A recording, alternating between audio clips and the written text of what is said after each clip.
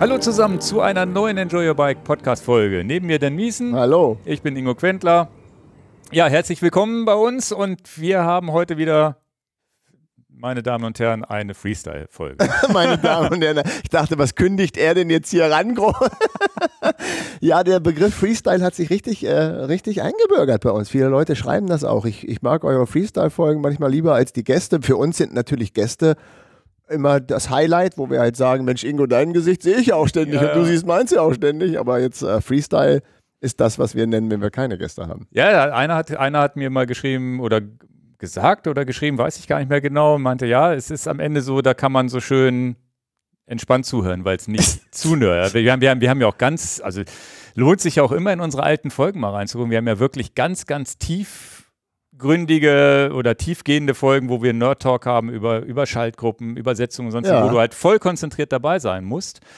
Und so eine Freestyle-Folge ist ja einfach nur Gequatsche, da kann man einfach Da kann so man auch die Hausarbeit nebenbei Ja, machen. da kann man nebenbei was machen und muss nicht einen Zettel und einen Stift nehmen und nochmal nachrechnen, ob das auch stimmt, was wir hier erzählen. Aber heute haben wir auch einen schönen gemischten Blumenstrauß an Themen wieder für euch. Genau, wir reden nochmal über den Verein aktuell, dann aktueller Stand.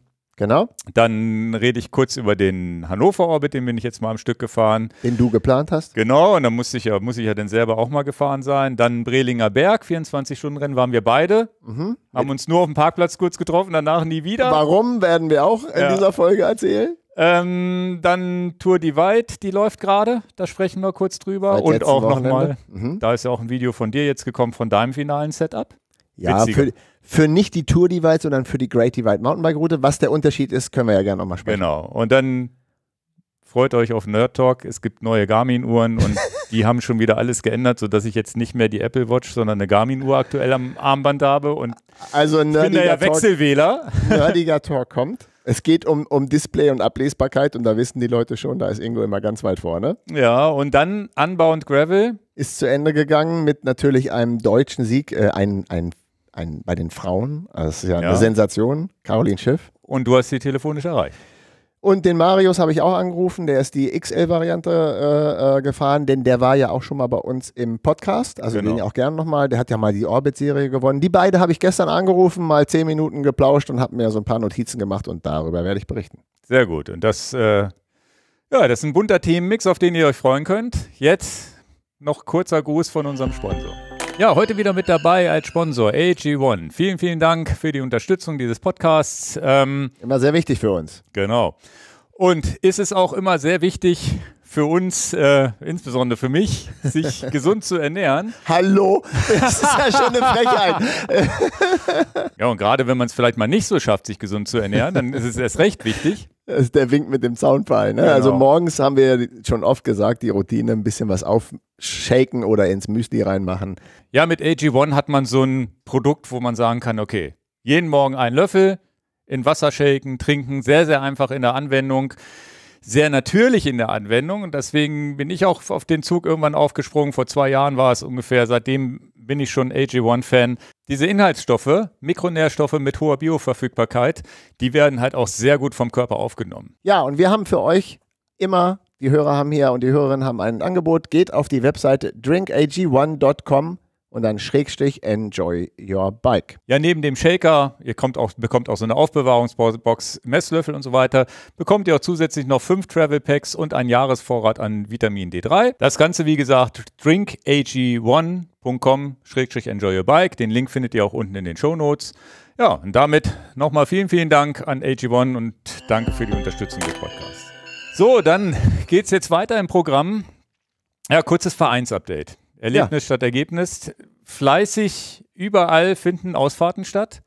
Ja, also wir haben diesen Verein, wer nicht alles, ich will so ein bisschen nochmal zurückgehen. Äh, äh, Vor über einem Jahr haben wir diese Vorarbeiten gemacht, um den Verein auf die, auf die Reihe zu kriegen, dass wir so ein, ja, so ein, so ein Erlebnisverein haben. Und wir haben ja am Ende des Tages ja auch lange überlegt, welchen Namen geben wir denn. Und da wir dachten, wir brauchen einen Erlebnisverein, wo man gute Laune hat, wo es um keine Bestzeiten geht, außer man hat tatsächlich dieses Erlebnis Fahrradfahren. Dann haben wir den Verein ja so schon nennen wollen, Erlebnis statt Ergebnis und wir haben ihn am 13. Januar gegründet.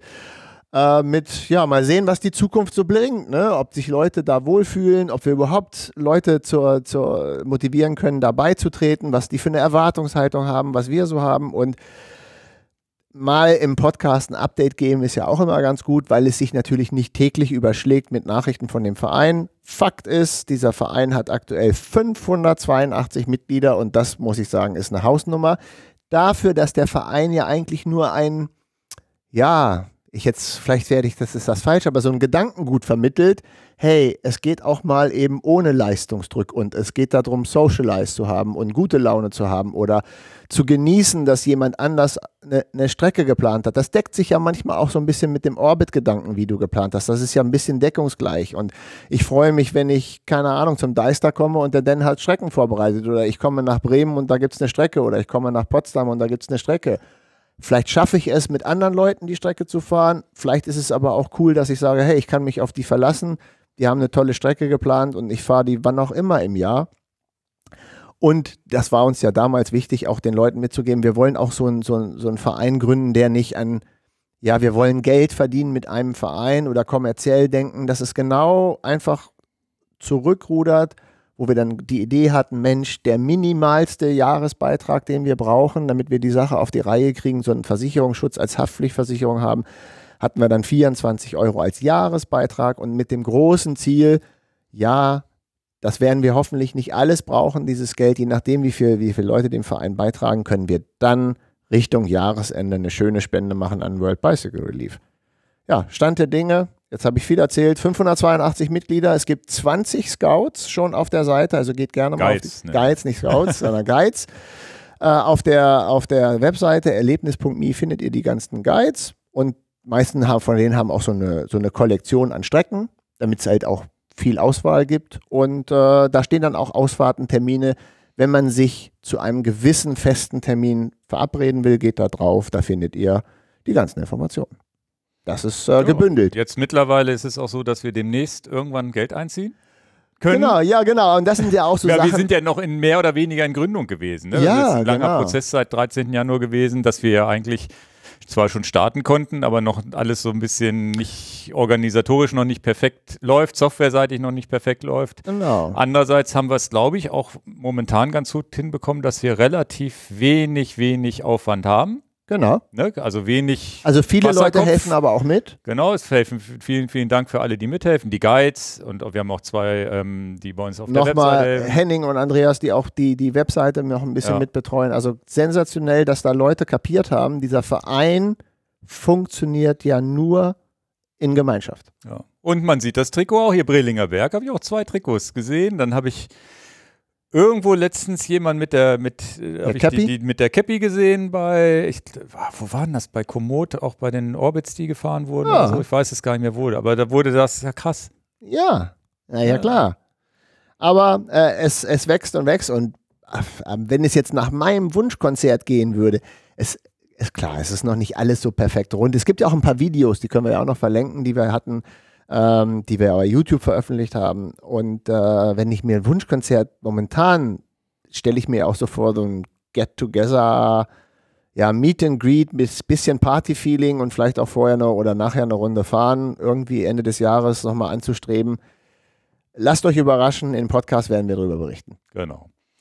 Nee, also sehr, sehr, sehr cool. Vielen, vielen Dank für alle, die da mitmachen und ähm, gerne bringt gerne eure Frauen mit. Wir haben noch einen relativ kleinen Frauenanteil. Das liegt aber wahrscheinlich daran, dass wir selber hier Männer sind und wahrscheinlich auch viel eine, eine, eine sehr männliche Zuhörerschaft haben. Ja, das können wir ja ruhig mal sagen. Weiß man auch nicht, wie gesagt, wir hatten auch schon weibliche Gäste und so weiter, aber, aber kriegt man, äh, es ist aber, vielleicht bildet auch das Bild auf der Straße ab. Es sind zumindest hier so im norddeutschen Bereich, es werden immer mehr Frauen auf, dem, auf den Rädern. Mit dem Gravel, glaube ich, auch immer mehr, die da Bock drauf haben, weil, weiß ich, meine Frau zum Beispiel hatte gar nie Bock, ja, Straße und so im Windschatten hinterherfahren und so war mal ganz schön, aber richtig Spaß macht es ihr jetzt, wo wir Köldinger Teiche, hier auch so Mhm. Orbit-Sachen abgefahren sind, wo sie jedes Mal nach Hause kommt, so geile Strecken und so weiter, keine Autos, du kannst nebeneinander fahren, kannst quatschen.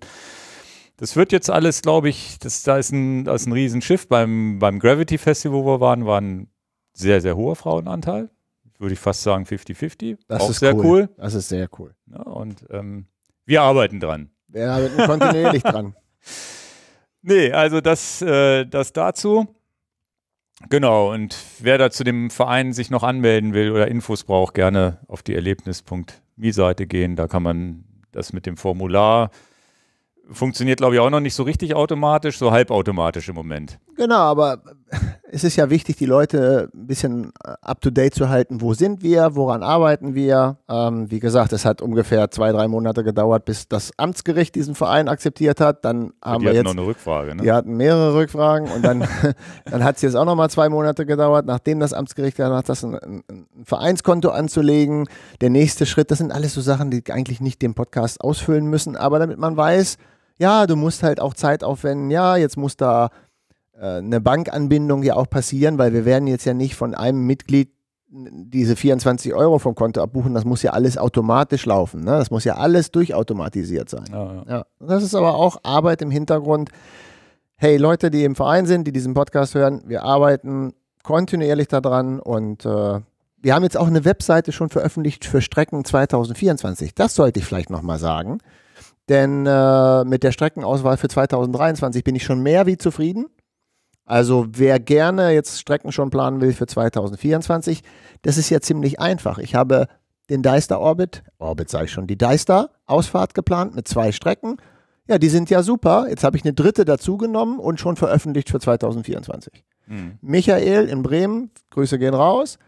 Die Super Bremen-Runde, die war, ja, was soll man an der Bremen-Runde verbessern? Die ist sensationell klasse. Wer es dieses Jahr nicht geschafft hat, schafft es vielleicht 2024. Die Strecke und die Einladung gibt es schon auf der Webseite für 2024. Ab und zu verschicken wir auch Newsletter, wo genau. wir dann reinschreiben, da gibt es jetzt eine, eine, eine, Weste, wo wir eine Umfrage gestartet haben für eine schwarze Erlebnis äh, statt Ergebnismesse. Äh, Weste, die nicht ganz billig ist, wo wir dann gefragt haben, hat da überhaupt jemand Interesse dran? Genau. Und danach entscheiden wir dann, ob wir sie produzieren lassen oder nicht. Und in welchen Stückzahlen. Und in welchen Stückzahlen, welche Größen wir brauchen und so weiter. Das kommt noch, ähm, ist ich weiß nicht, ob ich schaffe, noch, noch vorm Urlaub oder so, würde ich vielleicht sogar auch noch mal eine Vereinsausfahrt für diesen hannoverschen Orbit anbieten wollen. Hätte mhm. ich Bock drauf. Aber das wäre so eine spontane Sache, würde ich nur machen, je nach Wetter, wo ich dann sagen würde, zwei, drei Tage vorher. Das wäre so ein ganz spontanes Ding. Ja, da, da ist immer schwierig, wie kriegt man es mit, wenn man nicht ständig diese Webseite ähm, da, da, da, müsste dann, also für diese ganz spontane Sache würde ich dann auch nochmal so ein Newsletter opfern, anders habe ich ja keine Chance, die Leute okay. zu erreichen. Okay. Aber das sind so Sachen, die würde ich jetzt, na, wenn da jetzt wirklich genau der Tag schlechtes Wetter ist. Was, was noch ein Tipp für euch ist, wir haben ja auch so regelmäßige Ausfahrten. Wenn Ausfahrten geplant sind, und es ist wirklich, ihr seht, ah, da ist richtiges schlechtes Wetter und ihr seht, sehr, da seht ihr ja selber in der Wetter-App, habt vielleicht keinen Bock zu fahren oder was auch immer. Guckt in den Komoot-Link rein, in den ersten Kommentar da würde dann auch drinstehen, dass die Fahrt ausfällt. Also das ist dann immer noch, gerade hier für diese Donnerstagsabendsfahrt hier in Hannover, ja. die dann alle zwei Wochen stattfindet, da steht dann im Komoot-Link drin, ja, findet doch nicht statt, weil es regnet. Das war einmal der Fall. Wenn man da nicht reinguckt, einer war tatsächlich am Lindermarkt. Ich habe das zufällig mitbekommen, weil ich da an dem Tag zwar nicht mitgefahren wäre, aber auch da kurz zum Treffpunkt gegangen bin. Habe selber nicht mitbekommen. Also da Anders kriegen wir es auch nicht hin, weil da also, jedes Mal ein Newsletter rauszuschicken, wäre auch, glaube ich, zu viel. Auf gar keinen Fall zu viel Newsletter. Das will auf dieser Welt keiner haben. Ich ja. auch nicht. So alle drei, vier Wochen ist das eine tolle Sache. Äh, möchte ich gerne, gute, gute, äh, dass, dass du das Da werden sagst. wir vielleicht auch irgendwann ein anderes Werkzeug für haben. Ne? Momentan ja. ist es der Komoot-Kommentar. Genau. Und der Komoot-Kommentar, das möchte ich nochmal Leuten, die vielleicht neu in der Welt sind, äh, erklären. Das ist, momentan ist das so. Und ich habe auch mit Komoot telefoniert. Grüße gehen raus. Ähm, die arbeiten ja auch daran, an einer Plattform, dass sich Komoot-User untereinander mehr ja, austauschen können über Nachrichten und so. Aber das ist Zukunftsmusik und nicht Stand heute. Stand heute ist es so, ihr habt eine Strecke, jetzt nehmen wir mal den Guide. Ihr habt eine Strecke geplant, die wollt ihr der Welt mitteilen, dann ist das tatsächlich ganz, ganz, ganz, ganz, ganz wichtig, dass ihr einen kleinen Kommentar selber schreibt zu eurer Strecke. Und das ist dann der allererste Kommentar, der bei eurer Strecke angezeigt wird, den ihr auch immer wieder bearbeiten könnt. Wenn es mal eine Baustelle gibt, wenn es schlechtes Wetter gibt, wenn sich was auch immer ein Termin ändert oder sowas. Das heißt, ihr selber müsst, wenn ihr eine Strecke plant, auch den ersten Kommentar dort. Sonst macht das wer anders und dann Sonst hat man macht den das Salat. Wer anders und dann hat man den Salat und muss dann den Kommentar dann weglöschen, dass man wieder an erster Stelle steht. Ja. Ja, da kommen wir gleich zum, würde ich jetzt mal zum nächsten Thema rüber wechseln, nämlich zum Thema Orbit in Hannover, Line Satellites. Genau das mache ich bei meinem Orbit-Link, ne, es gibt ja einmal den offiziellen von Raphael und auch meinen eigenen, wo ich jetzt schon drei kleine Streckenabschnitte ändern musste und schreibe dann oben ins Update, auch in den ersten Kommentar oben Update rein, was ich geändert habe und wann und warum. Warum musstest du die Streckenabschnitte ändern? Wegen ja, Baustelle oder? Nee, einmal war es tatsächlich eine, eine Privatstraße Ah. Wo ich im Winter schön durchgefahren bin und das Schild nicht gesehen habe. Jetzt sind da wahrscheinlich der eine oder andere durchgefahren. Jetzt macht der da auch natürlich irgendwie was hin, dass man das sieht, dass es eine Privatstraße ist. Der hat auch, glaube ich, schon geschimpft mit Leuten, die das versucht haben. Also da, da muss ich drum rum. Dadurch wird die Durchfahrt durch Holtensinn auch besser. Man fährt dann zwar kurz auf dem Radweg ähm, an der Straße lang, aber man kommt geradeaus auf die Ampel zu, einmal rüber. Also okay. es wird auch ein bisschen sicherer dadurch, weil man sonst ne, zwar an der Tankstelle direkt vorbeigekommen wäre. Dann habe ich am, am, Hildesheimer Kanal ist ähm, eine Möglichkeit, rechts hochzufahren, um dann Brücke links zu fahren oder eben direkt an der Brücke so eine komischen U-Turn zu fahren. Und dieses rechts hoch, das ist was, wo man immer vorbeiballert. Ne, also bin ich selber dran vorbeigeballert und gesagt, hätte ich jetzt hier rechts hoch gemusst, das siehst du schlecht Ach auf dem Navigationsgerät. Okay, okay. Und wenn du eh unter der Brücke bist, das sind so Kleinigkeiten, die man dann umplant. Ein, ein komischer Spot war, ein Punkt, der war einfach da, der hätte nicht da sein müssen, den habe ich weggenommen. Also es waren so zwei kleine Änderungen. Ein, ein dritter Blö, ein drittes blödes Ding, was momentan auf der Strecke ist, ist ein Zaun bei so einem komischen Loch mit so komischen Antennen, die sie da aufbauen. Kann, muss man einfach absteigen, das Rad drumherum tragen. Das geht irgendwie, man kommt da durch. Das gehört ja zum Abenteuer auch ein bisschen dazu. Das ist die einzige Schiebepassage plus ein Baum, wo man mal das Rad drüber tragen muss. Ansonsten gibt es auf der gesamten Strecke, ich bin sie jetzt ja gefahren, gar keine Schiebepassage, ähm, wo ich gesagt habe, wenn ich das umplane, dann wird der Gesamt, dann, dann fährt man die ganze, ganze Zeit an der Hauptstraße. Man Wenn hat nicht, hinkriegt, den, man hat nicht den, den schönen Golfplatz und die schöne steinige Straße da lang, wo ich gesagt habe, okay, da muss, solange das noch geht, dass man da drum rumkommt, um die Sperre lasse ich es drin. Und äh, mittlerweile ist auch, hat auch Raphael die Änderung eingearbeitet. Das heißt, die offizielle Orbit-Strecke ist auch besser. Aber wenn ihr den Line Satellites, Line Orbit fahren wollt, eigentlich am besten immer die Strecke bei mir raussuchen. Und ich weiß gar nicht, da war Raphael sich auch nicht sicher ich glaube, sie, wenn ihr die vor drei Wochen auf den Garmin oder Wahoo geladen habt und der, äh, ich den Namen nicht ändern würde, dann würde das Update, glaube ich, nicht reingepusht werden. Weißt du das? Das weiß ich nicht. Ich ändere ja immer den Namen mit Versionsnummern. Genau, ich habe jetzt auch statt Versionsnummer habe ich jetzt Stand mit dem Datum, weil es ist auch eine eindeutige Versionsnummer. Theoretisch mhm. hätte ich auch eine fortlaufende nehmen können. Mhm. Und habt die Hoffnung, dass wenn ihr vor drei Wochen geladen habt, dass dann die aktuelle Strecke rausgeht. Auf meinem ist es halt so. Sobald ich den Namen ändere, habe ich auch definitiv die aktuelle Strecke drauf. Oh, und das ist, äh, ist ganz wichtig. Ich verlinke das hier unten auch nochmal. Ich verlinke auch, äh, da, da möchte ich mich auch sehr herzlich bedanken bei Leuten, die den Orbit schon gefahren sind. Habe sehr viel positives Feedback mit bisher bekommen. Also entweder mal. Äh, Warst du beim letzten Podcast nicht sicher? Nee, und ich war ja auch selber nicht sicher, wie sich das Ganze, da komme ich ja gleich zu, zu der Fahrt, wo ich, wo ich selber gefahren bin, ob sich das Ganze als Gesamtfahrt stimmig anfühlt. Mhm. Wenn du natürlich, das ist, ist, ist wie im Videoschnitt, wo du in einzelne Teile schneidest und dann bastelst du alles zusammen und der Rhythmus stimmt nicht und das funktioniert eigentlich gar nicht, weil das irgendwie doof ist. Das heißt, dieser Gesamtrhythmus war mir ja gar nicht sicher, ob das so funktioniert. Und da sind auch schöne, also der, ich habe hier einen Bericht von Björn, den verlinke ich unten mal von seiner Fahrt der sehr, sehr, auch bei sich im Kommentar, glaube ich, bei, bei Komoot sehr, sehr lang beschrieben hat, also sehr schön beschrieben hat, also auch ein schön, mit einem schönen, also ein gute, gute, gutes Erzähldeutsch, wie er den Orbit erlebt hat. Und ähm, verlinke ich unten mal, da möchte ich mich ganz viel bedanken. Ich wurde auch ganz oft getaggt in ähm, Strava oder auch bei Komoot, wo einer dann, at Ingo Quentler, ich bin in Orbit gefahren oder so und dann habe ich das so mitbekommen. Also Hut ab für alle, die den gefahren sind und bis jetzt Gott sei Dank relativ positives Feedback dabei. Ja, ja, und ähm, jetzt kommen wir zu, zu, dass ich den Orbit halt selber gefahren bin. Ja, dann merkt man natürlich auch, dann, dann probiert man natürlich auch diesen komischen Bereich mit dem Privatschild dazu umfahren und solche Sachen. Und war dann am Ende auch ganz zufrieden mit der Fahrt. Also wir sind hier mit dem, mit dem, mit, mit, mit aus dem Sales-Team, Axel, Olaf und äh, Stefan sind mitgekommen, André war mit dabei. Und dann sind wir hier gemeinsam gefahren, haben, haben hab auch ein kleines Video gedreht, was ich hoffe, dass das diesen Ja, Sonntag. hier sieht man ein Foto. genau, hier sieht man ein Foto von uns. Da sehen die Räder aber sauber aus. Das da war, war das war der ja, Start. hier guckt ihr das dreckige Rad von mir und äh, ne, meins sieht man zum Glück nicht. Also ein paar sind auch mit dreckigen Rädern gekommen. Nämlich ja, André, ja, und anreisen mit dreckigem Rad kann ich auch. Ja, ja, André und ich auf jeden Fall. Nee, und dann haben wir diese Runde gedreht, Videodreh ist, also ich habe hab jetzt bis hinter Hildesheim schon zusammengeschnitten. Ich hoffe, den Rest kriege ich bis zum Wochenende auch noch hin. Dann kommt am Sonntag das Video dazu. In dem Video habt ihr dann mal einen guten Überblick über die Highlights, was bei welchem Kilometer man in Hildesheim ankommt und so weiter. Also auch nochmal. Habt ihr da Getränke vom Volkslauf gemobst? Ja, oder ja, haben wir, klar. ja. Wenn die uns das da hinstellen. ja, ja. Nein, war eine lustige Szene da. Tatsächlich war, wir kommen, das ist tatsächlich dieses Ding, was ich umgeplant habe, wo man jetzt da von links aus dem Grünen rauskommt. Und dann kommen wir da hoch und hat uns, da habe hab ich erst gedacht, weiß denn einer, dass wir hier heute langfahren und hat da uns sich einen Spaß erlaubt ja, oder ja, sowas?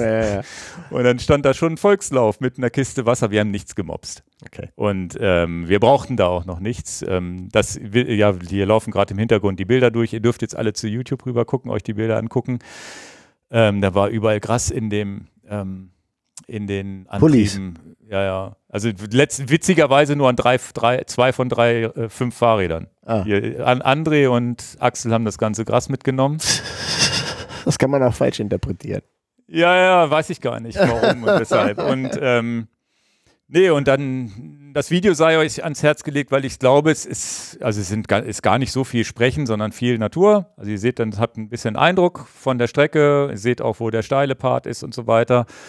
Und ihr kriegt natürlich auch nochmal ein Gefühl dafür, wenn ihr den Orbit selber fahren wollt, ja, was passiert, wo und wann und wie. Und ich glaube, er macht auch Geschmack drauf, den zu fahren. Einfach, weil es auch schöne, viele Highlights gibt, kleine Highlights. Ähm, genau, der, der, man hat letztendlich ein, vom, vom Rhythmus fand ich es ganz gut. Und tatsächlich, wenn ihr wirklich kaputt seid, und das war bei, bei, bei, bei André war das der Fall. Gut, der war jetzt auch irgendwie ein bisschen müde in den Beinen. Der ist dann irgendwo hinter, hinter der Marienburg oder so, dann hat er ein bisschen abgekürzt. Das ist definitiv gar kein Problem. Und er hat auch so abgekürzt, dass er einen Großteil der Strecke zurückgefahren ist. Er hat halt nur den Deister ausgelassen. Wenn ihr aber hinter der Marienburg wirklich kaputt seid, nehmt euch vielleicht eine Pause, fahrt den Deister vielleicht doch, weil wenn ihr wirklich die letzten 40, 50 Kilometer sind relativ chillig und ohne viel Berge zu fahren. Also man kommt wieder richt, relativ flach Richtung Kronsberg. Also das war zum Beispiel bei, bei Axel der Fall. Der ist jetzt, äh, hat bei den Bergen, das sieht man auch im Video, hat auch bei den Bergen gerne mal geschimpft. Oh, mit meiner 1 zu 1 Übersetzung hier, ne, wenn es steil wurde. Aber auch er ist dann auf dem flachen Stück, irgendwann kommt die Luft dann wieder. Man hat also immer noch mal die Zeit, sich auch wieder irgendwo zu, äh, zu erholen. Aber der mittlere Part ist schon sehr hügelig. Da kann da es auch schon mal sein, dass man ein bisschen kaputt ist. Gehört, gehört halt ein bisschen mit dazu. Ähm, zum Setup kurz. Ähm, einige von uns mit 650B gefahren, einige von uns mit äh, äh, 700C, ich selber auch äh, 700C, meine, mein Lieblings-Setup eigentlich P-Rope-Felgen mit 40 mm Conti Alle Speed. 700C gefahren? Nee, nee, André 650B. nicht. André ist 650B, ich glaube, ähm, Stefan auch, wenn ich mich richtig erinnere. Ja. Mhm. Axel ist, glaube ich, auch 40 mm gefahren und ich glaube, alles ist gut, was man so in dem Bereich Bei fährt. deiner Strecke bis. jetzt. Ja, Ja, ja, ja. Also da ist, sind ja Trails und auch mal eine Wurzel und so. Also kann man- beides geht, da muss man nicht extra neue Laufräder kaufen. Genau, also ihr müsst euch keine großen Sorgen machen. Übersetzungsmäßig ist halt ein Stück ab Golf, äh, ab in, in, in den Hildesheimer Bergen so ein Golfplatz, wo du wirklich, wo es wirklich steil wird, wo es wirklich hart wird, wo man vielleicht, entweder wenn der Tag ganz heiß ist oder wenn man die Beine nicht hat, vielleicht eine 1 zu 1 Übersetzung. Was ist denn die steilste. Steigung, Ingo? Was ist, 17, 18 Prozent. oh, das schon, okay. Also das ist, ich würde sagen, die, diese ab dem Golfplatz ist Läuterungsniveau. Okay. Und zwar ähnlich wie bei der Läuterung, du, du, du fährst sowieso schon relativ steil und biegst rechts ab und Die, Leut die, die Läuterung, das versteht nicht jeder, aber das ist eine schöne Steigung in, im Deister, die, die ja in deinen Orbits auch drin war. Also die, dieses Ding hat man und wenn euch da eins zu eins zu wenig, zu viel oder sonst wie ist, das seid euch da nicht zu schade abzusteigen und zu sagen, okay, ich spare mir die Körner und schiebe da hoch. Es ist wirklich nur der eine Part, weil im Deister bin ich sehr, sehr nett gewesen. Im Gegensatz zum Kollegen links neben mir und habe die bei der Vereinsausfahrt, ich habe tatsächlich zum Annaturm hoch das, dieses ganz seichte Stück den Kamm hochgenommen. Also du hast da vielleicht einmal 5, 6 Prozent, sonst ist das ja viel, 3, 4 Prozent. Aber sechs Kilometer am Stück berghoch, muss man auch fahren. Annaturm hatten wir damals, haben wir letzte Woche drüber gesprochen, ist ja ein schöner Verpflegungspunkt. Wenn er denn offen ist. Wenn du vor 17 Uhr da ankommst. Ja. Was sehr unwahrscheinlich ist. Ja. Zumindest wenn du am Kronsberg startest. War uns gar nicht so bewusst. Das Okay. Gute ist, du fährst da bergab. Leider dann nochmal kurz berghoch, weil ohne, ohne Wasserräder darf man eigentlich keinen Deister-Orbit machen. Deswegen musste ich noch einmal berghoch planen, aber dann in Wenigsen, der Edeka. Aber da war, haben wir auch eingekauft dann. ähm, und Das ist dann Kilometer 170? ähm, ja, Also kommt doch nicht drauf an, Ingo. nee, nee, nee, nee, da hast du ja noch 40, 50. Okay. Aber Wenigsen ist der Punkt, wo du, nee, wo noch ein Anstieg kommt, mit dem man nicht rechnet. Hinter Holtensen nach Lüdersen hoch. Lüdersen kennst du, das kleine Ortschaft? Aber da ist ja nicht, das bringt dann ja nicht. Okay. Ja, Naja, wenn ich man weiß, genug nicht, ob du, Kilometer. ich weiß nicht, ob du die, Sta äh, du, du kennst die Straßensteigungen da in Lüdersen, du, ich weiß nicht, ob du die Gravel-Steigung da hoch kennst. Das Ja. ist so ein, schon ein ganz schöner Acker da hoch und auch nochmal ein bisschen, also der, also ein bisschen Körner aber, aufheben. aber tatsächlich, wenn ihr euch in, in Lüdersen verpflegt, dann, äh, wenn ihr euch dann Wenigsen. in Wenigsen verpflegt, und da ist der Edeka wirklich ein Tipp, und da ist auch die Eisdiele, das ist eine schöne Eisdiele, die ist auch ein Tipp. Die haben wir ausgelassen, weil wir uns vorgenommen haben, abends noch Pizza zu essen. Ob wir das geschafft haben oder nicht, weil wir sind dann doch sehr spät am Kronsberg wieder angekommen und der Pizzabringdienst, weiß ich nicht, ob der noch offen hatte. Das seht ihr im Video. Ach so, du willst es nicht verraten. Genau. Deswegen haben wir das Eis da ausgeladen und gesagt, jetzt noch eine halbe Stunde hier hinsetzen, Eis essen geht nicht. Und wir haben vorher schon viel Zeit verplempert und haben hier mal eine halbe Stunde und da mal eine halbe Stunde Pause gemacht. Und äh, dann geht es aber wirklich Lüdersen noch einmal kurz berghoch, eine schöne Abfahrt da hinten, bisschen holprig zwar, aber geiler Ausblick auch über Hannover oder Richtung Hannover. Und dann danach nur noch flach. Und das, das ist dann so die Belohnung am Ende, dass man da so ansehen vorbei relativ flach dann wieder Richtung Ziel kommt. Ja, ich habe jetzt äh, meinen Luftdruck nochmal nach auch nach Mike Kluge Fahr Fahrsicherheitstraining fahre ich jetzt die 40 mm Reifen nur noch mit 2,0 hinten und 1,8 vorne. Und witzigerweise auf Schon der Straße ultra schnell. Das bin ich in Bremen schon gefahren auf der Straße und bin an so einer Rennradgruppe vorbei und solche Sachen. Also das geht schon richtig schnell und im Gelände nochmal echt viel, viel sicheres Gefühl. Und Mike Kluge hat ja bei uns in dem Fahrtraining ja auch gesagt, Mensch, manchmal ist ja ein schmalerer Reifen besser als ein dickerer. Ich habe das Gefühl, dass diese ganzen Wurzelpassagen, dass ich da viel, viel besser rüberkomme als sonst mit, mit schmal, so ein bisschen mehr wie auf der Schiene, aber weich genug und mehr Grip. Und auch hier André, irgendwann mal gibt es auch einen kleinen Ausschnitt im Video, wo er sagt, hier, das war das Fahrsicherheitstraining, wo er bergab hinter mir hergefahren ist und meinte, okay, das war schon ganz schön schnell. Und André ist ja nun noch skillmäßig mir ja natürlich trotzdem noch überlegen. Und ich muss selber auch sagen, das habe ich ja nach Schlaubetal schon gesagt, ich fahre anders im Moment. Besser, also sicherer, weniger Angst. Ne? Und diese Trails, wenn dann mal eine Wurzel ist, da keine Angst drüber zu fahren, mehr Geschwindigkeit, dadurch mehr Sicherheit, mehr Gefühl bei dem Ganzen. Also es ist so schon, ja, kann ich, ich kann ich euch nochmal ans Herz legen. Ne? Es gibt ja diesen Termin im Deister, guckt dabei Mike Kluge mal auf die Webseite. Also bei mir ist das schon ein kleiner, kleiner Pluspunkt. Ich bin überlegen, ob ich nicht nochmal bei ihm einchecken muss, damit das noch, weil wenn du merkst, dass ich, wenn, wenn ich jetzt merke, dass ich weniger Angst habe in den Abfahrten und das trotz dünnerer Reifen, die haben ja auch nicht viel Profil. Und Staub ist ja nun trotzdem, hat ja trotzdem nicht viel Grip und sonst wie. Und das ist schon so, wo ich sage, okay, krass, wenn das schon so viel gebracht hat, dieser eine Tag mit viel Videodrehs, was, was passiert, wenn ich das jetzt noch zweimal mache? Ja, also ist ja schon und auch so in Grenzsituationen keine Angst zu haben und zu wissen, was man tut und das auch sagen, äh, Bremse wieder lösen, bevor man den Überschlag macht und solche Sachen. Also ist schon ganz cool. Ja, hatten wir ja oft, dass viele Leute kennen das ja gar nicht, dass man, ja, wie stellt man sich da so puppelig an, wie so ein Kleinkind, das zu fahren und so. Ja, aber wenn du Angst hast, hast du eine Blockade, hast du halt eine Blockade und hast halt Angst. Kannst ja nicht lange mit jemandem diskutieren und haben auch Leute in, in dem Video gesagt. Das ist ja krass, dass du da off offi offiziell im Video sagst, dass du dich vor irgendwas, dass du da Manschetten hast. Ja, warum auch nicht? Also warum nicht die Probleme ansprechen? Ist ja nicht das Problem. Erinnert dich an diesen blöden Hügel, den, wo ich mich nicht Ja, aber habe. ich, ich möchte das hier nochmal sagen. Ähm, ja, ich habe tausende von Defiziten. Na und? Ja, ja. Also, wenn ich jetzt keinen absichtlich beleidige und böse sind und irgendwie stampfend, äh, polterig durchgehe, das, das ist halt so. Man kann das besser, das kann man schlechter und so ist es nun mal. Ja, ich habe ja die Strecke vorher gescoutet und weiß, wo ich vorher ausgeklickt habe. Mhm. Ein kleines Beispiel, nach Hildesheim rein ist so ein aufgeschütteter Berg, wie so ein Mountainbike-Hügel. Ne? Mhm. Bin ich, bin ich oben stehen geblieben, ausgeklickt beim letzten Mal. Diesmal wupp rüber, fertig. Gar Sehr kein schön. Problem. Ja. Gut, dann kommen wir zu den 24, reden wir jetzt 24 Stunden vom Brelinger Berg. Die, die, ja, die ja einen Tag vorher tatsächlich mit einem unheimlich tollen Vortrag, äh, über den wir nicht geredet haben, aber wo wir beide anwesend waren. Der Ähm, Vortrag kommt erst Ja, aber ich wollte Thema. nur sagen, Debre, das, das ist auch eine Sache, das möchte ich nur kurz sagen.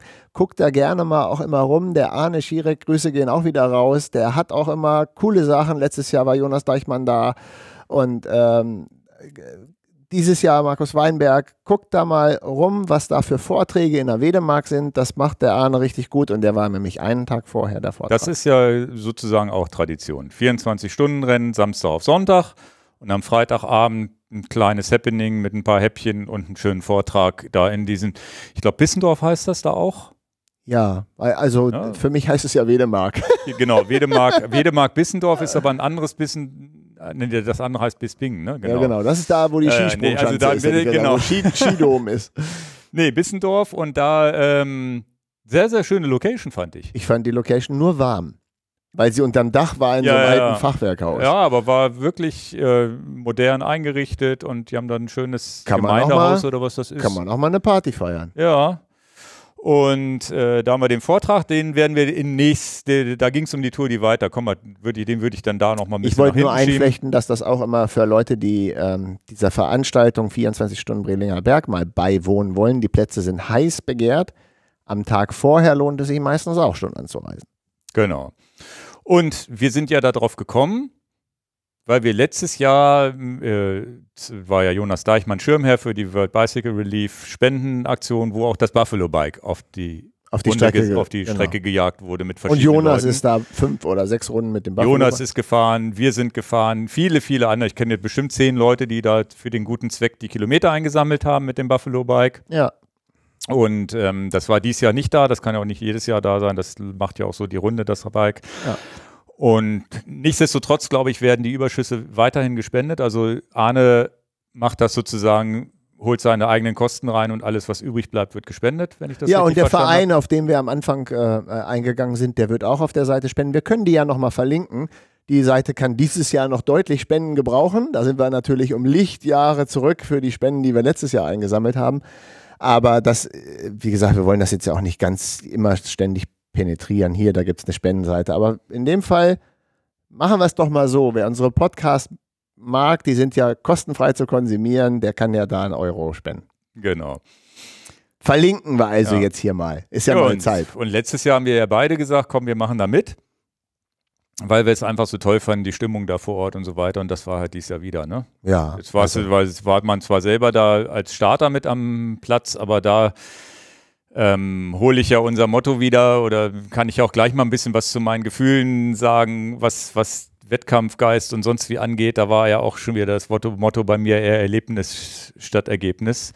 wo aber bei unheimlichen vielen Leuten ja auch Ergebnis ist, und das macht sie ja auch aus, möchtest du mal wissen, und da reden wir gleich drüber, wir wissen, ich weiß, dass wir nicht immer auf einem Nenner da schweben, aber es gibt natürlich viele Leute, die wirklich herausfinden wollen, wie viel Kilometer schaffe ich in 24 Stunden als One-Time, Once in a Lifetime. Ja, ja. Und dann brauchst du vielleicht so eine Strecke und vielleicht ist der Nürburgring zu hart. Äh, wer weiß, vielleicht, ja, Ja, ich glaube, die Strecke ist ideal. die Strecke ist ein Traum. Ja, wenn du, äh, wenn du wirklich sagst, du möchtest ähm, möglichst viele Kilometer in den 24 Stunden fahren, ohne komplett gegen die Wand zu fahren, mental, glaube ich, ist die Strecke dahingehend perfekt, weil sie erstens überwiegend flach ist, aber nicht zu 100% flach, weil das ist auch Mist. Ja. Ne? Wenn du jetzt wirklich sagst, du hast so ein, so ein Platten, plattes Ding, was im Kreis läuft, irgendwo in Holland, glaube ich, dann. Ja, und nicht nur Rechtskurven, sondern auch so ein kleines bisschen auch mal nach links. ja, ja, mal, mal eine S-Kurve, dann hast du mal, äh, es gibt so zwei kleine Hügel, wo du zumindest mal aus dem Sattel gehen kannst, um den Po zu entlasten, was du vielleicht bei einer ganz platten Strecke nicht machst.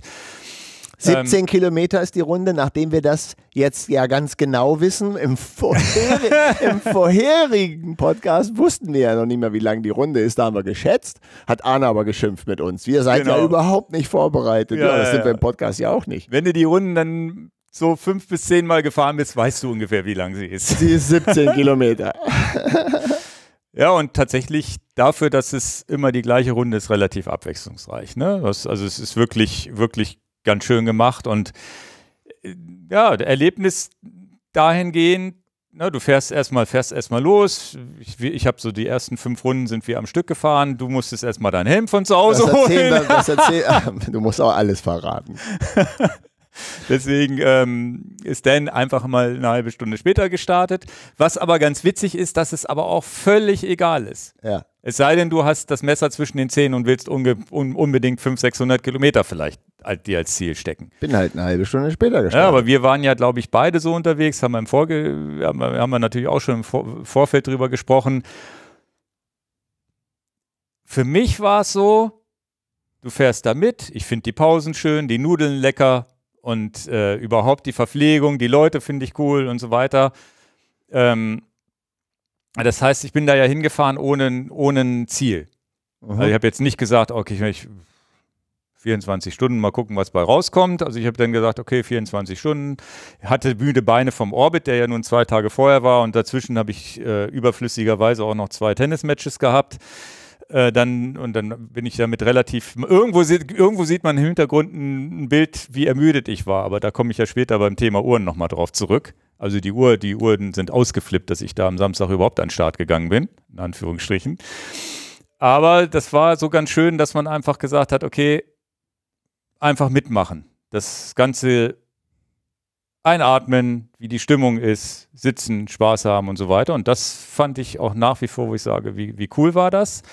Klein, kleines Ding, was ich natürlich dann hatte, war irgendwann, als ich das Ganze mit dem Erlebnis hatte, weil im Gegensatz zu dir, du kannst ja gleich mal erzählen, wie du das erlebt hast und auch, weil du noch private Verpflichtungen hattest, ist es dann so, dass ich ja dann irgendwann so um elf, halb zwölf mein, mein Wahoo gestoppt habe und gesagt habe, jetzt ist für mich, reicht's für mich. Bin 250 Kilometer gefahren, waren glaube ich 15 Runden, wenn ich es richtig weiß. Ich glaube 15 Runden oder sowas. Und habe dann auch mit, mit Arthur, André waren ähnlich drauf. Wir haben dann alle unsere Fahrten geschaut und gesagt, okay, das war jetzt genau das Richtige für uns.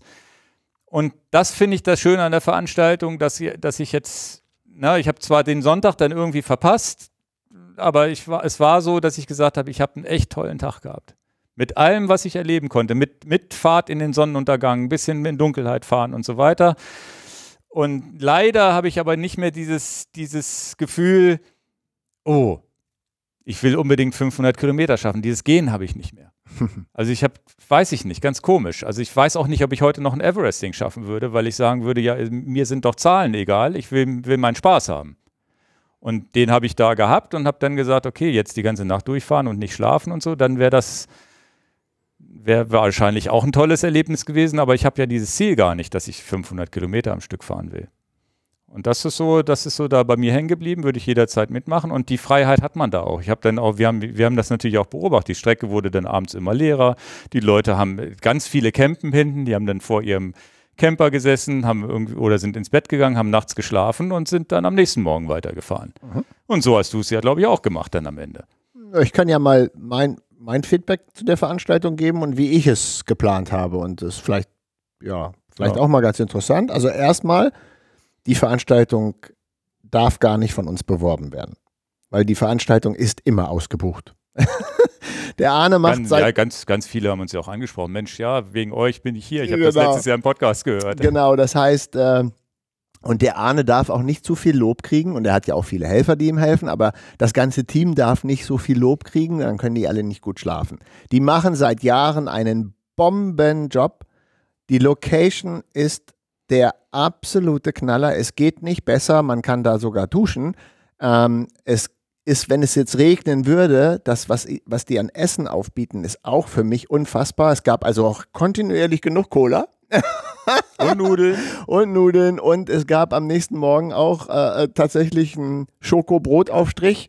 Ähm, also es gab wirklich auch, auch frische Sachen. Es gab auch Paprika, es gab Bananen. Und also wirklich, es geht wirklich nicht besser nach meiner Meinung nach. Und für das kleine Startgeld, von dem an dann auch noch was gespendet wird, was erwartet ihr mehr? Also am Ende des Tages müsste man das Geld einfach bezahlen, auch wenn man gar nicht teilnehmen wollte. Einfach nur als sagen, hier, als ich weiß, ihr macht einen guten Job und ihr spendet Geld. So ähnlich wie der Erlebnis statt Ergebnisverein ja auch drauf ist.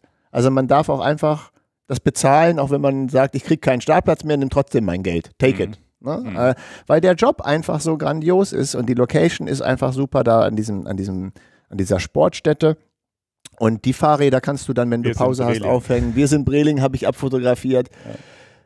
Ich könnte da so euphorisch werden, weil dieser Job einfach so grandios ist. Und die Strecke ist natürlich für die Leute, die sich das mal in den Kopf setzen. Ich wollte schon immer mal wissen, schaffe ich 300 oder schaffe ich 400 oder schaffe ich 600 oder mehr Kilometer in 24 Stunden zu fahren. Ich glaube, dass das in ganz vielen Leuten schlummert in mir auch. Damals war es bei mir, schaffe ich über 500 Kilometer zu fahren in 24 Stunden. Das war dann unsere berühmte Zusammenfahrt in, in, in äh, Trondheim-Oslo, wo ich dann sagte, okay, das habe ich jetzt aber auch gemacht. Das heißt, ich falle auch in die Kategorien, die du dich gesetzt hast. Ja, ich habe auf gar keinen Fall den Anspruch, bei 24 Stunden Brelinger Berg 500 Kilometer schaffen zu müssen. Das habe ich ja schon ja, mal wir gemacht. Wir müssten ja 552 Kilometer Verstehe ich. Du weißt sogar, dass es 551 waren, die wir gefahren ja, sind. Ja, deswegen, das habe ich ja. Den Anspruch habe ich ja auch gar ja. nicht mehr, aber ich habe ja im, in meiner Konstitution, wie ich jetzt so bin und in meinem Leben, das große Interesse, zu einer Veranstaltung zu kommen, wo ich viele Leute kenne, wo mich auch Leute kennen und wo man weiß, man hat so ein familiäres, ja, das familiäre Gefühl. Familiär, ja, ja. Familiär ist halt das auch, obwohl die ja vielleicht ein bisschen fremd sind, hast du das Gefühl, die sind trotzdem familiär. Da gab es einen Teilnehmer, der ist aus äh, New York angereist, also ein Deutscher. Und dann kam ich kurz mit ihm in, ins Gespräch und er war ein bisschen müde am nächsten Morgen und etc. pp. Man hat ja schon das Gefühl, ja, fährst du jetzt bei mir am Hinterrad oder machst dieses oder jenes. Das gefällt mir unheimlich gut und immer wenn es auch was zu essen äh, gibt und auch vielleicht nicht. Du bist immer dabei. Bin ich ne? immer dabei. ja, lege ich aber auch Wert drauf. Äh, ähm, das hebt die Stimmung gigantisch. Also ja. Äh, das, das weiß ja auch jeder auf dem Schiff, was irgendwie lange unterwegs ist, musste zumindest mal einen guten Koch haben. Mhm. Ne? Und, und allein, dass diese Stimmung so ist, macht es ja wert, obwohl ich ja gar nicht, ich hatte von, von Anfang an ja gar nicht den Plan, 24 Stunden fahren zu wollen, weil dann geht mein ganzes Privatleben hops. Mhm. Nach 24 Stunden wach bleiben kann ich auch 20 Stunden schlafen, weil ich echt platt bin. Und das kann ich zu Hause auch nicht abliefern. Ich muss also auch funktionieren und ich fand es unheimlich gut. Meine Planung war, ich hatte es ja auch schon angekündigt, hey, ich fahre zweimal 100. Finde ich super. Und das mhm. macht das, das, das reicht mir auch. Ich habe einen tollen Samstagnachmittag da gehabt und ich habe einen tollen Sonntagmorgen gehabt. Ich jetzt für meinen Teil habe so entschieden, ich wollte aber gerne den Abend familiär verbringen, bin dann nach Hause gefahren, bin am nächsten Morgen wiedergekommen. Ich könnte mir auch vorstellen, dass ich es umgekehrt mache. Dass ich vielleicht mal nur die Nacht mitnehme, dass ich um 18 Uhr bis morgens um 6 fahre. Würde auch passen. Aber beides wäre jetzt too much. Bei mir kam jetzt auch noch hinzu, ich war das Wochenende vorher auch gerade in, in Spanien äh, weg und dann muss man es auch nicht über, also mit dem Bogen überspannen, oh, muss man ja auch nicht machen. Ja, ja also ich glaube auch, dass das ich weiß gar nicht, wie Arne das sieht. Wahrscheinlich kommentiert er unten, ihr Weicheier, warum seid ihr nicht durchgefahren und solche Leute wollen wir nicht. Aber sonst, ich Doch. glaube, du bist da gern gesehen, auch wenn du wirklich nur, selbst wenn du nur 100 Kilometer auf dem Tacho hast und mitgemacht hast, glaube ich nicht, dass da einer schimpft und sagt, Mensch, warum Nein. bist du nicht die 24 Stunden durchgefahren? Ich glaube, das ist da egal. Ich, ich glaube, und der Arne wird es jetzt reinschreiben, lieber Arne, schreib es rein, wichtig ist die gute Laune. Hm. Komm da nicht, wenn du ein Miesepeter bist ja, sondern der, die Stimmung ist grandios gut. Ich musste Arne zum, zum, zum Schluss einfach in den Arm nehmen, wo ich sagte, dieses, das ist so geil, dass die Stimmung so gut ist. Das ist ja auch in unserem Leben. Du hörst die Nachrichten und hast schlechte Laune, du hast da schlechte Laune, du hast da und da und da und da schlechte Laune. Jetzt haben wir wenigstens mal keine schlechte Laune mehr wegen Regen. Dann ist es ja gut, wenn man auch gute Laune kriegt, weil etwas so so cool ist. Und den Abend vorher fand ich so be be bemerkenswert, wo der Vortrag war über die Tour Divide. Ja, hier ist übrigens Arne Schierek, der morgen dieses 24-Stunden-Rennen veranstaltet. Und es geht ja nicht nur Arne, der hat ja auch viele Helfer. Also Mhm. ich, ich spreche jetzt immer nur seinen Namen an, was unfair ist. Ähm, aber das, äh, und du bist ja total entspannt und morgen ist dieses Event. Ja, läuft ja. Also, dass man halt auch weiß, die haben diese äh, Confident, die, die haben diese Sicherheit, ja, ja. da- dass das läuft. Routine. Routine. Ja, ja. Nee, wie gesagt, war wieder ein tolles Ding. Wie gesagt, am, am, am Ende war für mich tatsächlich, waren die das Schönste die Pausen. ne, weil ich, Ja, ja, aber das. ja, so, äh, auch auf der Strecke cool, ne? So ist es nicht, aber es war so, diese Pausen da zu sitzen und so weiter, das hätte ich stundenlang machen. Haben wir, haben wir auch stundenlang. Und Das haben wir auch zelebriert. Das, dadurch, dass ich ja dieses, dieses Wettbewerbsgehen, dieses habe ich ja nicht aktuell mehr. Ich, das, das ist ganz komisch auch. Das weiß ich nicht, ob das jetzt am gesetzten Alter liegt oder sonst wie, dass ich nicht mehr das Gefühl habe, oh, da muss ich jetzt zeigen, dass ich der Schnellere bin oder den muss ich unbedingt noch einholen oder die Kilometer. Ich weiß nicht mal, wie viele Jahreskilometer ich habe. Interessiert mich alles nicht mehr. Und früher war das immer so, ah, und Strava und gucken. Ich tracke zwar jeden Mist und tracke auch meine Gesundheit, wie man sieht, aber es ist am Ende wettbewerbsmäßig, ja, finde ich es auch cool. Dann fährst du halt schneller als ich oder mehr Kilometer als ich und habe da dann gesessen und meine Nudeln und so weiter. Und dann war ich aber auch mental und das, äh, vielleicht wäre ich auch da geblieben, hätte gecampt und morgens weiter, wenn ich nicht diesen Orbit und den Kral, also ich war auch wirklich mental müde, wo ich gesagt habe, okay, jetzt nach 250 Kilometern ist auch Schluss. Sonst hätte ich mich da vielleicht noch drauf gesetzt, einfach nur aus Spaß. Egal, ob es denn noch 300 geworden wären, 350. Ich wollte auch erst die 300 noch voll machen, wo ich gesagt habe, na gut, 300 ist ja auch eine schöne Zahl und dann war es aber auch wieder egal und dann habe ich hier zu, zu, zu Arthur gesagt, komm, ich gehe ins Bett. ja, und die Entscheidung muss man aber auch treffen können. Die, die, so, es ist ja, das hört sich jetzt so einfach an, aber du sitzt ja trotzdem in dem Augenblick und denkst, naja, eigentlich müsstest du es jetzt noch weitermachen. Das ist so geil hier und sonst wie, aber dann bist du auch kaputt und, dann- und dann musste ich auch sagen, okay, dann brichst du auch mal was ab. In Anführungsstrichen, obwohl ich ja keine Ziele hatte, brichst du es ja trotzdem irgendwie ab. Und dann war es auch gut so. Weil ich glaube, für meinen Körper war es auch gar nicht doof, dann am Sonntag zu Hause aufzuwachen und aus, ich war auch wirklich im Arsch dann. Mit dem, diesen Orbit, so schön wie das ist, dass der flache, äh, flache Dings hatte, geschenkt kriegt man den dann, egal welchen Orbit du fährst, kriegst du ja nie. Erinner dich an, an Schlaubetal, 130 Kilometer, ja, die machen wir ja mit links. Mit den paar Höhenmetern. Dann kam der Sand. Ja, nee, also war, wie gesagt, immer, immer wieder toll. Guckt euch da an. Ich glaube, die haben auch wahrscheinlich sicherlich ein paar schöne Fotos auf der Webseite. Und ich freue mich, ich habe abends auch die Stimmung da noch mitgenommen. Dann war Disco, an der, Disco am Straßenrand, dann war der, war der Kaffeemann, der, der, der war an so einem, an so einer, an so einem Parkplatz, auf, auf, oben auf so einem Hügel, wo man dann noch einen Espresso trinken konnte. Da haben wir kurz angehalten, also alles mitgenommen. Sehr, sehr schön gemacht und ja, alles auf so eine sympathische und so entspannte Art und auch die, es waren ein paar Fahrer dabei, die wirklich, ich weiß gar nicht, ob es dieses Jahr wieder welche gab, die 700, 800 gefahren sind, Was ich unfassbar finde. die dann wirklich mit dem TT und runter und die an einem vorbeigeschossen Wahnsinn. sind. Wobei ich aber auch genossen habe, mal, ich kann alleine heutzutage keinen 30er Schnitt mehr abliefern und ich bin auch 36 Millimeter breite Reifen gefahren. Also Ja. ne, ich bin jetzt da ja auch nicht mit super Maschine angereist. Fand ich für mich auch mal schön, mal wieder einen 30er Schnitt auf der Uhr zu sehen auf 100 Kilometer. Fand ich gut. Ja, also geil. weil ich halt auch mal Leuten hinterherfahren kann, die dann da äh, schön vorne im Wind fahren. Dann, äh, das habe ich auch genossen. Ja. Dann Hab ich sonst nicht die, so die, oft. die, die Velomobile, wenn die an einem die sind ja so sexy. Oh, aber auch krass, ne? wo ich, ich hatte, Die fahren ja doppelte so Geschwindigkeit. einen Schiss da drin. Die sind ja, die sind ja so hoch wie ein Autoreifen, habe ich das Gefühl, wie so ein SUV-Reifen. Mehr ist das ja nicht.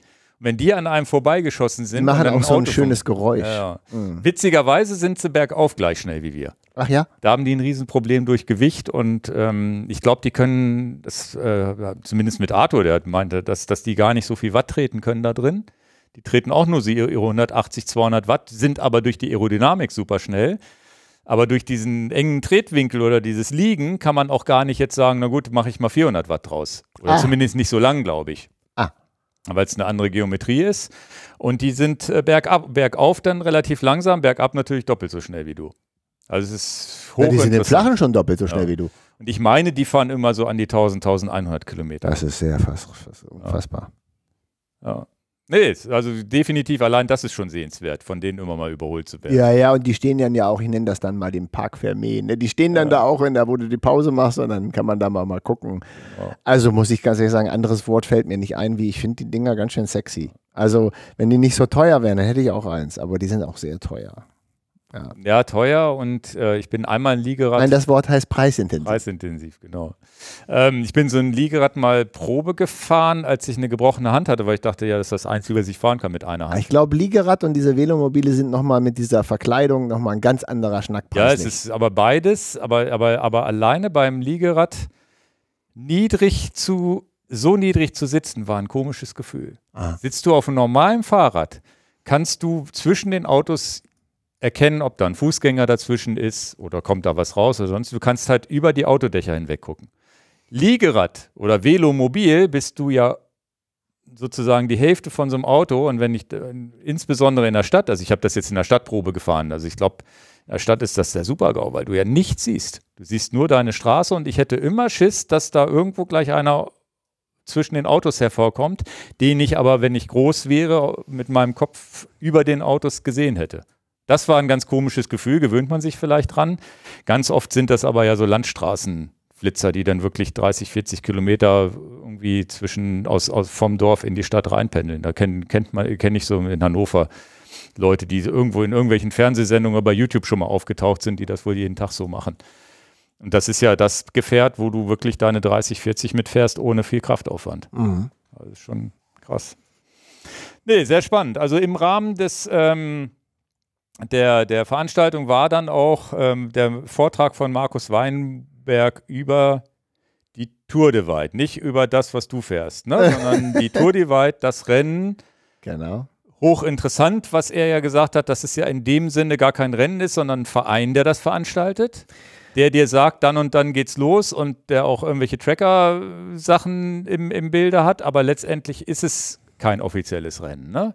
Ah, es ist für viele Leute nicht einfach ähm, zu verstehen. War es auch für mich am Anfang nicht. Ich würde es mal in drei Blöcke runterbrechen, damit die Leute so ein bisschen verstehen, worum es geht. Also wenn du die Rocky Mountains von Norden nach Süden siehst, dann gibt es da einen Begriff, den habe ich letztes Mal schon gesagt, der heißt ja Wasserscheide. Im Prinzip fließt das Wasser ja entweder in den Pazifik oder in den Atlantik, äh, je nachdem, welche Seite das den Berg runterfließt. Und du könntest auch sagen, das, das war mir nicht klar. Es fließt auch irgendwie noch ins Polarmeer. Das klemmer ich jetzt mal aus, weil ich, das für mich zu kompliziert. Das, ich würde erst mal sagen, der Begriff Wasserscheide, das sind die Rocky Mountains und äh, die, dieser, dieser Weg, den kannst du ja auf verschiedene Art und Weisen dann abpilgern, ne? wenn du das jetzt Pilgern nennst. Du könntest wie hier hier nach Santiago de Compostela, da könntest du ja sagen, ich nehme den Weg jetzt mal. Hat zwar jetzt nichts Religiöses zu tun, aber viele Leute machen ja irgendwelche wilden Wege, die sie abwandern. Kennt ihr ja zu Genüge. Oder manche Leute wandern halt einfach die Alpen ab. Also es gibt ja solche Sachen. Das heißt, du könntest natürlich diese, diese Divide-Route, die Rocky Mountains auf praktisch dem Gipfelkamm von Norden nach Süden oder von Süden nach Norden abwandern. Dann würdest du im Prinzip die möglichst originalste Form der Wasserscheide abwandern, weil du halt zu Fuß jeden kleinen Weg nehmen kannst. Den Vier bis fünf Monate. Genau, und da, das ist der eine Weg. Und dann gibt es aber einen Verein, der eine Mountainbike-Route erarbeitet hat über viele, viele Jahre und viele und die auch den aktuell hält, wo, wo müsste man da Änderungen machen. Und die Route ist natürlich nicht direkt über diesen Kamm, aber angelehnt an der ganzen Sache.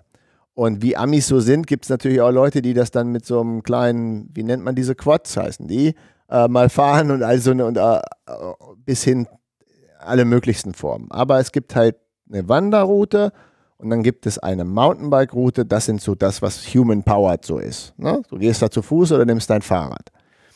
Und die Mountainbike-Route hat den Namen GDMBR, also Great Divide Mountainbike Route. So.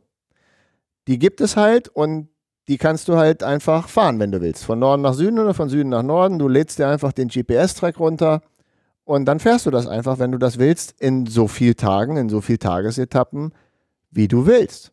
Also ob du das in einem Monat fährst, in 30 Tagen, in 20 Tagen oder in 200 Tagen, ist ja völlig wurscht.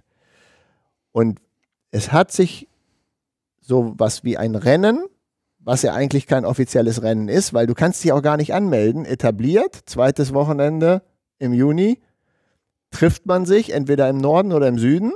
Die meisten Leute fahren es von Norden nach Süden, um ja, sich zu einigen, wir fahren jetzt mal so schnell wie möglich. Und das ist dann diese Tour Divide, die jetzt gerade läuft. Also wenn ihr diesen Podcast hört, ist diese Tour jetzt genau eine Woche unterwegs. Während wir den Podcast aufnehmen, ist die Tour jetzt vier Tage unterwegs. Und das nennt sich dann halt nicht GDMBR, sondern Tour Divide, also nicht Great Divide Mountainbike Route, sondern Tour Divide ist fast die gleiche Strecke, muss natürlich sich immer so ein bisschen anpassen, wo gibt es gerade einen Waldbrand, wo ist gerade irgendwie eine, eine, Schneelawine runtergekommen oder whatsoever, was natürlich dann dazu folgt, dass du dann ein bisschen die Strecke. Aber again, du musst nichts anmelden, du stehst da einfach im Benf an der Startlinie und sagst, ich fahre das jetzt. Es gibt aber auch wie gesummt keinen, außer der Ehre, dass du die schnellste Zeit hast oder das gefahren bist, gibt es ja natürlich auch gar kein Geld. Also es gibt keinen, also es gibt gar nicht einen offiziellen Veranstalter, was ich unheimlich sexy finde, dass es das mhm. nicht gibt. Und es gibt auch nicht im, im Ziel ein Empfangskomitee, was dir dann eine Goldmedaille umhängt und einen 10.000 Dollar Scheck in die Hand gibt. Da gibt es auch nicht. Also es gibt, du willst das oder du willst das nicht. Ich will es nicht, weil ich nicht Rennen fahren kann und ich auch nicht das Interesse habe, die Route möglichst schnell zu fahren. Ich fahre sie einen Monat später oder fast anderthalb Monate später. Ich hoffe, dass ich sie äh, fahren darf in meinem Tempo und ich hoffe, dass ich sie in 40 Tage fahren kann und dann natürlich eben nennt man das dann nicht Tour Divide, sondern Great Divide Mountainbike Route mit so viel Zeit, wie ich eben brauche. Mhm. Das, ist der, das ist der Plan. Der Vortrag, auf den du jetzt wieder reingehen kannst, weil mich interessiert ja viel mehr, was du von dem Vortrag mitnimmst. Da ging es um das Rennen. Genau. Also das war, war ganz spannend zu sehen. Er, er fuhr das Ganze ja in 20 Tagen. Gibt übrigens auch ein schönes Buch darüber, das kann man sich, glaube ich, auch mal kaufen mit vielen tollen, tollen, äh, tollen Bildern und so weiter. Ähm, nee, also für mich war es dahingehend spannend, weil ich ja mich gar nicht, für dich war das ja wahrscheinlich alles ein alter Hut. Für mich war es so, ich habe ein Tour Divide Video mal gesehen auf YouTube, das hatte ich im Hintergrund mit dieser, mit Leo Wilcox. Ja, Leo Wilcox und vielleicht sogar ein zweites von irgendwelchen Leuten, die dann die ganze Zeit diesen Matsch da in den Trainern, die wir, glaube ich, gar nicht so sympathisch fanden. Ich sage jetzt nicht, welches Video es war, ne? aber war, glaube ich, so. Ne? Das mhm. ist doch ein so ein, Pair, wo ja, wir, ja. die wir nicht die, aber da, wir müssen nicht drauf gehen, wen wir nicht wir sagen sympathisch nicht, Wir sagen nicht, wer wir, es war. Wir sagen, wen wir sympathisch finden. Leah Wilcox hat ein Video Leo draus. Just Wilcox war ein richtig geiles Video auch. Und die ist auch sehr sympathisch. Ja, ja. Und ähm, deswegen, ich wusste so ein bisschen was, aber das war jetzt natürlich schön, da mal aus, aus erster Hand zu erfahren. Er ist jetzt natürlich schon im Rennmodus, im ambitionierten Modus gefahren. Also Erlebnis mit Ergebnis, würde ich sagen. Ich würde nicht sagen nur Ergebnis, sondern schon, dass er Erlebnis mit drin hatte. Aber schon ehemaliger Radsportler, auch Radprofi, der schon ne, mit da auch schon diesen Anspruch hatte, da glaube, teilweise über 240 Kilometer am Tag und so gefahren. Ja, ja längste, längste Etappe 280 Mountainbike-Kilometer am Tag, da wackelt die Wand. Also Leute. Ja gut, da hat er viel Asphalt gehabt. aber trotzdem ist es 280 Kilometer mit einem schweren Fahrrad. Ja, ja, genau. Und das war so, war, war, war ganz spannend und was natürlich an seinem Vortrag und wahrscheinlich auch am Buch super spannend ist, die haben ja auch wettermäßig komplett in die Scheiße gegriffen. Ne? Also viel, ich meine, er hat den schlimmsten Schneesturm erlebt, den es da je gab, die regenreichste Zeit und Hochwasser und noch mehr Schnee und noch mehr Schnee und sonst wie da oben in den Bergen, wie es seit 30 Jahren nicht gab. Also der ist unter, die sind unter schlimmsten Bedingungen da unterwegs gewesen. Teilweise ist er noch über den Schneeberg rübergekommen und die anderen schon nicht mehr.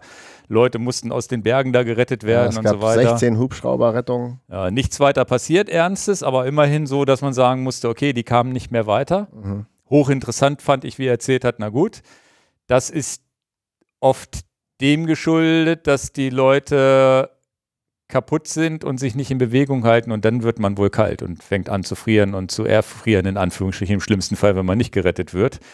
War, fand ich einen sehr, sehr wertvollen Tipp, dass er gesagt hat, okay, egal wie schlecht es dir geht und wenn du dein Rad schiebst oder sonst wie, du musst weiter in Bewegung bleiben damit du, damit du dann oben nicht erfrierst. Trotzdem hat er irgendwie so ein Foto von seiner Frostbeule in der Hand gezeigt, ne, weil er immer ohne Handschuhe gefahren ist, weil er sonst Kälte unempfindlich ist. Aber selbst das hat ihn wohl. Da würden wir ja sowieso schon mit dicken Und die Beule fahren. an der Hand, die fand ich äh, bemerkenswert groß. Unglaublich. Ja, eine sogenannte Frostbeule. Ich wusste gar nicht, dass es das in echt gibt. Ja. Aber Also- da, danke fürs Gespräch. Ich, ich, ja, genau so geht's mir auch. Ich war wirklich baff. Ich dachte, das kann doch nicht wahr sein. Ja, ja. Wir Richtig sagen krass. ja das Wort Frostbeule einfach mal so. Ja, ja, ja. Aber der, der hat richtig so eine Beule auf der Hand gehabt. Krass. Also, ja, ja. Nee, also war. Mich interessiert eigentlich eher alles, was du über diesen Vortrag erzählst. Also deswegen Ja, möchte ich dir viel mehr Redeanteil dazu geben, der, weil, der weil acht, ich wüsste schon alles. acht oder zehn Kilo abgenommen in den, in den 20, in 20 Tagen. Auch Wahnsinn. Wo ich denken würde, dass da der Jojo einsetzt, sobald man wieder da ist und man das, aber das Jojo ist nur zur Hälfte eingesetzt, hat wohl fünf nur wieder zugenommen. Jonas Deichmann hatte, glaube ich, auch diese 10 Kilo Geschichte, aber der ist ja auch ein ganzes Jahr unterwegs gewesen und hatte die dann aber auch wieder relativ schnell nach ein, zwei Monaten drauf. Also das fand ich krass. 10 Kilo in drei Wochen? Das kann ja nicht nur Wasser und, und Fett gewesen sein. Also Das geht schon an die Substanz.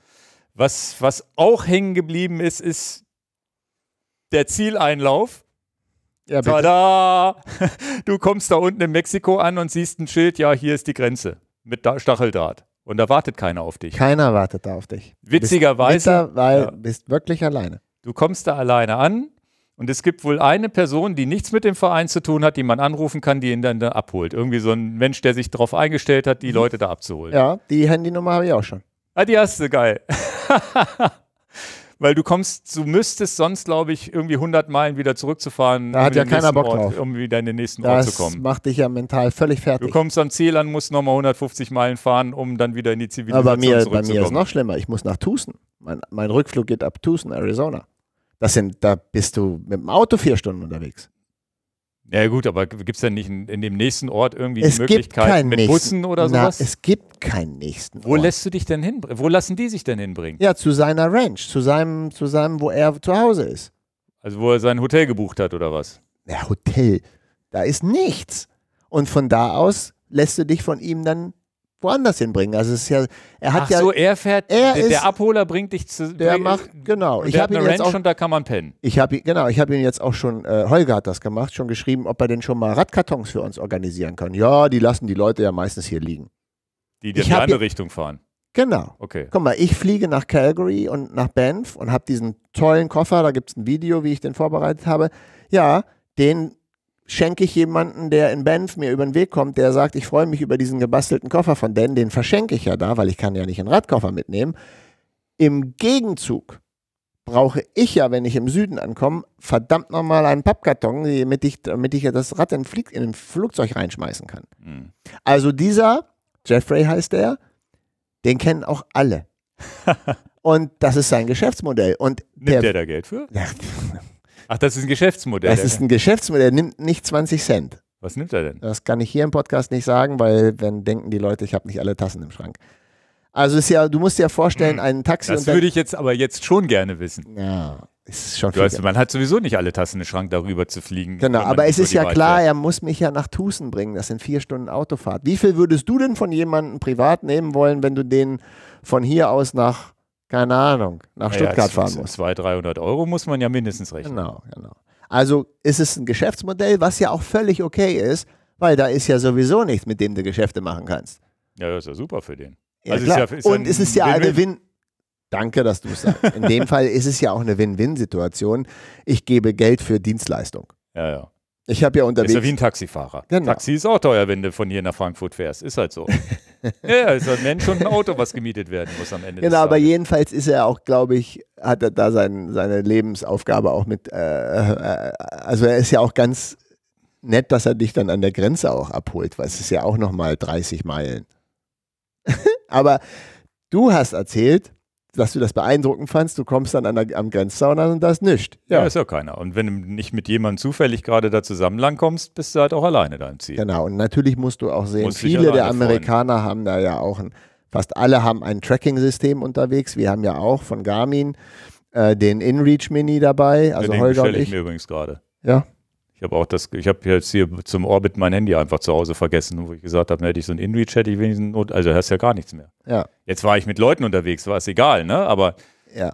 lass das, das Handy, irgendwie hat dieses, diese Wahoo Element App, hat letztens 60 Prozent von meinem Akku leer gesaugt, dann stehst du mit einem leeren Akku nach, nach drei Stunden da. Sehr gut. Ja. Also- Also, nur mal so nebenbei, ja. InReach Mini kannst du mich ja dann fragen, wie du den einrichtest. Da Ja, ja, genau. dauert, dauert, dauert fünf Minuten länger. Okay. Aber der ist ja super, der hält halt lange und dann wollte ich sagen, und viele Leute, die, die das machen, haben ja, insbesondere die Amerikaner, haben dann ja Leute, die dich verfolgen und dann wissen die ja, wann du an diesem Grenzzaun ankommst und dann steht vielleicht die liebe Ehefrau, der liebe Ehemann, der liebe Bruder, der liebe Vereinskollege im Ziel dann da und gut, deine das. liebe Ehefrau, ob die sich ins Flugzeug setzt, wage ich zu bezweifeln, da extra für, aber Das äh, ist ausgeschlossen. aber sie ist eine liebe Ehefrau. Danke Ja, fürs Gespräch. ist-. Nein, aber, aber ähm, ist ja klar, dass da viele Leute als Freunde und Bekannte auftauchen. ja, ja. Ja, cool. Ja. Ja, es ist, wie gesagt, ich fand es jetzt nochmal beeindruckend. Was hast du noch mitgenommen vom Vortrag? Hast du noch was? Naja, gut, diesen Matsch und Schnee und sonst wie ist alles beeindruckend. Tolle Bilder hat er gezeigt. Also, wenn ihr den Vortrag irgendwo bei euch in der Nähe in der Stadt habt, der kommt, glaube ich, im November auch nochmal nach Hannover, wenn ich das richtig gesehen habe. Wir haben auch ein bisschen gequatscht, vielleicht dann auch zu uns in den Podcast rein. Im Rahmen, wenn er sowieso hier in Hannover ist, vielleicht klappt das, hoffe ich, dass es vielleicht sogar klappt, dass man nochmal mit ihm so, so sprechen kann. Was ich schön finde, gegenüber YouTube-Videos, dass es, ähm, und das ist tatsächlich was, was man leider auch immer wieder vergisst, wie toll es ist, Vorträge zu hören. Ja. Dass da vorne jemand steht, der vielleicht auch nochmal eine Frage beantwortet am Ende und ähm, du hattest ja auch eine Frage gestellt, kommen wir vielleicht noch zu, zu dein, auch wenn wir auf dein Setup eingehen. Und das ist so, wo ich sage, okay, das ist ja irgendwie, ja, das ist ja auch so, Michael Martin, da war ich auch schon, der macht ja auch tolle Vorträge und Bildvorträge und dann gibt es so tolle YouTube-Videos. Wir sind ja nun selber, machen wir schöne Abenteuervideos, wie wir irgendwo rumfahren. Aber es ist irgendwie menschlicher, wenn da einer steht, was erzählt. Und das ist so, hat, hat Spaß gemacht. Ja, ich habe das schon genossen, obwohl, ja, weiß ich nicht, obwohl, Obwohl du das gar nicht in deiner, in ich, obwohl es deiner nicht meine Agenda wäre, was ich, also es ist noch nicht annähernd der Funke, wo ich sage, ich möchte jemals sowas fahren. ist nicht so mein Ding vielleicht, keine Ahnung, kann ja noch kommen. Aber es war halt, hat mich mitgerissen. War, war super angenehm. Hat er ja auch gut gemacht, der konnte ja auch gut reden. Klar. Ja, hört dir mal einen Vortrag an von jemandem, der nicht reden kann, dann redest du vielleicht auch anders. Ne? Aber Ja. so, es war schon sehr schön. Ja. Für mich ist es halt nochmal, für mich war es halt nochmal so eine Bestätigung. Ich habe viel gelesen, habe viel gesehen, habe so viel konsumiert über Du die wusstest Tour. schon ich alles. wusste, nee, nein, wusste nicht alles. Zum Beispiel hat er die Grenzüberquerung gar nicht äh, erwähnt, aber du überquerst, na, überquerst natürlich die Grenze von Kanada nach Amerika und wer von euch da draußen schon mal bei den ähm, Amis einge, eingereist ist mit manchmal diversen Stempeln in einem Pass, sagen wir es mal diplomatisch, der hat mit Homeland Security so seine Diskussionen. Mhm. Ich will das aber gar nicht hier äh, weiter äh, ausschmücken, aber Fakt ist, ich wollte unheimlich wissen, wie war denn die, die, die Grenzüberquerung? Die hat er ja völlig wegignoriert, aber ich wollte dann nachher nochmal im privaten Gespräch wissen, wie es dann war und er hat sie wegignoriert, weil sie im Prinzip äh, zehn Minuten eine Sache. Okay. Also no problem, weil Mhm.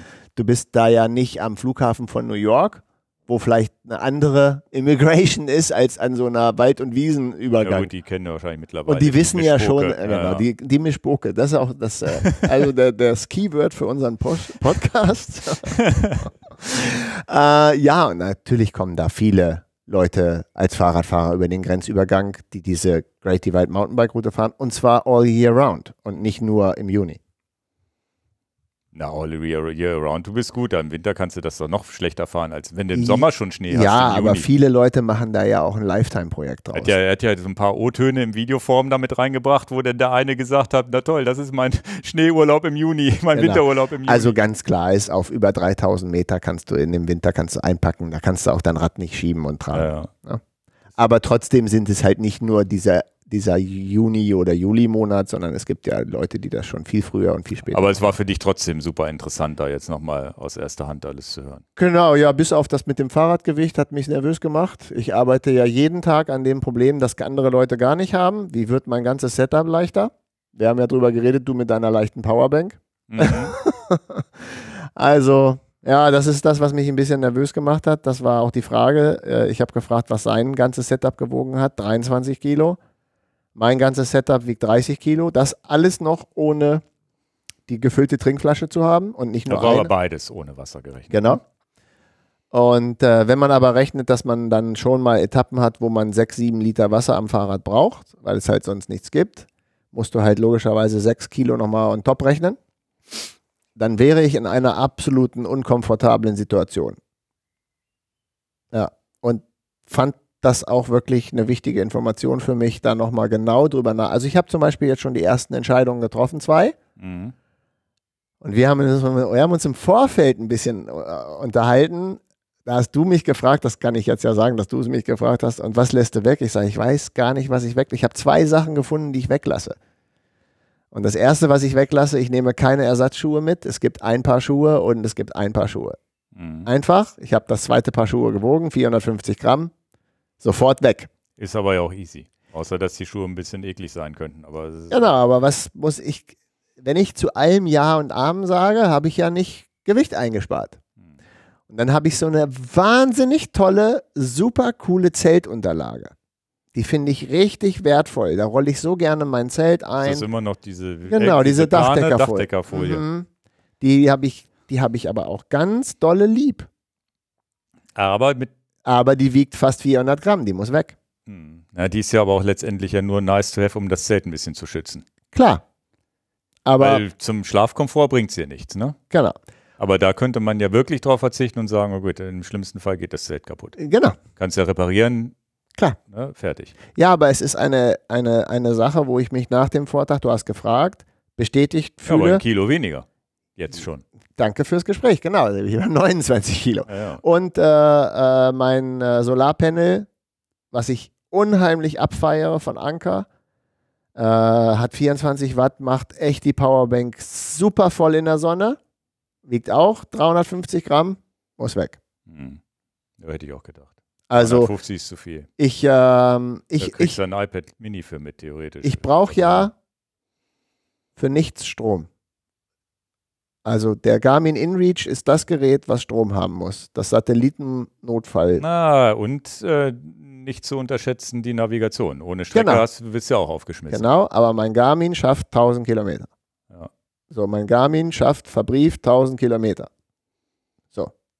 So. 1% 10 Kilometer. Es ist ja mehrfach nachgecheckt von mir, Und das, ist safe, das, das, System. das Telefon hat man ja auch dabei. Das aber das Telefon ist nicht das, was ich zum, zum, zum Notfall brauche. Ich brauche den Garmin InReach zum Notfall. Ja, aber das Telefon hast du ja das- trotzdem dabei. Und wenn du das ausgeschaltet lässt und der Garmin wirklich, Genau. der Garmin muss ja nicht der Akku leer gehen, der kann ja auch komplett abstürzen, dann hast, kannst du ja sagen, ich habe ein ausgeschaltetes Telefon, das schalte ich dann ein, habe 100% Akku und habe die Komoot-Strecke Genau, drauf. ich wollte das mit dem Telefon so nicht machen. Ich wollte das Telefon auf Flugmodus machen, damit ich halt möglichst schnell convenient ein Foto machen kann, wenn ich sage, Ja, aber Flugmodus hält ja auch drei Tage, vier Tage, würde ich denken. ja, lange Rede, kurzer Sinn. Ich habe jetzt also nicht zwei, sondern durch die, durch die, durch die Solarpanel, was nicht sicher war, ob ich es mitnehme. Aber das fliegt jetzt auch raus. Ähm, ja, so arbeite ich mich Stück für Stück, Stück für Stück vor.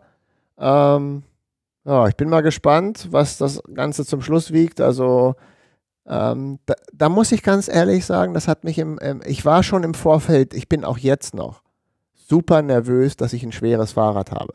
Also mit allen Anbauteilen. Aber nur wegen des Tragens, nicht wegen Genau. des Fahrens. Ne? Ja, fahren kein Problem und für Fahren bei steilen Bergen hoch stundenlang. Also da bin ich, ja, wir sind alle, guck mal, mein Open Gravel Bike wiegt 8 Kilo. Wie geil finde ich dieses Rad am Berg und so. Und jetzt hast du ein Rad, das Salzer Cuts Road mit diesem, ich habe ja einen Gepäckträger dran und hier noch ein paar stabile Sachen und Packtaschen dran und so. Das wiegt dann halt mit den Packtaschen, ohne dass ich Gepäck zulade, 12. So, zu dem Gewicht von Markus kann ich nur 11 zuladen. Und das ist mein großes Ziel, dass ich nicht so viel mit habe. Weil ich glaube. Na gut, jetzt hast du auch nicht die Ambition, der Schnellste zu sein. Ja, aber ich möchte auch 20 meinen Tagen. Rücken nicht kaputt machen beim Genau, Tragen. das muss jetzt wahrscheinlich muss irgendwo ein Kompromiss her, ist ja eh so. Und da, so auf einem so schlechten Weg bist du jetzt ja auch nicht mit dem Gewicht. Nein, aber, aber ganz wichtig ist, äh, packst du zu Hause mal alle deine liebsten Gegenstände ein, die du auf so eine Bikepacking-Tour machen willst. Natürlich will ich auch einen Gaskocher dabei haben. Natürlich möchte ich auch das und das und das dabei haben. Und natürlich möchte ich vier Paar Socken Ein mitnehmen. Kocher hatte er sogar mit, ne? Genau. Als einziger, glaube ich. Mhm. Er meinte, das sei ein Gamechanger für ihn gewesen, weil er. Genau. Und habe ich jetzt mit Holger telefoniert. Viele Grüße gehen raus. Ich sage, Holger, Kocher kommt mit. Aber Mhm. wir haben dann den Vorteil, dass wir ja nur einen Kocher mitnehmen müssen, weil wir als Team fahren. Einer das nimmt heißt, die Gaskartusche, der andere den Kocher, wie auch immer, ne? Teilt Genau. man sich halt auf. Genau, Luftpumpe nehmen wir eine sehr, sehr gute Luftpumpe mit und die zweite Luftpumpe ist dann halt nur so eine Notfallpumpe. Reicht nicht eine für zwei? Ja, und was machst du, wenn du dann trotzdem mal sagst, pass mal auf, an dem Tag fahren wir mal jeder 100 Kilometer, für, was jetzt komisch klingt, das meine ich jetzt Mhm. aber gar nicht, aber es könnte ja mal sein, dass jemand sagt, du, mir geht's nicht gut, ich habe Bauchschmerzen, ich möchte jetzt hier gerne noch drei Stunden liegen und der andere sagt, du nimmst es mir nicht übel, aber ich würde ganz gerne schon mal ein bisschen vorausfahren, weil ich momentan im Flow bin, ohne dass man sich griesgrämig ist, dann ist man getrennt, dann braucht man schon Hm. Schlauch und Pumpe, genau wie minimale medizinische Sache muss schon jeder an Bord haben. Die Essentials, ja. Okay. Also du merkst, man hat sich darüber schon sehr viele Gedanken gemacht, wie was so abläuft. Deswegen eigentlich könnte man sagen, ein Garmin InReach reicht für zwei Personen, sehe ich anders. Okay. Ja. Also so, wir kamen zu dem Vortrag. Das habe ich so mitgenommen, dass ich sehr nervös bin, dass mein Rad noch zu schwer ist. Und das ist aber auch ein Kopfkino bei mir, was ich nicht ausschalten kann. Ja, ich habe zum Beispiel gar nicht so viel Sorge mit Bären, also mit wilden Tieren. Habe ich überhaupt Hast du so ein Bärenspray dann auch dabei? Ja. Ja. Ja. Aber ja, das ich, fand ich ja ganz witzig, wie er erzählt hat am Anfang. Fahrrad kilometerweit, das Essen auf den Baum hochgezogen, damit die Bären nicht kommen, ne? Oder da nicht rankommen. Und am Ende war es alles egal. Fahrrad direkt neben dem Zelt und Essen einfach im Fahrrad gelassen und so weiter. das, Also, kann dass ich mir da, bei, das kann ich mir bei mir nicht vorstellen. dass, der- also der hatte, am Anfang hat man total viel Angst und von Tag zu Tag wird man nachlässiger. ja, aber da ist auch Zumindest, aber vielleicht war das auch wegen des Race-Modus. Aber letztes Jahr ist eine Frau im Zelt von einem Bären getötet worden, weil die ihr Essen mit im Zelt genommen haben. Also zu nachlässig darfst du nicht werden. nicht. Hm, Also Essen mit ins Zelt nehmen geht nicht. okay. Das ist, ja, dann bist du aber auch, dann bist du aber auch der totale. Jetzt tut mir das leid, dass diese Frau ums Leben gekommen ist. Aber das darfst du auch nicht machen. Das sagt dir aber auch jeder. Also so, so, so schusselig weiß kann man, man. das weiß das man. macht. Ich hätte es jetzt nicht gewusst. Ich hab, für mich war das jetzt natürlich eine neue Information, habe mich aber auch noch nie um sowas gekümmert. Du darfst auch kein Deo-Spray äh, auflegen, wenn Mhm. du in Ruhe gelassen werden willst, wenn du abends schlafen möchtest. Also wegen den Tieren. Ansonsten darfst du dein Deo-Spray schon nehmen, aber nicht, wenn du sagst, du darfst ja nicht irgendwelche süßlichen Gerüche verbreiten. Und da sehe ich aber, für mich ist zum Beispiel das gar nicht so in meinem Fokus, dass ich das als Risiko sehe.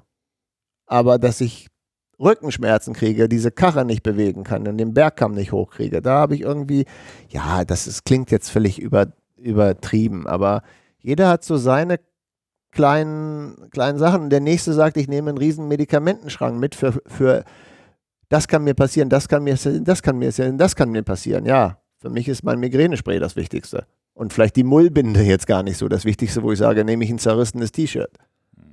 Ja, jeder hat, glaube ich, so seine Befindlichkeiten. Ihr habt jetzt natürlich auch eine große Ungewissheit. Jetzt, nachdem das so schlecht gelaufen ist im letzten Jahr mit dem Wetter, könnte er dies Jahr nur Glück haben, aber man weiß es nie. Das ist ja dann doch auch ein bisschen Lottospiel. Es kann ja sein, dass das Lottospiel sagt, ihr seid zehn Tage schneller oder eben zehn, zehn Tage langsamer, nur weil die Wetterbedingungen stimmen. Ist, Klar. dieses, ist diese, diese Strecke trocken?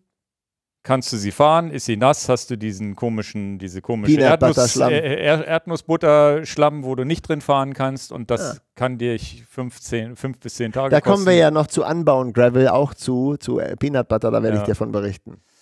Ja, jetzt aktuell, das verlinken wir unten auch mal, läuft ja die aktuelle Tour Divide. Ja, genau. Da gibt es eine schöne Tracking-Möglichkeit. ich mache das hier mal auf. Genau, ich habe das hier auch schon offen. Da ist es jetzt so, dass ja, ein Deutscher, Ulrich Bartholomäus, ist Dritter. Also trackleaders.com ist das, wo ihr das findet. Aber Genau. wir verlinken das vielleicht auch mal. Ja, den, den tatsächlich dieses, diese, diese, diese Grafik habe ich ja bei ihm im Vortrag auch gesehen, wo man dann genau gucken kann, wer wo gerade ist. Genau, es gibt ein Team, was von Norden nach Süden fährt. Es gibt ein Team, was von Süden nach Norden fährt.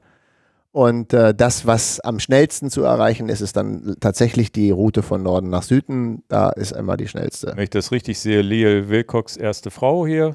Genau, die legst du natürlich auch wieder drauf an, den, den Frauenrekord zu brechen. 900 Meilen und die Männer sind bei 1035 Meilen. Ach so, ich bin bei Fahn. 1000 Meilen. Da musste ich mal einen Re Refresh machen. Da siehst du, die sind schon wieder, während wir hier gestartet haben, sind die schon wieder. Ja, weiter. du hattest, glaube ich, Bartholomäus als Zweiten mir vorhin erzählt. Der ist jetzt Dritter hier gewesen bei mir. Ah, okay. Ja. Aber nein, Dritter, die liegen ja alle eine Meile auseinander. Das kannst du vergessen. Nee, also nicht, nicht eine Meile, sondern ein 0,1 Meile sogar. Also die scheinen Ja. alle auf einem Haufen zu Genau, fahren. genau. Ja, ja. Genau. Jens van Roost liegt aktuell vorne. Die kenne ich überhaupt nicht. Justinas Leweika. Habe ich auch noch nie gehört. Oder ist das Und- eine Frau? Nee. Justinas ist ein Männername, weiß man nicht. Und Ulrich Bartholomäus ist äh, jetzt auch noch in der Spitzengruppe dabei. Was ja viel interessanter an der ganzen Sache ist, dass die es ja völlig auf die Rekordzeit drauf anlegen, die ja von Mike Hall gehalten wird mit 13 Tagen und ein paar, paar, paar Stunden. Ähm, was mir ein kleines bisschen das Herz brechen würde, wenn diese Zeit gebrochen würde, weil Mike Hall so irgendwie so eine, so eine, so eine, so eine, so eine Ikone ist, dem man sagt, oh, der muss ja for, forever den Rekord halten. Aber wenn die so weitermachen, äh, die sind den vierten Tag unterwegs und haben 1000 Meilen, das heißt, die haben noch 1700 Meilen. Ja, die also, haben natürlich einen mentalen Vorteil, wenn sie zu dritt um sich rumfahren, ne? Wenn Mike Hall das mal alleine gefahren ist. Dieser Justinas ist auch ein Mann, habe ich eben noch klicken ja, können. okay, tut, äh, ja. Und ähm, tja, dann wird es wahrscheinlich, wenn es so, also wir werden es sehen. Deswegen ist es ja auch spannend, den Live-Tracker zu verfolgen. Ich mache sowas eigentlich nie. Okay. Also machst du sowas oft? Dot-Watching nennt man Nee, das ja? überhaupt gar nicht. Noch Ne? weniger als du. Du machst es ja wenigstens bei diesen Sa- Sailing-Sachen machst du es doch immer. Beim Segeln mache ich das immer. Und beim Genau. Rudern natürlich. Ja. Also übers Atlantikrudern, Ja, da kann man da. wir das ja auch immer schon mal im Hintergrund. Ich habe das noch nie gemacht. Ja, für mich ist das sehr, sehr spannend, wie viel Progress machen die beim Rudern, wenn sie nur Atlantik rudern, finde ich total sexy. Ähm, und ähm, viele Leute nennen das ja Dot-Watching, ne? Was natürlich auch für die Leute an der Strecke, wenn du da eine Farm hast, auch total spannend ist, ja, wann kommen die denn da mal an meiner einsamen Fahrt vorbei? Und dann äh, stellen die da ja auch teilweise äh, Getränke einfach an die Straße, weil die ja wissen, da kommt demnächst jemand vorbei. Naja, da hat er ja die Theorie, hat, hat ja Markus Weinberg die Theorie aufgestellt, die stellen das deswegen an die Straße, weil Damit sie keinen die Leute Bock haben, die ganzen, die, gan- die ganzen Leute da immer klingeln, habt ihr was zu trinken, habt ihr was zu trinken? Ja, und glaub, seine Theorie ist, dass die, deswegen vorne so eine Kiste hinstellen. Und ich glaube, da habe ich auch so eine Tüte, das hat er gar nicht thematisiert. Da ist so ein kleines, so eine Plastiktüte auch, wo man Geld reinstecken Ja, kann. aber das machen die Leute schon aus Respekt. Aus Respekt und genau, das heißt, die kriegen da auch ein paar Dollar raus, aber ich glaube nicht, dass das ein Geschäftsmodell sein Auf keinen wird. Fall.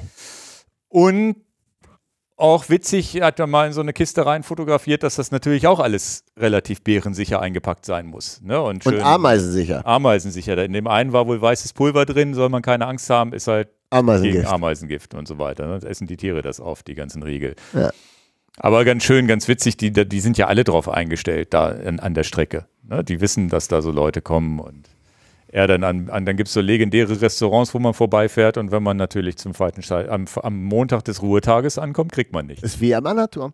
Ja, ja, Komm, der, kommst du nach 17 Uhr an, ist der Annaturm ja zu. der, ist, der ist genau an dem Tag angekommen, als das Ding zu hatte. Ne? Und dann der, sein Kumpel ist einen Tag später gekommen, hat sich hat ein schönes Insta-Foto geschickt, wie er seinen Burger gegessen hat. Also ich fand's, ich fand's auch hochinteressant. Ich glaube, es ist ein tolles Abenteuer.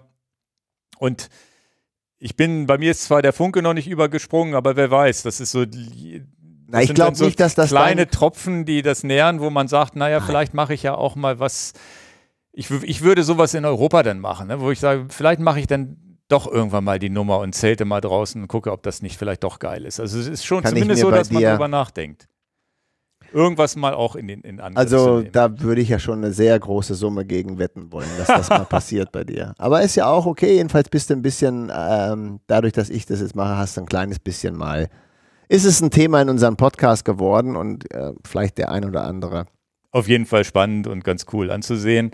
Und der, ähm, wir kommen ja auch später noch zum Anbauen. Das ist ja auch dann wieder eine andere Geschichte mit weniger Kilometern. Die aber viel Ähnlichkeit dies Jahr mit dem, mit dem, Ja. mit der Tour Divide hat, da komme ich noch zu. Äh, Ich würde jetzt nochmal Richtung äh, da, da, dem Radset kommen. genau, sehr spannend. weil du ja dein, dein eigenes Rad, das taucht hier immer im Hintergrund auch mal auf. Ich gucke mal, ob ich da mal kurz hinklicken kann. Wir haben auch einen tollen Link. Äh, und wir haben hier hinten auch ja so Räder drin stehen. Wo ist denn dein? Also ich habe ich gar nicht, habe ich irgendwie. da ist meins, ja. Genau, das ist jetzt dein Setup. ja. Ich sehe schon hinten Tailfin, dann Mhm. eine fette Rahmentasche, aber so groß und voll sieht das jetzt gar nicht aus. Ah. Das ist nur schwer, ne? Also ich habe äh, vorne äh, Lenkertasche von Apidura. Mhm. Ähm, ich habe mich entschieden, mein, mein Zelt dort vorne reinzupacken. Ich habe vor der Tasche äh, von Apidura habe ich eine Zusatztasche, wo ich im Prinzip meine, ja, meine wichtigen Sachen sowie Geldbeutel, ähm, im Prinzip Notfalladressen. Da wird auch mein Garmin InReach äh, an, dran befestigt. Ähm, da Ersatzbatterien, Handy, das sollte da eigentlich äh, Platz finden in der Tasche. Dann habe ich eine ganz große Rahmentasche, die ich komplett für Essen lassen möchte. Also, das ist, dass ich halt weiß, das ist unten in der Rahmentasche habe ich mein Ersatzwerkzeug, meine Medikamente, alles das, was man so brauchen Essen könnte. und trinken dann auch, wenn du diese 8 Liter brauchst wahrscheinlich, ne? Ja, genau. Also Essen in der Tasche soll da rein. Ähm, ich habe zwei Trinkflaschen dabei, eine unter dem Rad, wo das Tretlager ist, und eine zweite Trinkflasche habe ich in einer sogenannten Food Pouch am Lenker. Also das Rad, ich bediene mich nicht aus einer Trinkflasche, die einen Flaschenhalter in, im Rahmen hat, sondern ich trinke aus der Food Pouch. Und füllst dann mit der unteren nach, weil die ist ja schlammig irgendwann. Genau, dann habe ich äh, als, Wasser, als, als Wasserfiltersystem, du musst ja das Wasser filtern, habe ich Sawyer, so eine kleine Kartusche und habe dafür Plastikbeutel. Da hat mir jetzt jemand im YouTube-Kommentar geschrieben, da gibt es noch bessere Beutel, da muss ich nochmal gucken, ob ich die auch nochmal teste. Das heißt, Das sieht man zusätzlich, in DT Swiss Video? die sieht man, die, den Beutel sieht man im DT Swiss Video. Ja, okay. Hast du den gesehen oder was? Ja, aber der habe ich, Nee, den, den habe ich, ich habe das DT Swiss Video, habe ich den Anfang gesehen, den Vlog. Genau, und äh, das heißt, für, für mehr Wasser habe ich halt letztendlich, ja, wie, wie kann ich euch das klar machen? So, so Plastikbeutel, die einen Schraubverschluss haben, wo dann auch der, wo dann auch der, der Filter dran ist. Und äh, das ist dann, wenn ich mehr Wasser mit an Bord nehmen will, äh, das strappe ich dann aber überall ran. Dann habe ich vorne zwei Taschen von Apidura als Gabeltaschen. Ähm, die Apidura-Taschen sind deswegen so super, weil sie extrem leicht sind. Da wollte ich Tailfin-Taschen nehmen, habe mir die auch bestellt und teuer bezahlt für 140 Dollar oder nee, 140 Aha. Pfund oder so. Und die sind aber schwerer, also bleibt es bei Apidura. Ähm, da kommen dann solche Sachen rein äh, wie Elektronik und äh, die Waschsachen, Zahnbürste und all das, was man so braucht, das habe ich dafür vorgesehen. Und das Haupt, äh, die Haupt, den Hauptgewicht und das Hauptpack äh, Sachen sind dann im Prinzip zwei hintere Taschen, die nicht groß sind. Die sehen auf dem Bild sehr groß aus, die sind aber gar nicht so groß, auch von Apidura an einem Gepäckträger, weil ich wollte nicht mit Arschrakete fahren. Das sind Apidura-Taschen. Apidura-Taschen. An Tailfin Rack. An, nee, Entschuldigung, Tailfin-Taschen. Ja, ja, Entschuldigung. genau. Tailfin-Taschen, aber das sind nicht die großen Aber das sind die sind die- es gibt. das sind die kleinsten Tailfin-Taschen, die es gibt. Warum hast du nicht diese Tasche, die man oben noch draufsetzen kann? Ja, weil da wollte ich Reserve. Da habe ich von Sea to Summit einen Dryback, den ich da oben drauf mache, den ich nur bei Bedarf dran mache. Der hängt in irgendeiner Tasche drin und den kannst du dann da mit Gummistreps oder was auch immer, Genau, das Velcro, Velcro Genau, festmachen. genau. Und das sieht man auch, wenn du den Link aufmachst bei Rigs of the Tour Divide. Da gibt es genau zwei Fraktionen. Es gibt drei Fraktionen. Es gibt die Fraktion, die sich für die Arschrakete entscheidet. Sicherlich das leichteste Setup, aber Mhm. keine Option für mich, weil die Arschrakete ist so für eine Woche okay für mich. Dann nervt sie mich aber. Und Arschrakete packen ist für mich nicht convenient. Die ist nicht, also die packe ich ungern. Mhm. Und mit Wackeln an der Arschrakete komme ich auch nicht gut klar im Wiegetritt. Das ist so, und dann gibt es natürlich diese ganzen Stabilizer und so, ist nicht mein Cup of Tea. Und, äh, aber für das lange Wochenende ist die wieder super. Oder Mhm. für die sieben Tage Skandinavien war die perfekt. Mhm.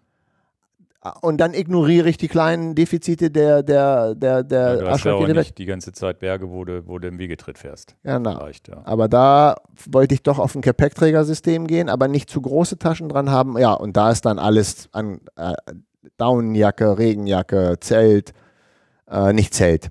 Äh, ähm, ja, alles, was man als, als, als Equipment dann so noch an, an Bord hat. Ne? Und da, Ja. Aber für mich sah das jetzt ultra schlank aus. das freut mich. Äh, weil, weil ähm, ne, wenn ich jetzt mir dein Rad angucke und natürlich haben wir, wir haben, es gibt einen Link, den verlinken wir unten auch mal von den, die haben wir hier im Hintergrund auch. Den findet ihr auf bikepacking.com. Genau, auf bikepacking.com sind fast alle Räder aller Teilnehmer aufgelistet.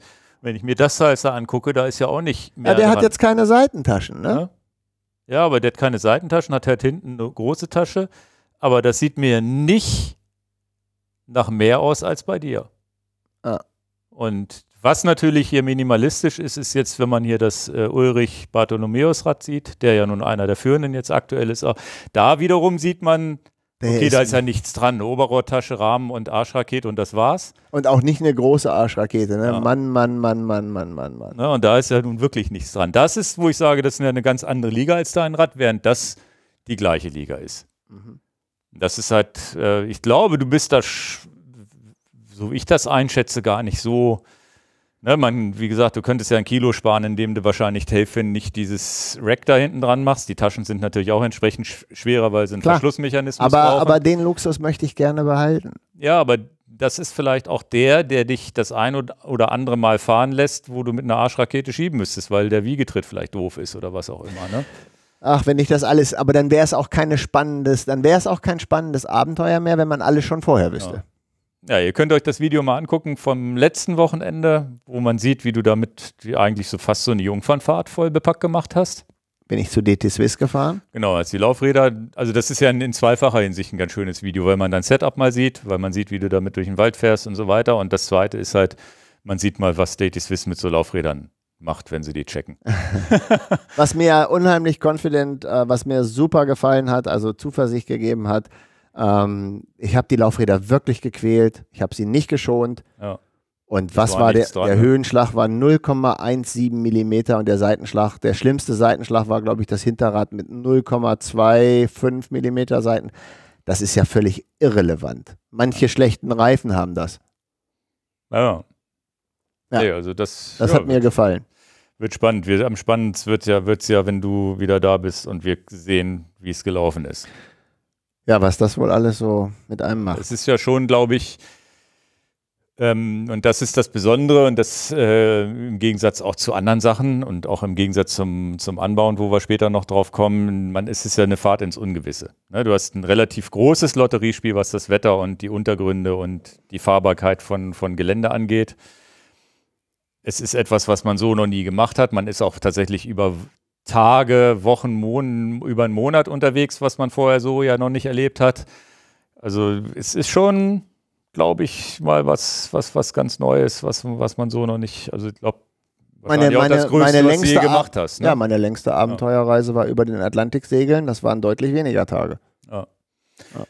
ja, spannend. Ja, aber ich werde mal so ab und zu mal vielleicht Eigentlich müssten wir jetzt, bevor ich hier über Garmin spreche, zum, zum Anbauen drüber wechseln. können wir machen. Machen wir den, machen wir diesen, den, Der hat relativ viele Parallelen. Ja? genau, machen wir den, den Garmin, könnt ihr, die können dann alle abschalten, die keinen Bock auf, auf Tracking und Uhren und sonst Ah, haben. fand ich, äh, bin ich aber, kann euch sagen, gibt es auch viele Informationen, die, Ja, die ich da ja. noch zu beisteuern kann, die gut sind. Genau, dann würde ich nämlich tatsächlich zum Unbound Gravel rübergehen. Da hattest du mit Marius Kartäusch und äh, Caroline Schiff gesprochen, die das Ganze gewonnen hat. Ähm, bevor wir da anfangen, ist es ja so, dass wir drüber über ein über, über, über etwas ähnliches, abenteuermäßiges sprechen wie, wie, wie Tour Divide und dann doch irgendwie doch nicht. Ne, es Ja, ist ja trotzdem irgendwie, dass Leute sich Gedanken machen müssen, welches Rad fahre ich, was packe ich dran und was brauche ich, self-supported und so weiter. Und gleichzeitig ist es ein ganz anderer Schnack, weil es nur darum geht, so schnell wie möglich 300 und ein paar zerquetschte, ich weiß es gar nicht, das wirst du mir gleich 300, sagen. 320 Kilometer müssten es umgerechnet Ja, sein, ja. die 200 Meilen, bei denen wird ja alles in, in Meilen angegeben. ja. Ne? Dann, das, das ist Und bei Marius waren es halt komplett- 560 Kilometer. Also es ist an gleich und doch komplett anders. Ja, und deswegen schön, dass die beiden Zeit hatten, mit mir kurz mal zu, zu schnacken. Fangen wir vielleicht äh, zuerst mit, mit Marius an, äh, in der Reihenfolge, wie ich sie auch Ja, angerufen immer habe. Ladies first, ne? Ja, ja, aber jetzt machen wir es mal in der Reihenfolge, wie ich sie angerufen habe. Äh, und, und da ja nun jeder weiß, dass die Caroline gewonnen hat, ähm, Also nur noch mal zu Marius äh, Kartäusch, der war bei uns schon mal im Podcast, weil er vor zwei Jahren die Orbit-Serie gewonnen hat. genau. Als relativer Anfänger. Ja. Ne? Er war ja neu im Gravel und sonst wie. Und damals hatten wir ihn dann einfach mal eingeladen, hat er hier erzählt, wie er ge- gefahren ist über seinen schweren Motorradschurz in Griechenland und dann ist er aufs Rad gestiegen und so weiter. Nur als Hintergrund zur Person, warum wir überhaupt den Kontakt dazu haben und krass, dass der da so drin aufgeht auch. Ne? Und letztes Jahr hat der einen rausgekloppt, der hat, der hat schon die Wand gewackelt, da ist er Zweiter geworden bei dieser langen äh, äh, Fahrt, denn ähm, das muss man wissen. Im Anbauend auch. Genau. Ja.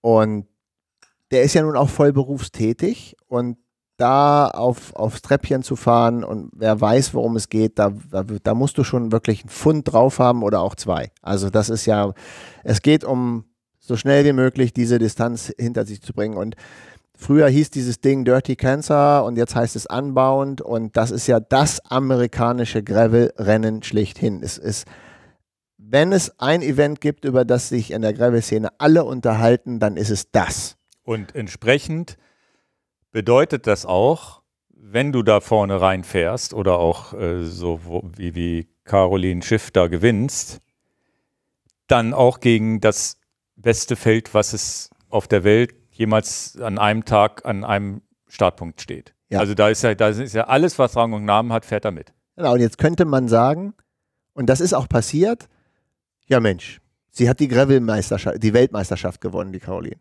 Let, yeah. Obwohl es ja gar nicht die UCI Gravel-Weltmeisterschaft war. Aber, Aber den die, Status hat es. Mhm. Ja? Das ist mehr wert als eine UCI-Weltmeisterschaft wahrscheinlich. Genau.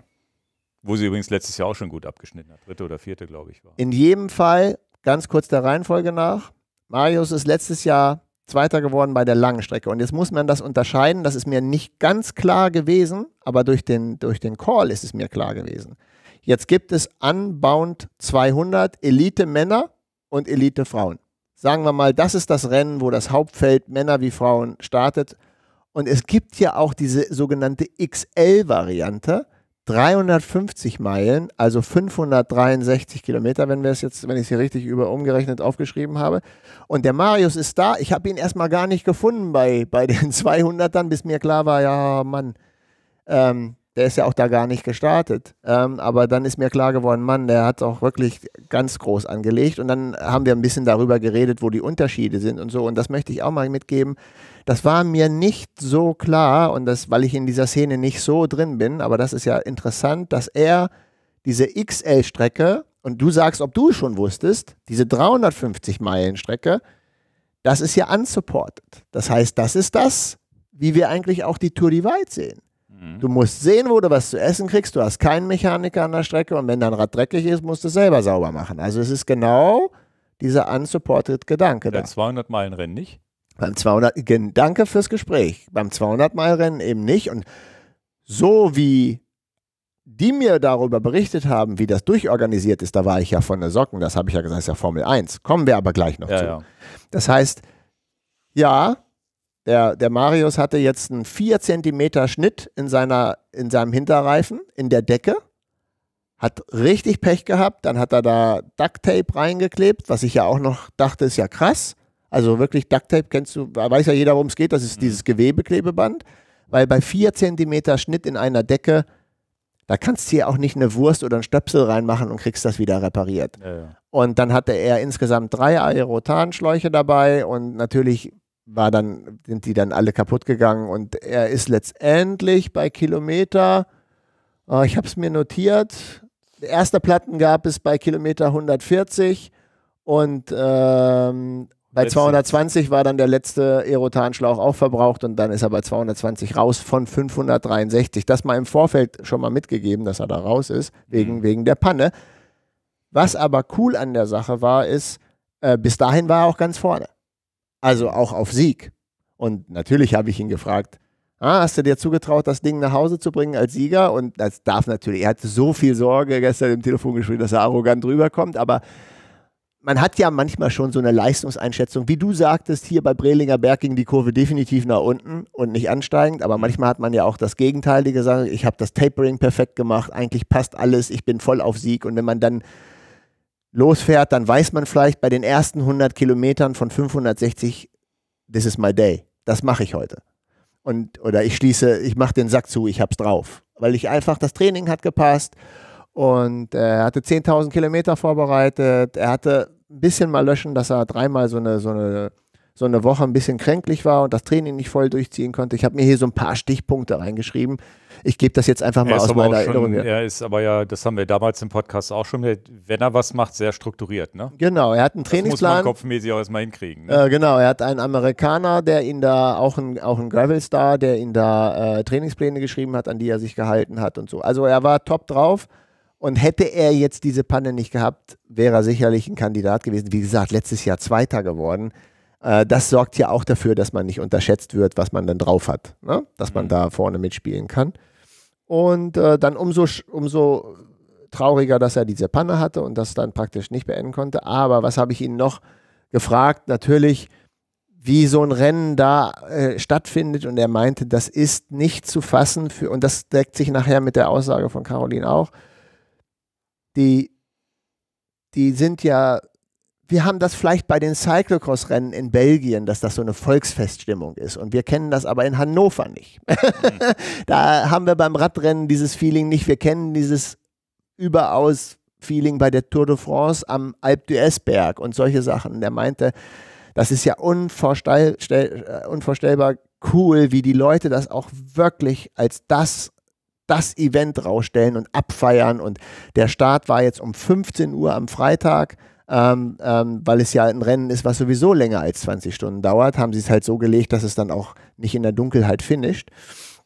Und er meinte, das ist, das ist ja, ich habe es original aufgeschrieben, er hat es mir gesagt, das ist unfassbar, wie die das abfeiern die Nationalhymne wird gespielt. Also die Leute sind. Ja gut, das ist ein amerikanisches Ja, aber das nimmt dich ja trotzdem das ist ja mit. Bei jedem Basketballspiel sonst, wo du denkst, krass, die spielen hier die Nationalhymne einfach bei so einem, bei so einem, bei so einem College-Spiel. Ne? Wenn wir beim, beim, beim, beim, beim Dorflauf die deutsche Nationalhymne spielen, sagen die alle, die Nazis waren ja. da. Also das kann auch falsch rüberkommen, aber in jedem Fall ist das, ähm, äh, ist das eine, eine Stimmung. Ich habe es mir, mir aufgeschrieben ähm, die Landschaft ist zwar etwas langweilig in Kansas, also ich gebe es mal original wieder, aber die Nationalhymne spielen die tausenden Zuschauer, das krasse Feeling, das erlebst du auch nur da und äh, zusammenfassend, er hat es auch gesagt, es ist Gänsehaut-Feeling am Start. Das ist natürlich auch das, was ich hier im Podcast mit rüberheben kann. Es könnte schon mal sein, dass ich da auch mal Bock hatte zuzugucken. Also fahren kann ich es nicht, aber wenn ich da zufälligerweise da, sein sollte. Muss man sich dafür qualifizieren? Das glaube ich nicht. Ich, das weiß ich nicht. Ich glaube, es wird wahrscheinlich ganz schnell ausgebucht sein. This I don't know. Weil fahren kann man schaffen kann man es ja in jedem Fall. Nur halt nicht so schnell wie die Jungs da vorne. Naja, aber dann bist du aus, dann bist du raus. Also du kannst das ja nicht fahren wie die Great Divide und kommst dann nach drei Tagen im Ziel an, dann ist das Rennen ist vorbei. Ja, aber also, du könntest es ja, du könntest es ja anbauend Great Mountainbike nennen und einfach irgendwann fahren. Das kannst du ja sowieso. Ja? Also eine Strecke jederzeit nachfahren, nur dann hast du natürlich nicht das Feeling von Volksfeststimmung. Dann musst du die Nationalhymne selber, das hilft dann alles nichts. ja, spannend. Also das habe ich mitgenommen. Äh, jetzt ist es natürlich ein bisschen blöd, äh, dass er diese Panne hat, aber bis dahin hat er gesagt, war es ein komplettes Top-Speed-Ausscheidungsrennen. Du darfst nicht vergessen, du fährst dann 30er Schnitt. Und wer, ich habe gerade vorhin gesagt, wie toll ich das fand, hier mit meinem 36 mm Slicks den 30er Schnitt zu fahren auf der Straße, hier bei Brillinger Berg. Und die reißen mit so einem 30er Schnitt 560 Kilometer Wobei es, glaube ich, auch eine schnelle Strecke ist, ne? Also ja. Meine Anbauend ist auch schon nicht jetzt. Du hast vom Anbauen dieses Jahr nichts mitbekommen? Nee. Gut. Dann erzähle ich es dir mal. Mhm. Regenfälle, kompletter Super-GAU mit okay. dem Wetter. Und genau deswegen ist es so äh, schön, der Vergleich, du hattest das Peanut Butter Schlamm genannt und das ist auch tatsächlich für die Leute, die den Podcast hören, der Begriff, der in Amerika schon ein Eingebürger, ein Standardbegriff ist, also Peanut Butter, Erdnussbutter Schlamm. Das heißt, wenn Kann das. Man sich auch gut was drunter vorstellen. Genau, es sieht also auch wie Durchfall aus. Ja, ja. Muss man auch wirklich sagen. Und dann ist das ganze Rad in wirklich Windeseile so zugeschlammt, dass es sich auch nicht mehr bewegt. Also, dass das Rad auch nicht mehr dreht und es auch das Doppelte wiegt, wo wir vorhin beim Gewicht waren. Und äh, er ist ein Cervelo gefahren. Und da gibt es ja mit 40 mm Reifen noch ein bisschen Reifenfreiheit, aber äh, am Ende des Tages äh, ist dann so viel Schlamm am Rad, dass sich da auch nichts dreht. Und dann ist genau der entscheidende Punkt, dann musst du das mit Stöckchen, mit Löffelchen, mit was auch immer, musst du diesen Stramm, diesen, diesen Schlamm wegkratzen du kriegst den, du, das Rad dreht sich ja einfach nicht mehr. Und dann gibt es viele Bilder, ihr könnt das auch sehen, da gibt es ja auch viele Webseiten drüber, wo die auch ihr Fahrrad tragen müssen, weil Schieben ist keine Option mehr, wo sie rechts und links durch so, so Gras fahren, weil auf dem mittleren Weg kannst du einfach nicht mehr fahren. Also katastrophale Verhältnisse. Und wenn du self-supported unterwegs bist, ja, sieh zu, wie du den Schlamm von deinem Rad kriegst. Kannst ja, also, weißt du? Und ähm, jetzt ist ja die 40 mm G1 RS gefahren. Das ist doch so ähnlich wie mein TerraSpeed wahrscheinlich. Ne? Klar. Da hat er weniger Stolle, hat ihm das wenigstens geholfen, dass weniger kleben bleibt? An diesem, du kannst machen, was du willst. Du kannst dir den Reifen, das ist völlig unwichtig, welchen Reifen du hast. Bei Peanut Butter Schlamm ist das Ding, als wenn du Klebstoffschlamm auf deinem Fahrrad hast. Krass. Also du musst den wegkratzen, egal welchen, welche Stelle er hat. Genau, er ist dann nach der ersten Panne auch nochmal wieder zum Spitzenfeld aufgeschlossen. Er, er meinte, er hat nach der Panne sieben, acht Kilometer Rückstand gehabt und ist die wieder aufgefahren. Und wer von euch draußen weiß, was das bedeutet, sieben, acht Kilometer beim 30er Schnitt aufzuholen, der weiß ganz genau, da gehst du an deine absolute Leistungsgrenze und da hast du auch, da baust du ja ein Laktat auf, das ist ja gigantisch und du willst ja eigentlich noch ein paar Stunden weiterfahren. Ne? Oh, und er hat da wieder sieben Kilometer Rückstand bei der nächsten Panne. Bedeutet, dass wir jetzt merken, wenn du Rennfahrer bist im Gravel, sieben Kilometer kostet dich eine Panne. Jedes Mal sieben bis acht Kilometer. Krass. Drei Aerotanschläuche, das ist ja gut. ich habe hier so Notizen, genau, genau. Und dann ja. letzte Panne bei Kilometer 220. Aber immer das gleiche Spiel wieder, ne? Also, äh, und dann habe ich ihn gefragt, ob es Sinn machen würde, äh, statt den Aerotanschläuchen vielleicht dann einfach nochmal eine andere Decke mitzunehmen und nur einen Schlauch in dem Fall wäre das bei ihm jetzt so gewesen, aber das machen so gut wie keiner. Es ist einfach Pech. Also ein 4 cm Riss im Reifen ist halt absolut ja, Pech. Muss, da muss er wirklich Pech haben. Ja. Ach, er schreibt dir, du hast dir noch geschrieben, dass das Rad nach zwei Sekunden doppelt so schwer wird durch diesen Peanut Butter. Klar. Dass das richtig Gewicht auch ist. Ja. Äh, 70% did not finish, DNFs. 70% der Leute sind nicht im Ziel angekommen. 50 von 165 kommen ins Ziel. Boah. Wie hat er, hat er, hast du ihn gefragt, ob er dann da abgeholt wurde, ob das, oder war das ein Punkt, wo man dann. Genau, er hatte dann Freunde und ich glaube auch das Schwalbe-Team war dann da, die, das, die da auf, auf der Strecke waren, ja. Die sponsern ihn auch, ne? Er genau. ist von Cervelo und Schwalbe. Cervelo gesponsert, Schwalbe gesponsert, Wahoo. Krass, also. dass der jetzt Sponsoren hat, ne? Damals mit dem Orbit Klein angefangen und jetzt. Aber er verdient es ja auch und ich freue mich auch, dass das auch eine Aufmerksamkeit, guck mal, jetzt könnte ich wieder das habe ich schon mal gemacht, das kommt nicht bei den Fußballfans so gut an, aber da, da, kriegen die in der dritten Klasse schon alles in den Po geschoben. Das hätte ich vielleicht nicht sagen sollen, jetzt habe ich das gesagt. Also die kriegen halt viel Unterstützung in einer sehr niedrigen Klasse und das ist ja schon absoluter Topsport. Ach, du meinst dritte Bundesliga. Ja, ja. Wenn es die überhaupt noch gibt, weiß ich gar nicht. Ja, du weißt jedenfalls, was ich meine. In unteren Klassen wird da schon was bezahlt und geliefert und dann Leute na gut, aber er ist jetzt auch nicht Rampenlichtperson in dem Sinne, den man, den jeder jetzt kennt. Wir kennen ihn natürlich und in der Szene wird er jetzt vielleicht auch der eine oder andere ihn kennen, aber von unseren Podcast-Hörern, die vielleicht den Podcast mit ihm damals noch nicht gehört haben, die neu eingestiegen sind, sagen, wer ist das denn? Ja, genau. Und dann trotzdem die Möglichkeit zu haben, da zumindest ein bisschen was kompensiert bekommen zu haben. Er muss ja die Reise trotzdem bezahlt haben, dann weiß er nicht. Ja, aber für seine Sponsoren, wenn er jetzt da gewonnen hätte, die, die lange Strecke, das ist auch in jedem Foto in oder in jeder Webseite dann zu sehen. Ja, ja. Also Immerhin wurde er hier heute mal genannt. Äh, nein, aber 100 Pro, also das, das verdient er ja auch. Und äh, ja, und dann habe ich ihn auch gefragt äh, zu den 200 Kilometer Rennen. Also erstmal vielen Dank auf diesem Wege, falls du das hörst, lieber Marius. Das, danke, dass du da mal kurz äh, mein, mein Gespräch geführt hast mit mir. Ähm, auch wenn es jetzt mit der, mit der Panne war. Aber es gehört eben auch zum Leben dazu, dass man sagt, okay, es ist mal schief gelaufen. Das gibt mir natürlich auch was persönlich mit, dass man sagt, du, so ist es nun mal. Mhm. Du kannst dich auch nicht gegen alles versichern. Das geht einfach nicht. Und dann hast du ja auch wieder. Aber ganz kurzes, wir waren bei den Rigs zur Tour Divide, wo ja ganz klar ist, die Mehrheit der Leute bei der Tour Divide fährt eine Mountainbike-Geometrie, Mountainbike 29er Laufräder, unheimlich viel Reifenfreiheit. Ich fahre ja das Salzer Cuts Road, was genau das hat. Mhm. Was auch bei der Tour Divide, ich glaube mal auch so sieben von zehn Fahrern haben. Ja, ja, wir, die, wir, verlinken ja unten mal dieses, diese ganzen Bilder von den aktuellen mhm. Fahrern. Alles Salsa, Salsa, Salsa, zwischendurch mal Mountainbike, aber wenn dann mit Dropper. Ja, Achso, was ich dich noch fragen wollte, jetzt auf Topic, was mir eben aufgefallen ist, du ja. hast keine Aerobars drauf. Genau, wiegen 500 Gramm und ich bin nicht so der Aerobar-Fahrer. Okay. Bei der, bei der, beim Anbauen wahrscheinlich ist er bestimmt mit Aerobars ja, gefahren, ja. ne? Mhm. Klar. Klar. Klar. Ja. ja. Äh, und sind ja auch erlaubt. Und äh, Windschattenfahren ist auch erlaubt. Mhm. Also alles. Alles, was geht. Okay. Alles, was geht. Ähm, okay. 29er Laufräder, da waren wir. Und äh, Dropbar eben. Ne? Mhm. Äh, wird man auch oft gefragt, Mountainbike mit Dropper, ja, das ist für die Hände tatsächlich keine dumme äh, Variante. Es ist einfach viel besser für die Hände als eine gerade Stange, aber gibt auch Leute, die es genau andersrum erzählen ich würde mich der Mehrheit anschließen, was die Mehrheit empfindet. Für mich ist ein gerader Mountainbike-Lenker no way.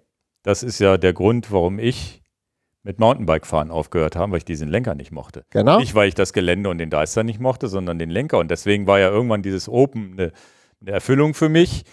Und wenn jemals wieder ein Mountainbike, dann Kriegt das einen Dropper. schon eine Federung und Dropper. Ja. Das wäre so meins.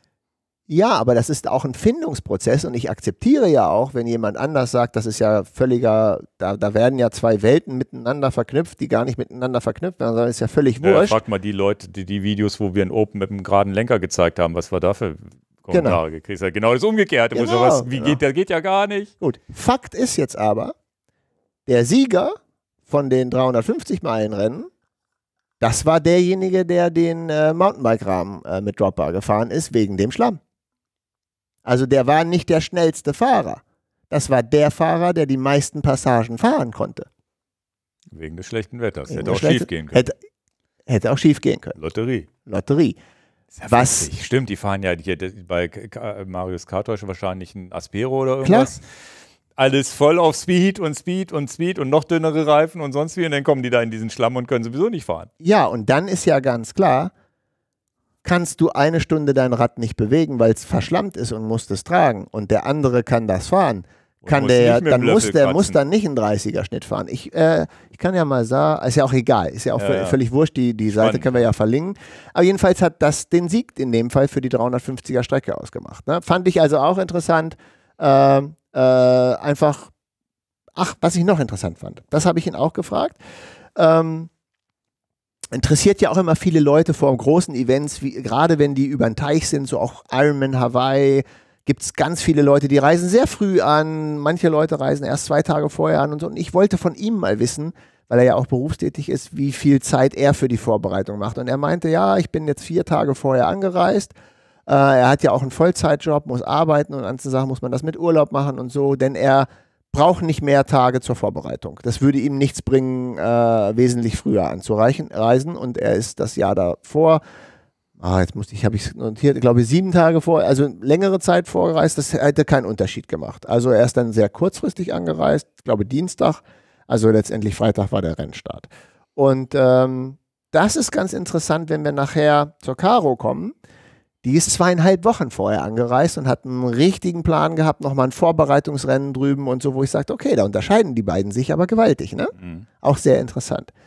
Ja, und dann würde ich jetzt mal zu dem Elite-Rennen der Frauen kommen und zu der Caro, Mhm. die auch äh, netterweise mir ähm, Rede und Antwort gegeben hat, aber auch eben auf einem Rennen Gravelbike unterwegs war. Die wird von Canyon gesponsert und Shimano, während der Marius äh, Cervelo gefahren ist und, und SRAM, äh, ist die äh, Caro Canyon gesponsert und Shimano gefahren. Und da sieht es aber so aus, und das haben mir nun auch beide gesagt, und beide haben von sich aus den Namen Formel 1 in, in, in, in, in, in, in, in den Mund genommen. Und mir war es nicht klar. Und deswegen denke ich, vielleicht ist es ja auch interessant, in dem Podcast zu erzählen, wie der Ablauf ist. Das heißt, da ist ganz klar voller Service.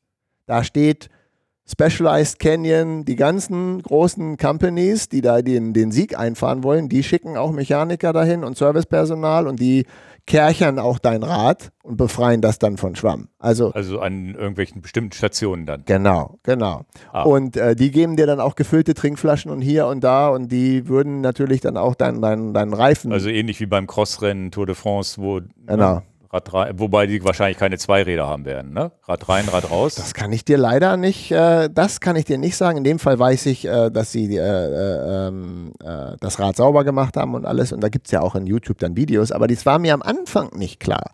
Also ich hätte ja auch gedacht, das ist auch eher so, du bist deines Glückes Schmied, ja, ja, oder? auch gedacht. Ja, gut, aber das UCI Gravel Rennen war ja auch schon so damit mit glaube ich mit Support. Aber beim Anbauen dachte ich nicht, dass es so ist. Nur das Super XL-Rennen mit 350 Meilen ist so und das Elite-Rennen 200 Meilen ist dann so.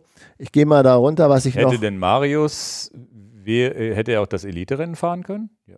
Oder Das kann ich dir so nicht. Es ist gar nicht. ne? Ich glaube, das ist nicht sein, sein Ding. Hm. Habe ich nicht gefragt. Ja, ja. Müssen wir nächstes Mal machen. ähm, die Vorbereitung von Caro war, wie gesagt, auch. Sie, sie, sie hatte ungefähr, sie hatte gesagt, sie hat 11.000 Kilometer als Vorbereitung gehabt. Also finde ich interessant, Die dass war mal Straßenradsportlerin. Klar, ja. Ähm, die ist jetzt ja umgestiegen, äh, äh, betreiben auch einen Podcast äh, mit Paul Voss zusammen. Also viele Grüße gehen raus auf dieser, auf dieser Seite. Wir finden das immer wichtig, die anderen auch. Das ist der OZ, ne? Und äh, aber fand ich jetzt auch interessant, dass sie auch, ich hatte sie ja gefragt, wie viele Vorbereitungskilometer sie vor dem Rennen hatte. Sie meinte 11.000, der Marius hatte jetzt 10.000. Das ist ja schon interessant, dass man sagt, pass mal auf, du hast dann auch schon, naja, also in meinem Leben werde ich wahrscheinlich nicht 11.000 Jahreskilometer irgendwann mal haben. Also da Die ist schon, 11.000, na, wie sind denn die gerechnet jetzt? ja, jetzt dieses Jahr. Von Januar bis jetzt? Ja, oder vielleicht ist es bei der Caro dann der späte Herbst und so, aber ja, ja. dann, dann machst du aus sechs, machst du dann eben acht Monate, aber trotzdem ist das jetzt schon krass. Hm. Also ich finde das ziemlich krass Ja, als ja, und Vorbereitung. wahrscheinlich überwiegend Gelände. Kannst ja nicht auf der, nur, nur Straßentraining machen, wenn du Ja, aber du, äh, das habe ich beides so, wahrscheinlich, ne? Und Genau. Zwift im Winter, was auch immer, gehört ja alles Genau. mit dazu, ne? Äh, sie hat ja im Vorfeld auch schon Rennen gewonnen in Spanien, bla bla bla. Also sie war kein unbeschriebenes Blatt, gar keine, keine Sache. Was ja, wie gesagt, letztes Jahr bei der UCI war ich auch schon, war ich, ich ja, hat man ihr ja auch schon die Daumen gedrückt, da hat sie auch, ist sie auch super performt. zweieinhalb Wochen ist sie vorher angereist und hat ein sogenanntes Vorbereitungsrennen, so hat sie es jetzt genannt. Fand ich auch interessant, dass man das schon sehr, also das finde ich schon sehr professionell, die Vorgehensweise zu sagen, ah, das ist, ein, das ist mein Jahreshighlight und Mhm. da es jetzt nun gewonnen hat, hat es ja in allem auch recht gehabt. Also muss man ja sagen, Erfolg gibt dann ja immer recht. äh, fand, das fand ich äh, äh, wichtig. Das, was ich auch, das Gleiche zu Marius sehe, hat sie auch gesagt, Gravel wird dort abgefeiert. Amis können das einfach. Ne? Also Originalton von ihr. Eine, Ja, ganz ja. Andere, eine ganz andere Nummer als in Europa habe ich mir als Originalton mitgenommen. Und vielleicht laden wir sie auch einfach hier in den Podcast mal ein. Aber äh, gleiche Sache, ne? Die Stimmung ist einzigartig, die Amis können das abfeiern, die haben das Mhm. da drauf. Anderer Schnack Macht als in Europa. Spaß. Wobei ich ja sagen muss, wie gesagt, äh, Challenge Rot ist auch abfeiern am Solaraberg und äh, in Belgien die Crossrennen ist auch abfeiern, so komplett, dass die Europäer nichts abfeiern können, Aber würde das ich nicht ist dann sagen. auch wieder bei den Highlights. Ja. Und Anbauend ist ja auch ein Highlight, ne? Das Genau. ist ja auch klar. Ja, wie gesagt, das, das Gravelrennen. Ja, und dann eben ganz klar, ne? Hochdruckreiniger beim, beim, beim Checkpoint. Äh, Flaschen werden getauscht. Sie hat einen Trinkrucksack gewechselt. Warum sie den gewechselt hat, weiß ich nicht. Wahrscheinlich einmal, weil er leer war und dann wieder einen vollen Trinkrucksack. Mhm. Nehme ich jetzt mal an. Sie hat jetzt nur gesagt, sie hat einen neuen Höre ich Trink. jetzt mittlerweile Trink, das Thema Trink, Trinkrucksack, höre ich jetzt immer öfter. Ähm, auch ein witziges Video, was, was ein Freund mir, der, der Arthur geteilt hat, mit dem ich auch äh, bei einem 24-Stunden-Rennen unterwegs war, ist ja in Sachen Aerodynamik. Ist nicht so doof. 4, 4 5 Watt, weil der Wind hinten besser schneidet. Das heißt, einen Trinkrucksack zu nehmen oder auch selbst eine Hüfttasche bringt dir aerodynamisch schon einen Vorteil. Ganz krass. Und was am meisten, der größte Gewinn fürs Geld, den du machen kannst, sind Aerosocken. Da kriegst Ach so, du, Geld- ich, Geld fünf, fünf bis zehn Watt kriegst du geschenkt, die du sonst an, an, als, als normaler Gravelfahrer gar nicht geschenkt kriegen könntest mit einem aerodynamischen Rahmen oder Laufrädern oder sonst jemand. Ich habe mir die mal angeguckt, die gehen dann auch relativ hoch. Dann hast du halt den weißen Strich hier oben schon, wenn du durch die Sonne fährst. Aber ultra interessant, dass, ne, dass auch diese Marginal Gains, und das summiert sich alles und dass das ein Trick, Trinkrucksack schneller ist, als äh, dadurch, dass hinten die Verwirbelung weniger werden, die Luft länger an deinem Körper sozusagen entlang gehen kann, ist, ein, ist so ein Trinkrucksack schneller als ohne. So hätte ich es gar nicht interpretiert. Ich hätte gesagt, es ist erstmal keine deutliche Verschlechterung. Mehr Wasser und du kannst natürlich besser trinken, in, auch in Bereichen, wo du beide Hände am Lenker halten Und wenn du musst. natürlich bei so einem Formel 1 Boxenstopp, so nennen wir das jetzt mal, Ja, Ähm, auch noch einen Trinkrucksack im Tausch kriegst und sagst, hier, gib mir den, du kriegst einen neuen, Ja, ja. da ist ja schon mal sonnenklar, da geht es um alles. Die, dieses Prestige-Ding. Ne? Umso schöner für Canyon, dass sie jetzt einen Sieg eingefahren haben. Die werden sie abfeiern. Ja, ja. Ist ja immer, das ist ja immer, äh, ähm, und das ist auch ein schönes Gespräch, was Ja, ist ja auch für den deutschen Gravel-Sport, für die Athleten gut, wenn da jetzt jemand mal vielleicht mehr Presse kriegt und zumindest in der Radsportszene wahrscheinlich öfter mal interviewt wird, vielleicht hier, hier und da mal im Podcast auftaucht, äh, hoffentlich vielleicht auch mal in unserem. Ähm, wenn sich das ergibt. Das ist, ist, ist ja immer eine schöne Werbung für den Sport und es ist jetzt eine, eine neue Sportart, die da entstanden ist mit Gravel, jetzt die in Europa jetzt auch mittlerweile angekommen ist, zumindest so bei uns Bikepackern und normalen Leuten, die Orbits fahren und so weiter. Die haben wir uns auch im Vorfeld drüber unterhalten, die ja auch ein, wo ich das Gefühl habe, dass sich da so ein Mindshift stattfindet, dass viele Dinge dadurch auch anders werden, dass Leute entspannter an den Sport rangeführt werden, dass sie eben nicht den 10 Kilometer, den, die Marathon-Teilnahmen werden weniger und solche Sachen, weil, glaube ich, auch viele rüberswappen und sagen, ich mache ein bisschen Abenteuer. Kann auch Wandern sein, kann, kann Gravelbiken sein, Trailrunning sein, alles Dinge, die jetzt stattfinden, wo man auf einmal in die Natur geht und sagt, ach, und dann kommen wir, schließt sich wieder der Kreis zum Erlebnis statt Ergebnis, wo man sagt, ja geil, ist ja ein viel geileres Erlebnis, sowas zu machen. Ja, oder unsere Vereinsgründung, die ja, ja auch darauf beruht. Ich brauche vielleicht gar nicht mehr diesen Wettbewerb, wo ich teilnehmen muss. Und das eröffnet einfach, glaube ich, noch mal eine große Zahl an Menschen, den Drang, sich zu bewegen, geile Sachen zu erleben, die vorher vielleicht gesagt haben, ach, geh mir doch fort, ich starte doch nicht bei so einem Marathon und mache mich da zum Affen, indem ich als letzter ins Ziel komme.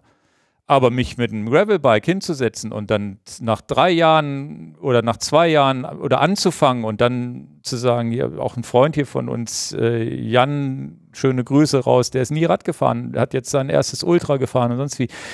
Da sind ja Leute dabei, die dann wirklich von 0 auf 100. Mein eigener Bruder fährt jetzt 1000 Kilometer nach Holland und sonst wie zum Deepish Mode Konzert mit mir, während ich dann nur einen Tag Zeit hatte, mit dem Auto hinfahren musste und fährt, ist dann weitergefahren zurück. Der ist nie Rad gefahren in seinem Leben. Krass. Der wäre im Leben nie eine RTF gefahren und hätte sich nie ein Rennrad gekauft. Und fährt jetzt schön mit seinem Ritchie Stahlrad 1000 Kilometer durch die Weltgeschichte als jemand, der nie Sportler war. Und Krass. der immer, der einen großen Bruder hatte, der gesagt, der immer ganz sportlich war und der selber sozusagen auch eine andere Gewichtsklasse ist und den das nie interessiert hat. Mhm. Ja, richtig Spaß hat. Und auf einmal sagt, naja, vielleicht verkaufe ich mir für nächsten Winter eine Rolle, damit ich ein bisschen fitter reinkomme. Und wo Leute an den Sport ran, wo du es nie erwartet hättest. Mhm. Die ich in, in, meinem eigenen Dunstkreis. Echt hochinteressant. Mhm. Ich glaube, da ist ein Shift da wär, weiß ich nicht. Habe ich aber mal mit meiner Frau erwähnt, die dann mit mir jetzt schön da an den Seen lang fährt. Und früher Rennrad haben wir vielleicht vier Ausfahrten geschafft und dann nie wieder gemacht.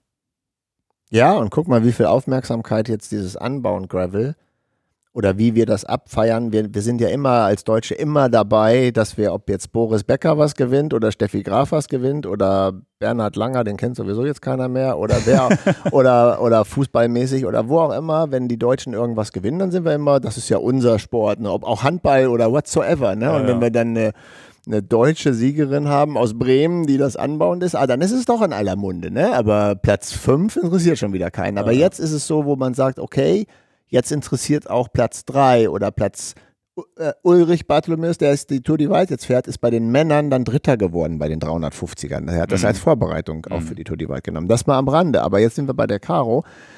Ja, wo es ja auch äh, Aufmerksamkeit ist und natürlich kostet der ganze Zirkus auch unheimlich viel Geld. Ja, also das darf man auch nicht vergessen. Das heißt, es ist mein Anliegen hier im Podcast, das mache ich wirklich gerne, deren Sponsoren zu nennen, weil ich das auch wertschätzen möchte. Mhm. Und nicht, auch wenn diese Firma hier keine Canyon-Räder verkauft, ist es ja trotzdem bemerkenswert, dass als die Caro noch nicht in, im Rampenlicht stand, und das hat sie auch gesagt, das findet sie so befriedigend, dass sie sagt, Mensch, Canyon hat an, letztes Jahr an mich geglaubt, als ich noch nicht mhm. Erfolge vorzuweisen hatte. Und das im, im Nachgang ist das dann immer, reiben sich die Hände. Da haben wir ja die richtige gesponsert. Ja, und wer hatte den Arsch in der Hose am Vorfeld zu sagen, das riskieren wir mal? Stell dir vor, die wären nach 50 Kilometer raus und alle hätten gesagt, wir wussten schon immer, dass die nichts drauf hat. Dann bist du der Idiot, der die auch noch gesponsert hat. Und jetzt ist es andersrum gekommen und das hat dir, da, das kann ich nicht so eins zu eins weitergeben. War eigentlich auch ziemlich privat, wo ich sagte, Mensch, krass, wie sie sich da das war so eine richtige Genugtuung für sich zu sagen, Mensch, toll, dass die Sponsoren an mich geglaubt haben und, und ich was zurückgeben kann. Und ich nenne das jetzt nochmal, Canyon als Fahrrad, Wahoo als Computer, Envy die Laufräder, Shimano als Schaltung. Und das ist ja auch nicht, nicht so unwichtig, dass man nochmal ein kleines bisschen den Sponsoren das auch einräumt, auch wenn jetzt der Podcast hier nicht eine Rechnung dafür stellt. Mhm. Ja, also und da, da hat sie sich auch richtig drüber äh, äh, gefreut. Und jetzt Peanut Butter, Schlamm und Wetter, würde ich nochmal sagen. Mhm. Hat sie ja auch getroffen. Auch wenn sie später gestartet ist, das Wetter war trotzdem die ganze Zeit Käse mhm. mit Regen und so. Und äh, sie hat geschrieben, ihr war gar nicht klar, dieser Peanut, das, was wir besprochen haben, war ihr nicht klar, dass dieser Schlamm nicht runtergeht vom Rad und dass das Rad sich nicht mehr bewegt. Das war ihr nicht klar. Mhm. Deswegen reden wir ja hier drüber. Sie sagt, sie hat die ganzen Fingernägel weggekratzt also kaputt gemacht. Der Schlamm muss runter. Und witzigerweise werden da auch so die nennen das so lange Eisstielchen. Ne? Also jeder kann sich ein Eisstiel vorstellen. Ja, so. ja sowas, wo du A machst beim Arzt. Genau, ne? genau, genau. Und sowas wird da verteilt, damit du deinen Schlamm abkratzen kannst. Ja, ja. Ja, musst du schon mitnehmen. Das Mhm. ist ziemlich krass. Das äh, fand ich auch äh, ähm, äh, sehr interessant. Und dann habe ich sie gefragt, bei einem so langen Rennen, wann kam, sie hat mit 15 Minuten Abstand gewonnen, Mhm. wann kam der entscheidende Punkt im Kopf, what the fuck, ich gewinne das jetzt. Also, wann kam das im Kopf? War das so die letzten 20 oder war auf der Hälfte schon klar, das ist mein Tag und alles? Und sie sagte, nein, nein, nein. Tatsächlich, für sie, wenn ich die Ziellinie überquere, bin ich mir sicher, dass ich das gewinne. Aber sie meinte, fünf Kilometer vor dem Ziel hat, ihn, hat sie ein, ein, ein Motorrad überholt und hat ihr gesagt, sie hat 15 Minuten Vorsprung. Und da war dann so, dann hatte so die, die letzten fünf Kilometer hatte sie dann im, schon Ja, im selbst Kopf. wenn sie laufen muss, ne? Ja, nicht ganz, aber trotzdem, da war, finde ich auch interessant, dass äh, natürlich beim Gravel kann natürlich viel passieren. Die Kette kann reißen, der Rahmen kann brechen, was auch immer, whatsoever. Das ist ja äh, ist schon ein harter Einsatz. Gewitter, steht hier noch, ne? Irgendwie Ja. auf den letzten Ja, und. Gewitter, wo sie auch, ähm, ich habe äh, auch nicht ein sehr gut, äh, ich habe ein total schlechtes Gefühl, wenn es gewittert, wenn ich unter freiem Pläne bin. Witzigerweise überhaupt nicht, wenn ich im Haus bin.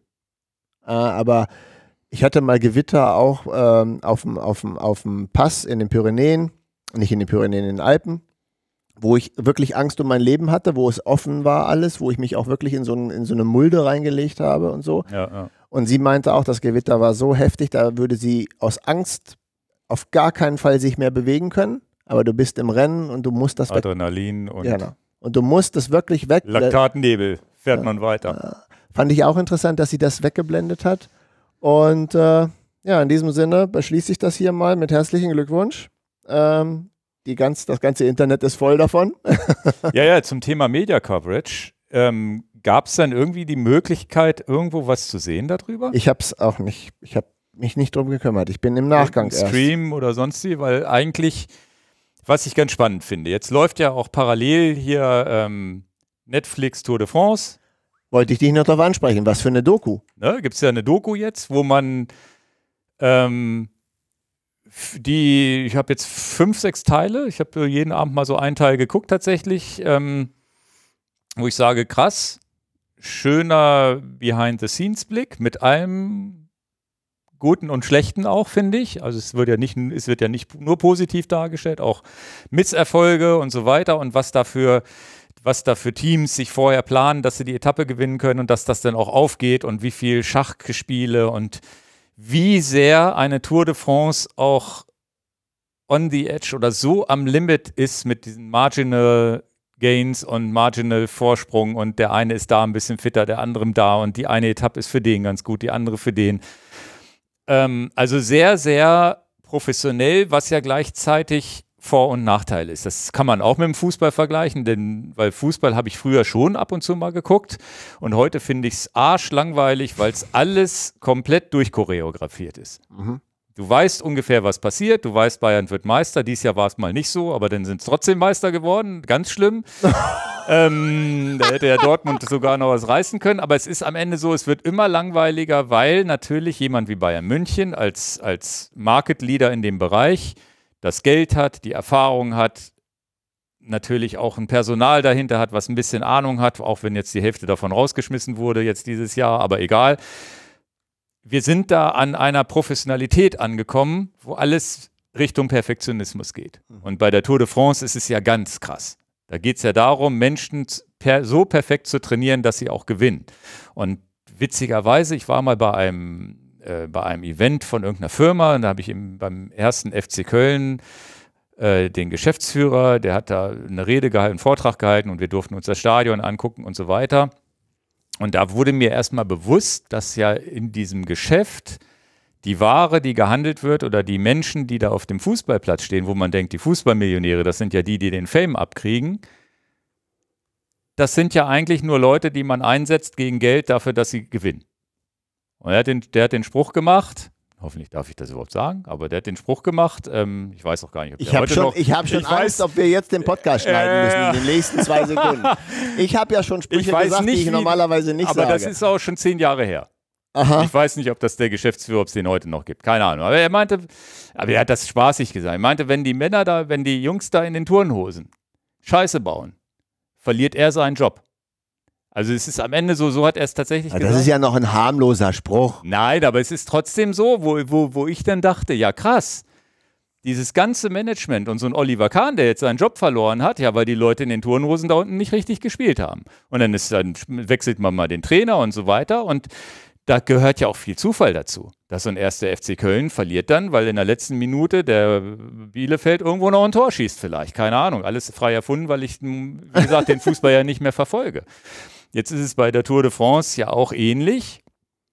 Und das habe ich zwischen den Zeilen in der Doku auch bei, bei Wenn Education First keine Siege einfährt, ist das Team tot. Genau.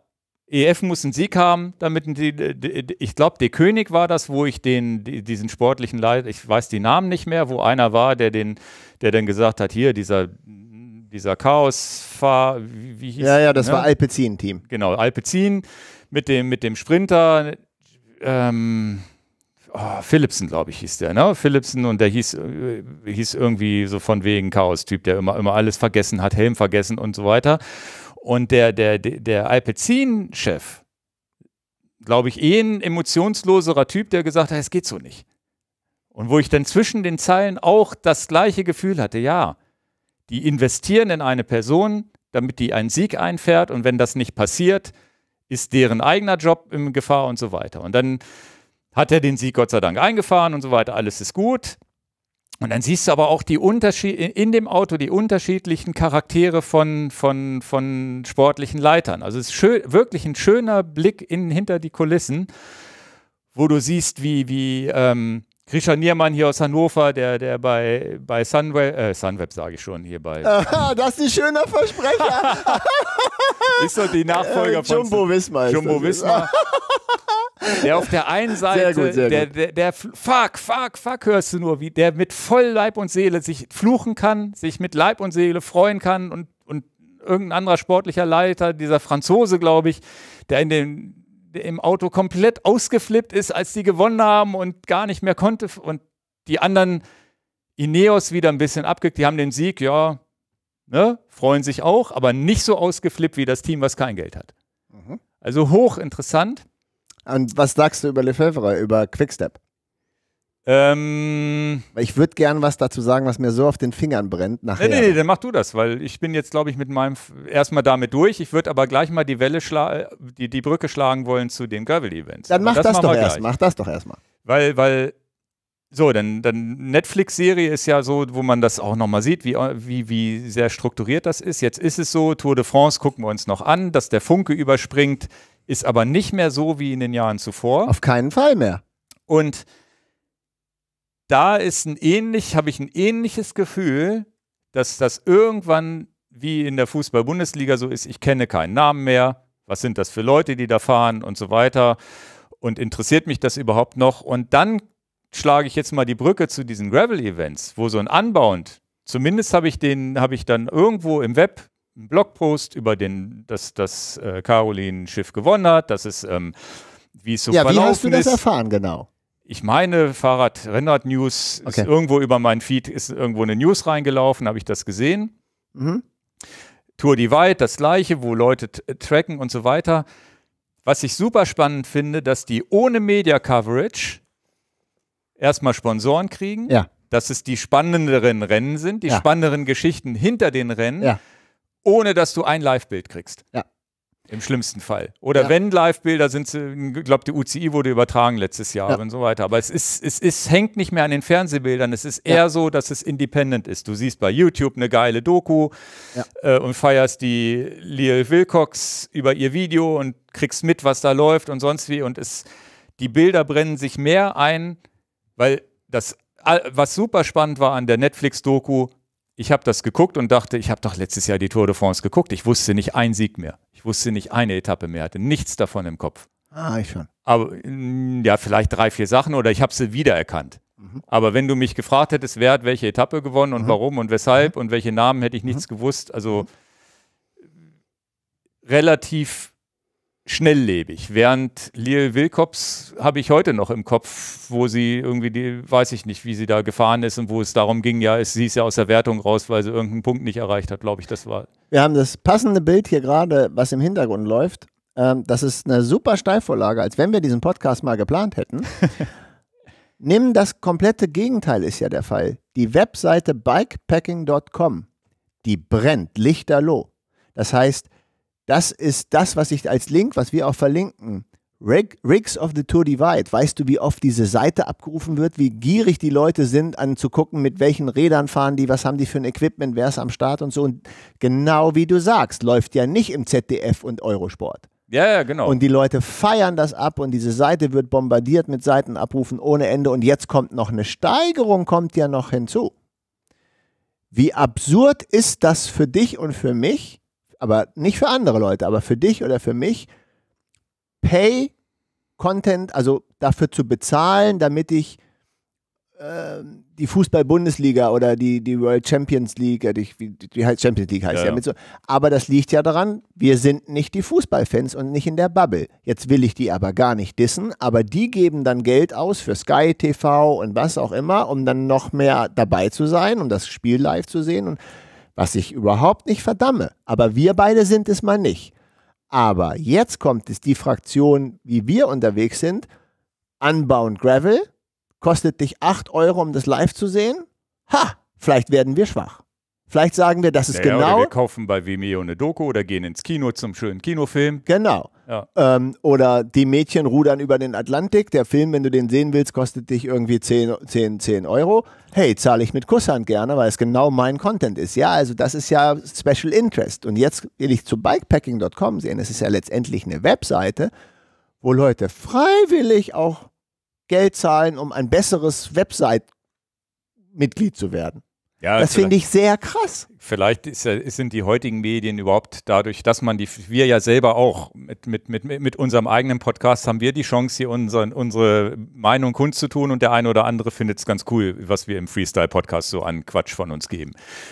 Und die Aber Möglichkeiten gab es, genau, und die möglich, ja, aber auch schon mit einer, mit, zumindest mit einem Werbepartner, einem Sponsor. Aber weil es eben auch nicht mehr ohne geht. Genau, und das ist so, ähm, das ist ja die Freiheit, die man heutzutage hat und mit der solche Sachen wie Gravel, Abenteuer ja überhaupt diesen Boom erleben und wo ich der Meinung bin, dass da wahrscheinlich, na, wie wir es vorhin schon gesagt haben, dass da sich viele Leute drin erkennen und sagen, ja, das mache ich jetzt auch mal, ist ja geil. Die nie Sportler waren. Und das motiviert Und mich nicht aus dem- Podcast. Genau, nicht aus dem Sportinteresse, sondern aus dem Abenteuerinteresse das Ganze gucken und irgendwie mitbekommen und man sich die Infos sucht und man sich sogar mit Fotos zufrieden gibt und gar keine Live-Coverage braucht und trotzdem mehr geflasht ist von dem Erlebnis oder von jetzt vielleicht von unserem Bericht, von deinem Bericht, ähm, wie du mit den mit mit Marius und mit Caroline gesprochen hast, wo Leute sich wiederfinden und sagen, das finde ich ja viel spannender als, als, als, als den Tour de France Zielsprint von jemandem, der für mich eine Anonymität besitzt, mit dem ich mich nicht identifiziere. Ja. Und ich glaube, mehr, mehr von unseren Hörern identifizieren sich mit einer Caroline Schiff als mit, mit einem Tour de France-Sieger. Wahrscheinlich. Also so ist, glaube ich, unsere Kundschaft so ein bisschen ähm, äh, unterwegs. Ja, sehr interessant, dass du das sagst, äh, mit der nicht vorhandenen Media-Coverage, denn klar, ist immer eine Zeitsache, aber wird anbauend für mich convenient, abrufbar angeboten, klicke ich das Rennen. Mhm. Und jetzt umso mehr. Deswegen, vielleicht hilft es euch ja auch ein kleines bisschen, dass ich mal kurz das Telefongespräch weitergebe. Ist ein bisschen blöd, dass ich jetzt das nicht anders gemacht habe. Das habe ich mir gestern überlegt. Also tatsächlich kam es mir gestern in den Kopf. Man hätte sie sonst ja auch sicherlich live anrufen können für den Podcast oder auch Marius. Aber, dass man sagt, man hört sich spannend an, das weckt so genau mein Special Interest. Ja, ich Aber- war jetzt selber viel auf der Straße und unterwegs, deswegen habe ich es nicht wirklich an dem Wochenende live verfolgt. Ich glaube, ich war auch gar nicht da. Das war das Wochenende. 2. Juni. Genau. Und das, äh, das Schöne ist, finde ich, auch bei den Sachen, was bei der Tour de France nicht so ist. Eine Tour de France eine Woche später zu gucken, wer gewonnen hat, pff, oder wie das Rennen war, macht man nicht. Aber hier ist es ganz egal. Jetzt würde ich auf die Reise gehen, nachdem wir diesen Podcast, nachdem ich jetzt auch von den Interviews erfahren habe, jetzt gucke ich dann trotzdem mal, ob ich, ob ich Bilder sehe und so weiter. Das ist ja egal, wann man das guckt oder ob man einen Film sich hinterher anguckt oder sonst wie. Man muss das nicht live sehen und hat, ist trotzdem total mitfiebernd. Mhm. Genauso wie Markus Weinberg, ich kannte das Buch, du kanntest das Buch ja, glaube ich, vorher schon so ein bisschen. Ja, genau. Ähm, ich kannte das Buch ja nicht. Ich habe ja alleine mitgefiebert, dass er es geschafft hat, habe ich schon wohl mir gedacht, aber ich habe ja mitgefiebert, ja, was ist denn passiert und wie lange hat er gebraucht und so weiter. Das war super spannend, obwohl das Ding ein Jahr her war. Klar. Und das ist ganz geil. Ja. Naja, also. Sehr gut. Die Doku haben wir gar nicht auf dem Schirm von. Ich, ich hatte gedacht, ob es vielleicht dein Pick ist. Mein Pick ist es nicht. Aber ja, den habe ich absichtlich nicht gepickt. Weil ich dachte, den kennt sowieso jeder, der Netflix hat, weiß, dass Tour de France ist und so weiter. Ja, also, kaum, kaum mehr sagen. Aber eine super Doku, finde ich auch. Ähm, besser, als, besser als erwartet. Ich ja, gedacht, ja, okay, und äh, mir geht es ähnlich äh, wie dir. Am spannendsten finde ich die unterschiedlichen Charaktere. Ähm, das interessiert mich tatsächlich brennend, deine Meinung dazu. Ich habe eine ganz klare Sache.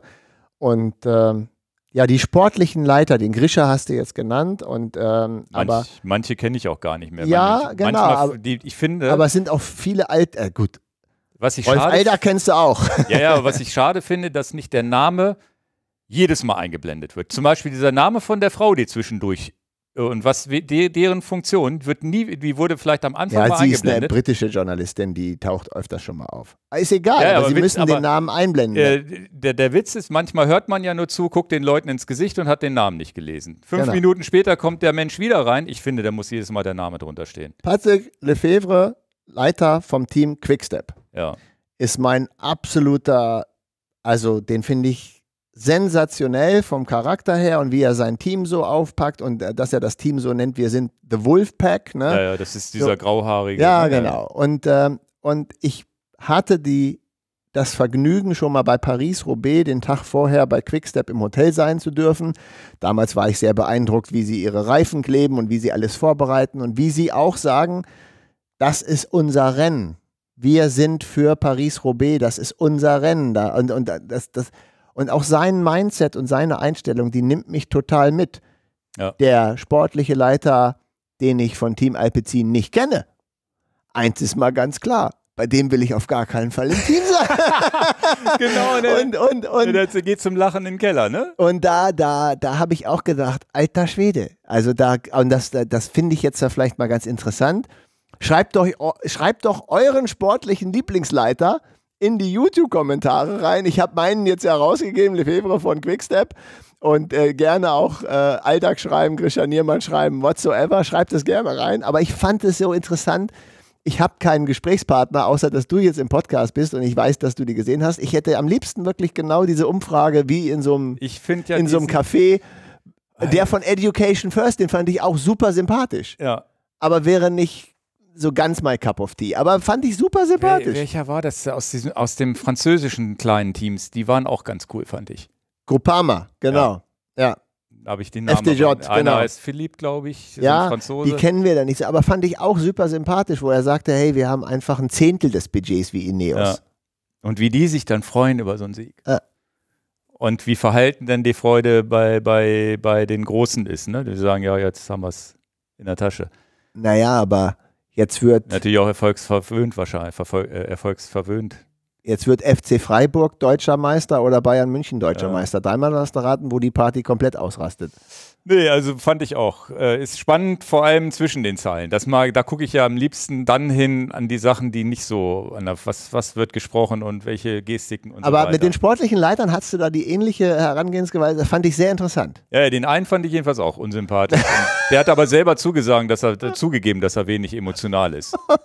Wo es dann darum geht, der, der muss jetzt gewinnen hier. Gut, also ich auch, auch, es ist heute nicht mein Pick. Äh, Nee, kann ich meiner ja schon, auch nicht. Äh, meiner, okay. Aber, wir haben es untergebracht. aber wir haben es untergebracht, obwohl es auch wirklich natürlich Netflix manchmal schafft, Sachen komplett in eine Grütze zu hauen. Das mal nicht, das fand ich gut. Ja. Also ich habe schon alles gesehen. Ich wollte die Originalfassung sehen, bis ich dann gesehen habe, dass es französisch ist. ich dachte, es wäre eine englische. Aber du lernst du Französisch. ja, auch schon nicht mehr so, wie ich wollte. Okay. Aber in Leider. jedem Fall können wir jetzt beide sagen, ist, äh, ist sehenswert, ne? Ja, ja. Und du hast noch nicht alles durch. Ja, ein, zwei Folgen fehlen, glaube ich, noch. Ja. Aber Sehr schön. Ja, ich glaube, das Thema Garmin müssen wir weg, weglassen. Das wird zu lang für heute. Okay. Dann mach es doch kurz. Hm. Ist nicht kurz? Nee, nee, nee. Nee, das äh, verschieben wir auf nächstes Mal. Okay. Weil dann haben wir wenigstens für nächstes Mal noch ein Thema. Nachdem wir heute alles weggefrühstückt haben, würde ich sagen, wir verschieben es auf nächstes Mal, machen jetzt die Picks, weil das wird tatsächlich zu lang, weil das ist auch nochmal ein Nerd-Talk, wo ich sicherlich eine halbe Stunde ausholen werde und das wird jetzt, glaube ich, too much und passt auch gar nicht so schön in die Stimmung, wo wir um Abenteuer reden. Okay. Na? Ja, ich finde die Uhr aber geil, die du da hast. Ja. Ich kann ja zumindest schon mal sagen, dass ich momentan die, die, die neue Garmin ja, da müssen wir entweder ganz oder gar nicht. Ja, aber kriegst du es nicht in zehn Minuten? Ja, ich krieg's auch schnell hin. Genau. Also das können wir doch jetzt nicht, wir haben es angekündigt. Ja, ja, jetzt ist auch schade drum, ne? Da sitzen da alle und sagen, oh Mensch, ich wollte das aber hören. Aber dann bündelst alle, doch die, mal. alle, die beim Thema Abenteuer Pass bleiben auf. wollen, die kommen zu den Picks wieder. also, es gibt ähm, das äh, kurze Einleitung. Also ich bin ja so ein bisschen, ich bin ja Chorus-Fan, bin Wahoo-Fan und Garmin-Fan und äh, äh, auch Nein, ich mag Ingo, auch du bist grundsätzlich Gadget-Fan. bin, bin, bin Wechselwähler, was, was Uhren und, und Fahrradcomputer angeht. Und ähm, da sehr, sehr tief in dem Thema drin, die eine kann das besser, die andere kann das besser und welchen Kompromiss gehe ich jetzt ein und Ablesbarkeit und so weiter. Und ähm, habe mich so ein bisschen eingeschossen, im Alltag die Apple Watch zu tragen, weil ich einfach mit der Apple Watch Ultra jetzt eine Uhr gesehen habe, wenigstens zwei Tage Akku. Sie hat ein bisschen Sportfunktionalität dazu bekommen. Macht durchaus mit der Ultra jetzt Sinn, sie als Sportuhr zu benutzen. Auch für ein langes Event, aber nicht ein Mehrtages-Event. Mit allen Vor- und Nachteilen. Ne? Und ähm, tolles Display, best, bestes Design eigentlich immer noch, muss man auch sagen. Ähm, auch, auch eine super, äh, medizinisch gesehen, glaube ich, auch beste Sensorik von allen. Ne, das sind wir ja auch am, am Dings. Jetzt sieht man hier im Hintergrund mal. Ähm, ich tracke ja auch mein ganzes Leben in Anführungsstrichen, meine, wie, wie müde bin ich, HRV-Status und so weiter. Und da sieht man aber auch, Garmin sagt, ich bin hier im Hintergrund sieht man das, Garmin sagt ähm, Training Readiness 7, also sehr schwach. Meine Apple Watch hat mich auf 8%, 8 über die Athletic-App eingeschätzt. Witzigerweise überschneidet sich das wirklich. Ne? Also das können sie alle, alle Uhren können es ganz gut, deine Fitness zu tracken und zu sagen, du bist overtrained. Das war übrigens an dem Tag, wo ich ins 24-Stunden-Rennen eingestiegen bin. Ne? Wirklich sehr, sehr müde gewesen, sehr, sehr müde gefühlt. Und das witziger, das kommt ja noch dazu, das Körpergefühl gibt einem dann auch nochmal recht. Und die Uhren sagen einem dann, du bist müde. Also theoretisch braucht man das alles nicht. Wenn du ein gutes Körpergefühl bist, weißt du auch so, dass du jetzt nicht richtig fit bist. Naja, und dann ist es in, seit einigen Monaten so, dass ich das auch wirklich intensiv teste, 24-7 getrackt zu werden. Über die Uhren, über die Apps und so weiter.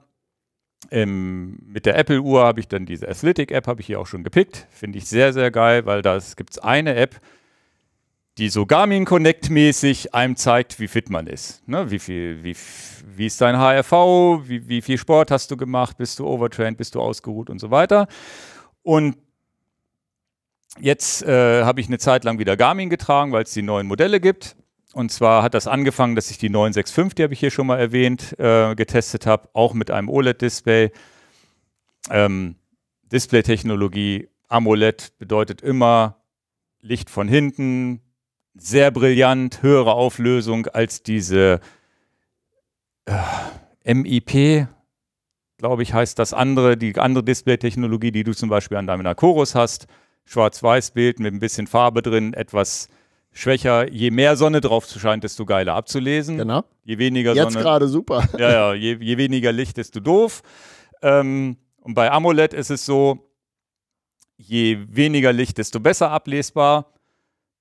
Und mittlerweile ist die Technologie aber auch so stark, dass sie draußen in der Sonne sehr gut ablesbar ist. Die Apple Watch hat es vorgemacht, die Garmin 965 kann es gut und auch die Epix, die ich jetzt hier am Handgelenk habe, kann es ganz gut. Und da sind wir jetzt an so einem Punkt, wo ich glaube, dass diese Display-Technologie in den nächsten zwei, drei Jahren verschwinden wird. Weil zumindest Garmin es momentan geschafft hat und deswegen bin ich sehr, sehr angetan von der neuen Epix-Serie. Die Epix-Serie war immer eine war, die gab es immer schon mit AMOLED, war immer diese AMOLED-Version von der Phoenix Pro. Es gibt die Phoenix-Serie, das sind die Outdoor-Uhren, die sind vergleichbar mit deiner Chorus Vertex. Nur Phoenix natürlich, Garmin da immer ein bisschen teurer, preislich höher.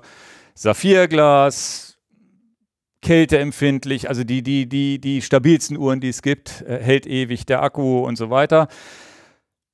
Ja, und mit der Epix haben sie jetzt endlich, und das ist die Neuheit, Phoenix gibt es Phoenix 7 Pro jetzt und so weiter.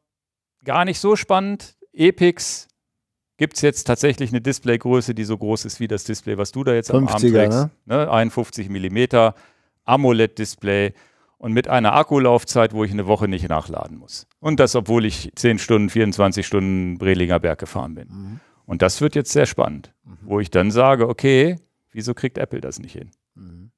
Wieso hat Apple mit der gleichen Display-Technologie zwei Tage nur oder anderthalb, zwei Tage? Ich kann es mir eigentlich nur so erklären, dass Apple aus der Computerecke kommt und natürlich in die Uhr eingebaut hat, ja, lieber Sprachassistent, äh, mach mal einen Timer an oder mach dies, mach das oder eben mit der Uhr kann man ja auch telefonieren, hat Lautsprecher und so weiter. Ich schätze, dass die einfach der Prozessor zu viel Strom, zu stromhungrig ist. Und Garmin natürlich ja wahrscheinlich so einen Prozessor braucht, der nicht viel können muss. Der muss ja nur die Datenfelder anzeigen. Kann, kann ne? ich dir gar nichts beisteuern. Ja, und das, äh, dadurch haben sie halt die Chance, mit gleicher Display-Technologie elf Tage zu halten. ja, mir ist es ja sofort Tage. aufgefallen, als wir heute den Podcast uns draußen getroffen haben. Krass, das Display ist echt krass. Ja, und jetzt ist es so, wo ich sage, naja, kann ich auf meine Apple Watch mit allem Pipapo, ne, mit Siri und Kram verzichten oder, oder nicht? Und jetzt bin ich wirklich angetan hier von, den, von der neuen Epix-Serie. Aber natürlich, ich glaube, teurer als die Apple Watch. 1150, wenn ihr das 51 Ja, das ist natürlich Modell der absolute Wahnsinn. Ne? Also das, das darf man gar nicht sagen, den Preis. Also ich habe aber das Gefühl, ne, die 965 habe ich schon. Ne, es ist ja so, dass ich, ich habe jetzt, äh, wir haben das, wir nehmen die im Shop auf, ich verlinke die unten auch. Und ich muss ja irgendwann das Video dazu oder möchte gerne das Video dazu machen und habe mit der 965 angefangen, habe gesagt, eine Triathlon-Uhr mit AMOLED, die Ironman locker durchhält und noch einen zweiten, wie geil. Mhm. Und super ablesbar und jetzt das gleiche verpackt in diesem Outdoor-Gehäuse und noch ein bisschen schicker und riesiges Display. Krass. Und das, das, das Killer-Feature schlechthin, was ich nie gedacht hätte, ist ja das hier. Eine Taschenlampe. Ja, ja. Da kommen wir, ah, da, das weiß ich schon, da kommen wir noch zu. Ja, ja, du hast, äh, wie oft ich jetzt nachts einfach statt meinem Handy-Taschenlampe ins Schlafzimmer rein, raus, hier die Uhr einfach doppelt tippen, geht die Taschenlampe an. Und das ist schon krass. Und ähm, was ich noch mal verlinken, ähm, verlinken kann, ist auch, äh, habe ich einen falschen Link hier eingefügt, ich blöd Mann. Na, es gibt ja, also die hat der technisch neuen Herzfrequenzsensor, das hat sich aber wenig getan gegenüber der Phoenix-Serie und so weiter.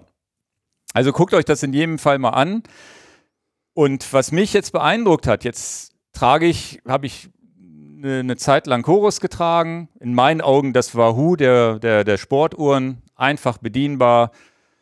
Also ein, ne, und kann alles, ist super mächtig in den Funktionen, aber hat vielleicht nicht das perfekte Tracking, Gesundheitstracking dahinter wie eine Garmin.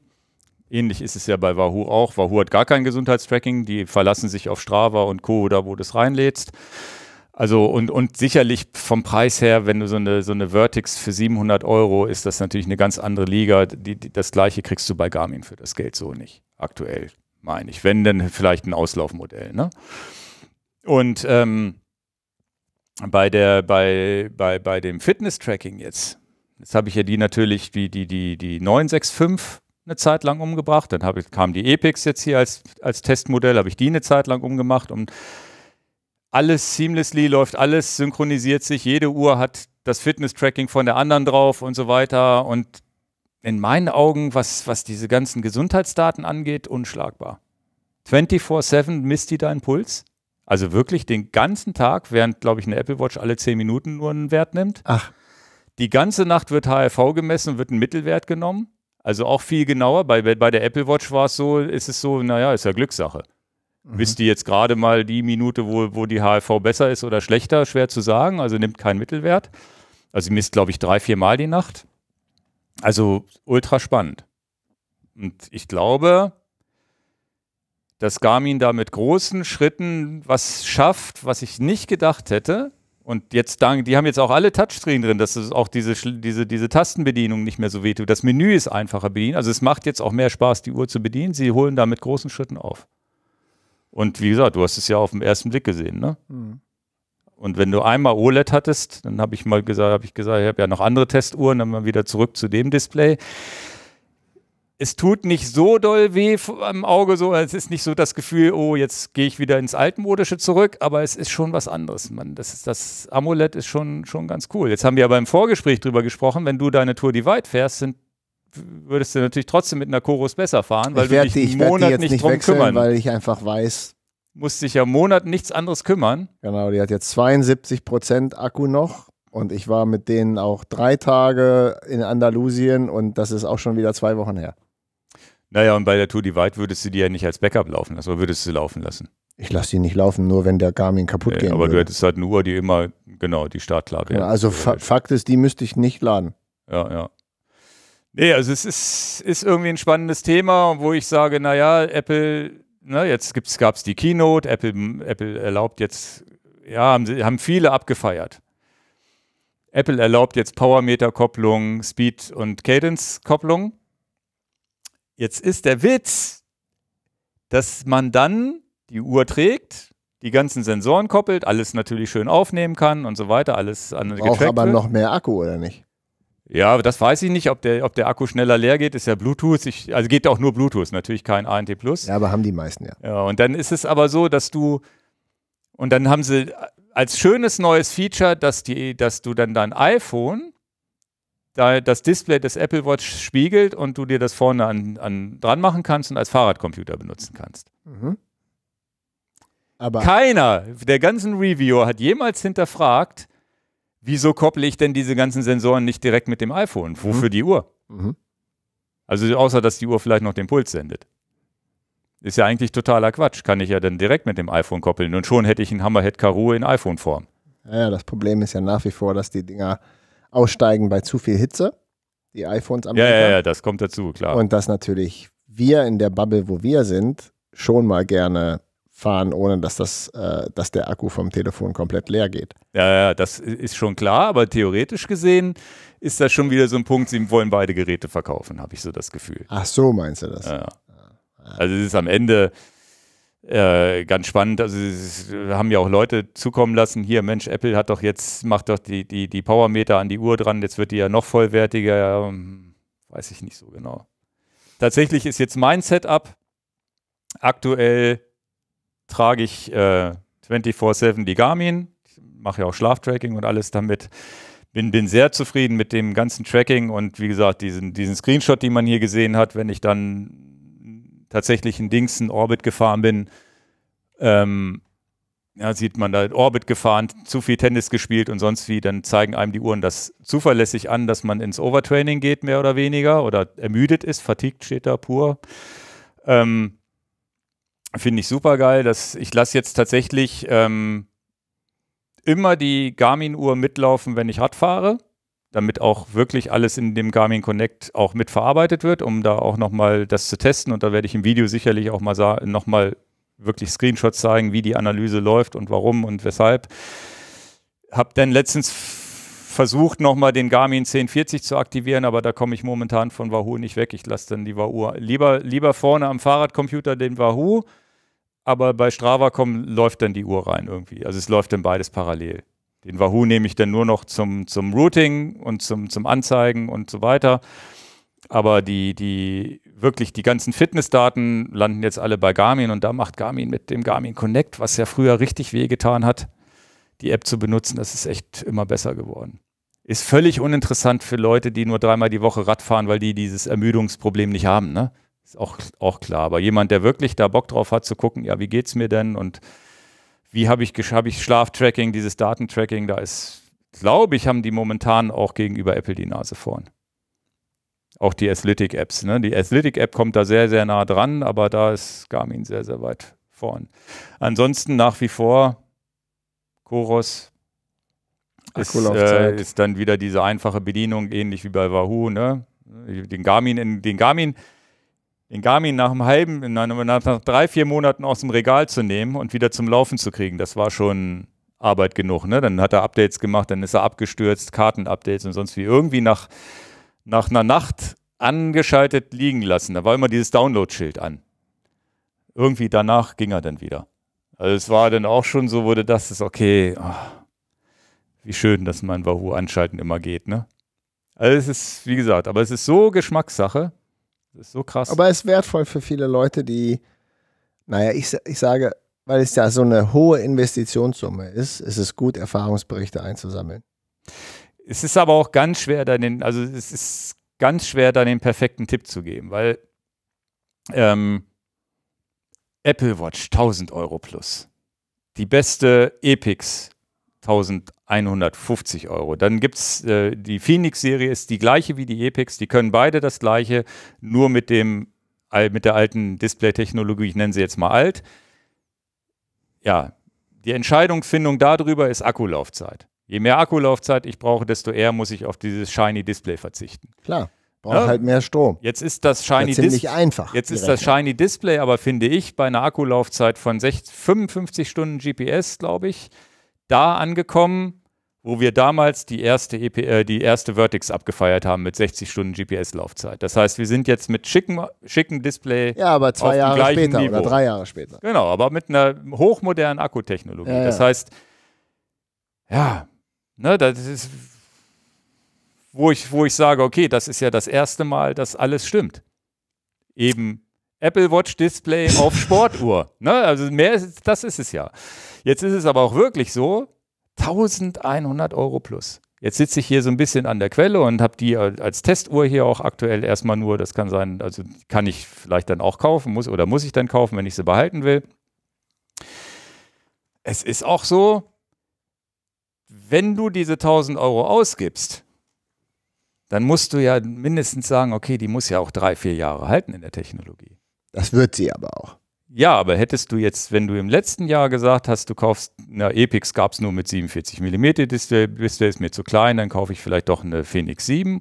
Und jetzt kommt dieses Jahr deine Wunschuhr, wo du, oh, jetzt Epix mit 51 mm. Aber das ist ständig so.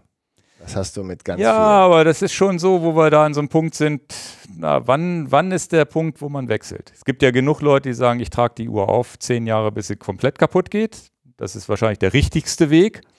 Aber jemand, der dann sagt, okay, ich will dann doch das schönere Display, der sitzt dann da und muss dieses Jahr vielleicht eine neue kaufen. Kenne ich sogar einen. Okay. also ganz schwer, ganz schwer zu, zu ähm so dein 10 Minuten Zeitfenster hast du auch nur ein paar Sekunden überschritten. Naja, es waren jetzt 17. so, ich habe das hier aufgeschrieben. ich habe dich auch nicht unterbrochen. Ja, ja, ich, ich, ich, ich, verlinke das unten, aber witzigerweise, was, was ich gut finde, was, was mich nicht so falsch darstellen lässt, äh, stellen lässt, dass du auch sofort angefixt warst und sagst, das ist jetzt mal, das ist, glaube ich, auch eine Akkulaufzeit, mit der du leben könntest, jetzt mal unabhängig ja, ja, von der also Gates. um, das wäre jetzt genau der entscheidende äh, letzte Input von mir. Ähm, für große Display für gute Ablesbarkeit und für sensationelle Akku Akkulaufzeit. Das sind meine drei Key Features, die ich ähm, in die Waagschale werfe. Aufzeichnen bei Nacht. Ich lege die Uhr sowieso ab. Bei ja. Ballsportarten lege ich die Uhr ab. Beim Schwimmen, wenn es nicht gerade eine wichtige Seedurchquerung ist, lege ich die Uhr ab. Das heißt, ich bin nicht der 24-7-Typ. Ich lege ja, die ja. Uhr oft ab. Ähm, ich wege zwischen diesen drei Sachen ab. Größe, Ablesbarkeit und Akku. Das ist für mich absolut key. Und am Ende des Tages wäre es mir 1100 Euro voller Preis nicht wert. Ja, ja, das ist, das ist eine Schallmauer, die ich überhaupt nicht kommunizieren kann. Ähm, da würde ich dann die, die, die äh, Reißleine ziehen. Es ist am Ende wirklich so, wir haben jetzt ähm, die, die sinnvollste Uhr, die oder die allerbeste und die allermächtigste Sportuhr ist eigentlich die Coros Pace 2. Genau. Für 200 Euro kriegst du eine vollwertige Uhr mit ultralanger Akkulaufzeit. Ultra leicht. die nichts wiegt und so weiter. Vielleicht aber auch natürlich nicht diesen, diesen Aufschlag und diese, diese Schickness hat und nicht diese Robustheit von Titan und was weiß ich nicht alles. Schlagfest sind die ja auch alle. Und dann, dann, dann geht es ja wirklich so, und dann, dann kommt auch eine ganze Weile nichts. Dann kommt die 400-Euro-Klasse. Dann kommt so 450, 5, 450 Euro kriegst du ein Auslaufenmodell von Garmin, die älteren Modelle von den Triathlon-Uhren oder von, ja. von den Forerunners. Ne, 965, 955, 945 sind, glaube ich, alle noch im Markt und immer so ein Abstand von 100 Euro. Und ich meine, die 965 ist jetzt auch schon bei fast 600 Euro. Und dann gibt es halt diese Klasse Phoenix, Epix, Vertix, wo, wo die Vertix, finde ich, ähm, sicherlich die preiswerteste. Sie ist jetzt technisch ähm, nicht mehr ist, Stand der Dinge, aber ja, sie hat auch doch, einen faireren ist, Preis. Sie ist dadurch, dass sie damals die ersten waren mit Multiband-GPS und Aha. so weiter, was die Uhren ja alle heute brauchen Aha. und Display-Technologie sich ja nicht großartig geändert hat, ist sie eigentlich technisch von der Hardware immer noch Stand der Dinge und den großen Vorteil, den man bei Chorus, ähnlich wie bei Wahoo dazu kauft, du wirst ja geupdatet, geupdatet. Die erste Vertex kriegt immer noch die Updates und ja. kann jetzt auch die neuen, die haben neue Navigationsfunktionen bekommen. Die Pace 2 kann jetzt zumindest Dot-Navigation und so weiter. Also die, die arbeiten viel softwareseitig, viel in die alten Uhren rein, was auch sehr nachhaltig ist und die Vertex ist sicherlich aktuell preis-leistungsmäßig die beste oder, oder die, die, die, die, die, ja, die beste, günstigste Uhr, so in dem 600, 700 Euro Bereich, wo du sagst, okay, da hast du Saphirglas, du hast ultra lange Akkulaufzeit und, und ein ultra stronges Gehäuse für, für, für Klettern und was nicht alles und diese ganzen Multiband-GPS auch natürlich drin, Haltbarkeit. Und das dann mit der ein, ein, ein einfachen Bedienung, sodass ich glaube, dass da auch jeder glücklich mit wird. Und bei Garmin, wie gesagt, da wenn du da in den Outdoor-Bereich kommst, bist du jetzt immer so plus minus 800 bis 1100 Euro je nach Gehäusegröße und machen wir uns nicht vor, wir Männer wollen ja eigentlich immer die größte und dann bist du immer bei 1000 Euro plus.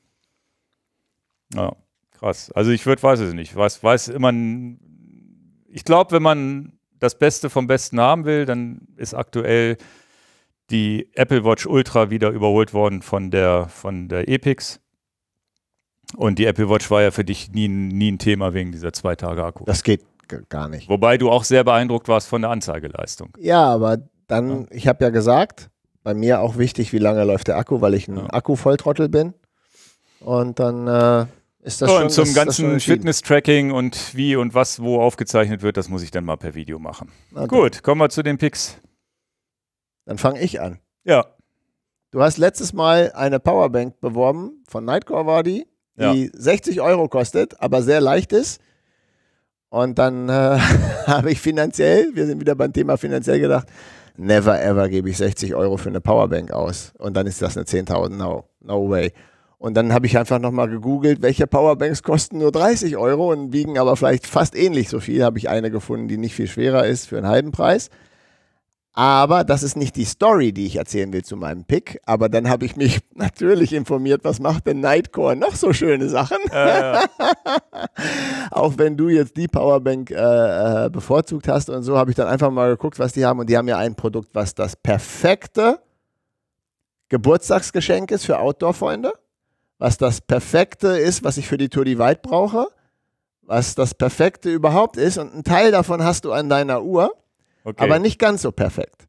Und das Perfekte, was sie haben, ich, ze ich zeige es dir hier mal rüber, ist eine Mini-Taschenlampe für 50 Euro, die als Maxi, also hat zwei Osram-LEDs, kann maximal 500 Lumen 15 Minuten, kann auch 200 Lumen, kann auch 65 Lumen und bei 65 Lumen kann sie zweieinhalb Stunden, mhm.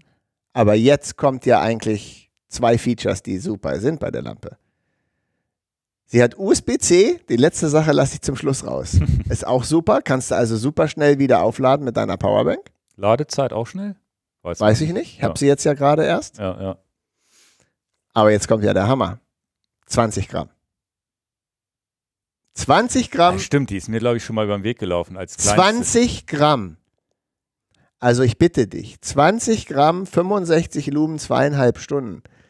Das, also, und die Größe, äh, die ist so ein bisschen größer als dein Daumen. Noch nicht mal so groß wie dein Daumen. Die ist nichts. Wie heißt die? Ach, hier, die Nightcore-Tasche, da habe ich sie. Nightcore Tini 2 Titanium. Genau. Was für, ich, also ich habe sie jetzt, es ist ja der absolute Hammer. Und sie zeigt dir eben auch genau an, wie viel Lumen, also was ich sehr gut finde, ist, dass sie im Display anzeigt, wie viel Lumen hast du jetzt gerade, wie lange kann sie dann halten. Und Mhm. das ist meine absol absolute, absolut jetzt die Also die, Notfall-Taschenlampe. die Zeit steht im Display. Mhm. Okay, das ist cool. es steht drin, 65 Lumen und jetzt hast du noch so und so lange. Leuchtet sie, während sie lädt? Also Das kann ich dir machst? nicht, das habe ich noch nicht Okay. getestet. Ähm, äh, ich würde sie jetzt. Ups, das ist mir rausgerutscht. Ja, ja. Tut mir leid. Alles gut. Passiert ja auch mal. Ja. Äh, ich würde sie jetzt als absolute Notfalltaschenlampe haben. Das ist meine perfekte Taschenlampe, wenn man im Zelt mal was ausleuchten muss, wenn man nicht so eine Headlampe hat. Und es ist natürlich die. Ach, die ist so groß wie ein Schlüsselanhänger. Ja, Warum hast du denn nicht mitgebracht? Also ja, weil ich heute das andere, die andere okay. Karre dabei habe. Sie liegt ja, im okay. falschen Auto. Ja, ja. Ähm, Bringe ich nächstes Mal mit, aber sie ist äh, der absolute, also Technischer must have. Durch, wie groß ist, wie Daumengröße steht So, hier. ja, ja, so. Die ist so. Also sie ist kleiner als eine Streichholzschachtel. Ja, 500, probier mal aus, wenn die mit USB-C, mit deiner Powerbank gefüttert werden kann, dann könntest du sie ja als Fahrradlampe nehmen und bräuchtest sonst nichts.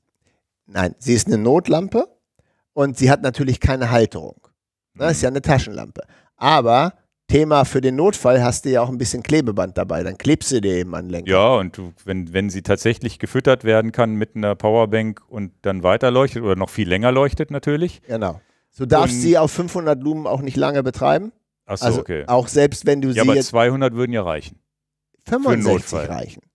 Ja, aber jetzt für Notfall, als wenn dir, sagen wir mal so, deine Lupine Linse bricht. Dann reichen dir ja 65 Lumen, um nach Hause zu kommen. Genau. Also, dass die Lampe ist der Sensor. Und es sind ja zwei Osram-LEDs vorne, die machen richtig Feuer. Also, ich habe selten ein Produkt, wo ich sage, wow. Ich glaube, die ist mir mal über den Weg gelaufen, ich hatte aber keinen So, Anwendungszweck. und jetzt denkt ihr alle an das Geburtstagsgeschenk oder Weihnachten oder whatsoever, wenn eure Liebste, euer Liebster irgendwas braucht, wer das Produkt nicht abfeiert, der hat, der hat, das ist ja der Wahnsinn. Was für ein Geschenk.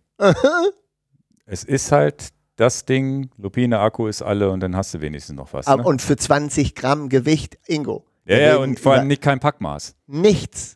Ja, das, und das kann ich ja verstecken in, in, in, in irgendeiner Abiturtasche Leute, falls, falls die Leute nicht einschätzen können, was 20 Gramm sind, vielleicht erinnert ihr euch früher an einen 20 Gramm frankierten Brief. Der hat nichts gewogen. Das Ja, sind ja. 20 Gramm. Ja, hier sind, ist ein Foto drin, wo es auch wirklich ultra, wo man sieht, ne? Das ist ja, Ja, jedenfalls bin ich durch deinen Pick zu der völlig überteuerten Tasch äh, Powerbank für die hat 60. ja auch so einen Ultra-Low-Modus, ein Lumen. Ja, das kannst du aber auch vergessen. Ein Lumen ist eine Kerze. Ein Kandela. Für 60 Stunden, aber das ist ja das schöne Ambiente-Licht, was du dir im Zelt anmachen kannst. Ja, ein bisschen sehr wenig. Nicht zum Lesen, aber wo du sagst, ich sitze wenigstens nicht im Dunkeln allein. Genau, genau. Klar. Also ist ja dieses, was man im Auto auch hat, da ist ja auch Licht, was ultra lei- leicht Ja, nur aber Dings- denk nochmal dran, ein, ein Lumen, ein Kandela ist eine Kerze. Also mehr wie eine Kerze hast du dann auch nicht. Ja, aber dann hast du auch wirklich romantisches Kerzenlicht bei dir im Zelt. Ne? Ja, finde ich witzig. Also ich glaube, Nee, dass du das bitte dir nicht selber kaufst, weil ich habe ja gesagt, das ist das perfekte Geschenk. ja, ja, ja, ich schicke das mal meiner Frau. Den Soll ich ihr das nicht schicken? ja, oder und, du und, schickst und, mir das. und ich tue dann so, als wenn wir nicht im Podcast drüber geredet Ja, ja. Ey, Yves, ich ja, also, äh, kann ich ja machen. ja, ich bin ja froh, wenn ich mir so ist. Ich habe äh, witzigerweise, Aber interessant, dass ich die 60 Euro Powerbank, wir sind ja bei Geld. ja, Das ist ja 60 Euro für eine teure Powerbank würde ich nicht ausgeben wollen, finde ich doof. Ja, Aber 60 Euro für so eine mini kleine, also das sind 50 Euro, ne? 50 Euro für so eine super kleine Taschenlampe, die die, die Lumenzahl anzeigen kann, kann bis zu 500 Lumen und finde ich ja total angebrachten Preis. Ja. Jeder würde sagen, du pass mal auf, da gehe ich doch zu Obi und kaufe mir eine Taschenlampe für 5,95. Ja, aber eben nicht die. muss man denn bei der Nightcore-Seite generell vorsichtig sein? Gibt es auch noch andere Sachen, die geil sind? Ich habe da noch gar nicht geguckt. Ich habe noch andere Sachen auch gekauft, aber das kann ich nicht sagen. Ah, Kann ich, äh, das gehört, äh, ich habe auch noch eine, ich habe auch noch eine Kopflampe gekauft. ah ja, Ja gut, die kann ich, ja, Ultralight. kann ich dir, ich kann dir sagen, welche ich gekauft habe. Soll ich das jetzt Ja, sagen? ja, jetzt haben wir noch ein Pack mehr. Ja, Ich sehe hier so eine Ultralight für ich sag dir, 42 ich sag dir, Euro. ich, ja, warte, die hat vorne Band und hinten hat sie, hat sie, ähm, hat sie so einen, so einen Kordelzug, weil die passt auch ganz gut am, am, äh, am Helm. So, Ja, ist das die? Ist das ich, diese? ich, ich muss, ist das diese hier? nein, eine weiter ist es. Ich suche sie raus. Tut mir leid, dass ich das jetzt nicht parat habe. Ich wollte das eigentlich verheimlichen. Jetzt hast du mich dazu gezwungen. Ja. Ähm, ja, aber die scheinen ja ganz cooles Zeug zu machen, was so ein bisschen anders ist. ah, die ist eine weiter, jetzt finde ich die nicht hier. Beleuchtung, Stirnlampen. H, HM, Helmlampen. Kopflampen. Warte, ich muss es dir sagen. Ja, naja, das es ist nicht ist die ja, Ultralight, das ist eine weiter. Da ist sie. Die Nightcore NU 2540. 400, die ist es. 46 Euro. Die hier. okay. Die hier, kannst du das sehen? NU welche? NU 25-400 wegen 400 Lumen. Oh, die haben aber auch zigtausende hier im Sortiment. 46, also ist ja auch ein ganz ein ordentlicher Preis, also ein ganz nicer Preis. Genau, die habe ich mir jetzt äh, gekauft. Auch für die To Ride. Weil du dann nicht eine schwere mitnehmen musst. Genau, das ist, äh, äh, die macht mit 200 Lumen 4 Stunden 40 Minuten. Ah, das ist ja krass. Für das kleine Ding, Genau. das ist auch so ein Ultraleicht-Ding. Genau, ne? die, deswegen bist du ja, du hast mir ja den Tipp gegeben, die haben eine ultraleichte Powerbank. Verglichen mit anderen Powerbanks ist es aber gar nicht so der Burner für den doppelten Preis. Aber die leichteste immer noch, ne, glaube ich. Klar, aber dafür für genau. Die leichteste und Schnellladefunktion, das fand ich ja geil. D'accord, d'accord. Ich habe dem nicht widersprochen, außer dass mir der Preis nicht geschmeckt hat. Ja, ja, ja. Ne, ich ich finde ja die Garmin-Uhr auch total cool, Auch so- aber ich widerspreche vom Ja. Preis. Also vielleicht bin ich ja immer der, der, der Spielverderber hier, aber es gibt Grenzen, die man irgendwo mal auch einhalten muss. Ach, die hat Rotlicht auch sogar drin. Genau. Das ist ja cool. Kannst du ja auch hinten dran. Ja. Genau, und das ist eine Lampe, die kann ich als Stirnlampe nehmen. Mhm. Und durch diesen Kordelzug funktioniert sie eben auch, dass ich sie nicht vom, also wenn, also ist euch klar, ihr könnt die jetzt dann also als Jogginglampe nehmen oder als Lampe beim Outdoor Camping und so. Mhm. Und die funktioniert, nur die funktioniert auch perfekt auf dem Helm, Mhm. ohne dass ich das Band wechseln muss. Okay. Und das ist für mich, finde ich ja cool. Naja, zumal du ja vielleicht auch eine Zeit lang ohne Helm fährst. Bei so Riesenabenteuern macht man den ja auch mal ab. Zumindest ja, berghoch. ja, aber vor allen Dingen, wenn man mal das Zelt aufbauen will oder so, Ja, brauchst du ja eine Kopflampe. Stimmt. Ja. Also im Dunkeln dann. Ne? ja, spannend. Hast du zwei Picks, ist doch auch gut. Naja. Habe ich den zweiten noch ausgedrückt hier. Ja, durch Zufall, weil du gefragt hast, haben die auch noch andere coole Sachen. Ja. Und, Ähm, nicht, und ich muss sagen, die Stirnlampe kostet 46 Euro, ist keine Frechheit. Ja, ja ich habe auch was für 50 Euro mit. Naja. Auch was, was, was, was ihr eurem Liebsten schenken könnt. Nämlich das kleinste Leatherman, was es gibt. Mit Zange. Nee, nicht mit Zange, aber weil mit Schere. Zange ist Key. Ja, mit Schere. Es ist das Leather, Leatherman Micra. Da hat Jonas Deichmann in irgendeinem Instagram-Post mal Werbung für gemacht und da musste ich, habe ich mal, hab ich mal recherchiert und fand das ganz geil. Ähm, witzigerweise ist es das Leatherman, also ein Leatherman hat man ja immer und benutzt man relativ selten, finde ich. Ja, ich habe eins zu Hause, das, da nutze ich die Zange relativ oft. Also ich nutze einfach nur Darf die Zange. sehen? Ja. Und ähm, Ja, aber die Zange ist genau der, das wichtigste Tool an meinem Leatherman. Genau, wenn ich jetzt, das wäre jetzt nicht das Perfekte für deine Bikepacking-Tour, aber das ist das, was ich hier in meiner Hüfttasche, die da hinten liegt, immer dabei habe und habe zumindest mal eine Schere, einen Schraubenzieher und all, all diesen Kram dabei, ein Messer dabei und so weiter. Sicherlich nicht die Zange, aber die brauche ich jetzt vielleicht auch nicht im Alltag. Die brauche ich dann auf dem Fahrrad. Da ist es wieder was anderes, Ja. da wäre es nicht für zu gebrauchen. Aber kurze Sache, ich wollte dir nicht ins Wort Ja. fallen, aber Tour Divide, verdammt ist dieses Leatherman schwer, aber es muss mit. Ja, ja, klar. Es muss mit. Das ist ja das, was du gepickt hattest, auch mal dieses leichte, Sensationell ne? Ja. zufrieden, aber Ja. es ist nicht sehr leicht. Genau, und das ist so das Ding, auch äh, eigentlich wie die Taschenlampe. Ja, ja, kann man verschenken, freut sich auch jeder, ne? Freut sich jeder, es ist so ein Also Essential, was freue ich nicht- mich auch. Naja, es, es, es hat ja auch hier so eine Öse, du kannst es theoretisch am Hat die Schlüsselbund. kleine Taschenlampe übrigens genau, auch. die sind ja beide für den Schlüsselbund. Wir haben beide jetzt was hier für, Ah, für als wenn, Schlüsselbund. also in Wirklichkeit ist das total gefaked. Wir wissen alle schon, was Ja, da ja. Nein, nein, nee, natürlich tatsächlich nicht. Ne, wir haben jetzt, äh, wie kann, wie kann man, haben, wir haben noch nie was für einen Schlüsselbund gepickt und jetzt sind beide Produkte für den Schlüsselbund. Das ist Zufall. Witzig. Und beide so Dinger für Notfall hat man wenigstens was. Und Ja. zumindest ein kleines Messer. Was ich witzig finde, ist, dass hier so ein Zentimetermaß aufgedruckt ist. Ist das bei den originalen Leatherman auch? Ich weiß es gar nicht. Habe ich gar nicht im Schirm. Es wäre mir jetzt auch gar nicht so wichtig. Ja, ja, aber ich finde es gar nicht so doof. Hast du immer hier so, mal kannst du zumindest mal kurz abschätzen, ah, wie viel Millimeter hier Uhrenbreite, ne? Das passt zumindest. Ja, die werden ja schon eine richtige Skala ja. raufdrücken. Naja, und auch so Schraubenziehermäßig haben sie alles so, dass du Kreuz ganz gut hinkriegen kannst, äh, mhm. etwas breiteren, etwas schmaleren, also immerhin schon mal zwei Größen. Also für, für diesen ganzen normalen Kram hier so ein ganz. Wenn die eine Zange hätte, ne? Ja, so ein ganz, hier so ein ganz kleinen Schraubenzieher, also so ein ganz kleines Ding. Eine Pinzette, finde ich auch geil. Also auch wirklich, wenn du mal so einen Stachel hier rausziehen Klar. musst.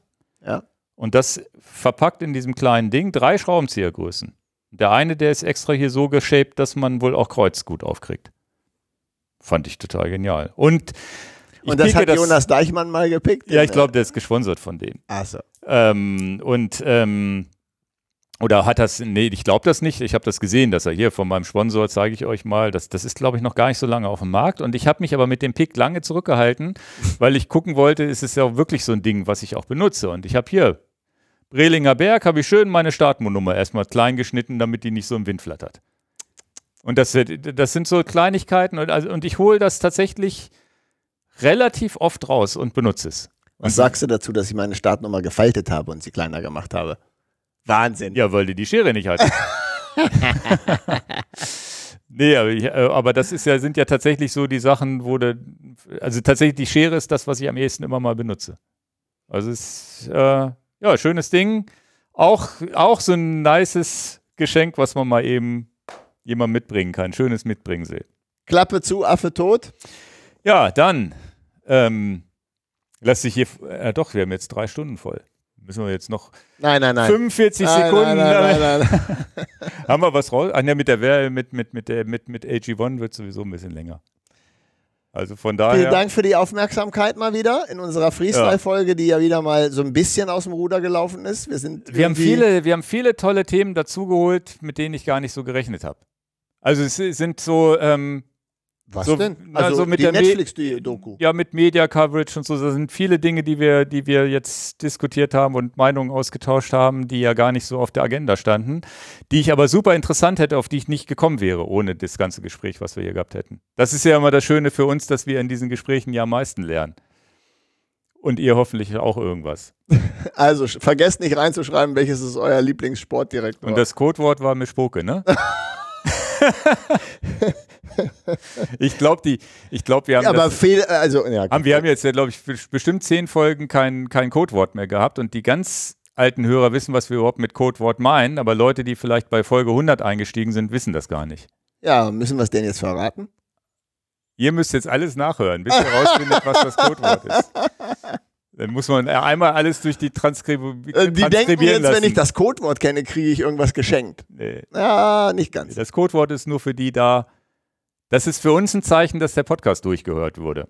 Sagen wir mal so. Alles klar. Aber haben wir letztens, haben wir in letzter Zeit auch gar nicht mehr so gemacht. Also, vielen Dank fürs Zuhören. Bis, Bis zum nächsten Mal. Mal. Ciao. Tschüss.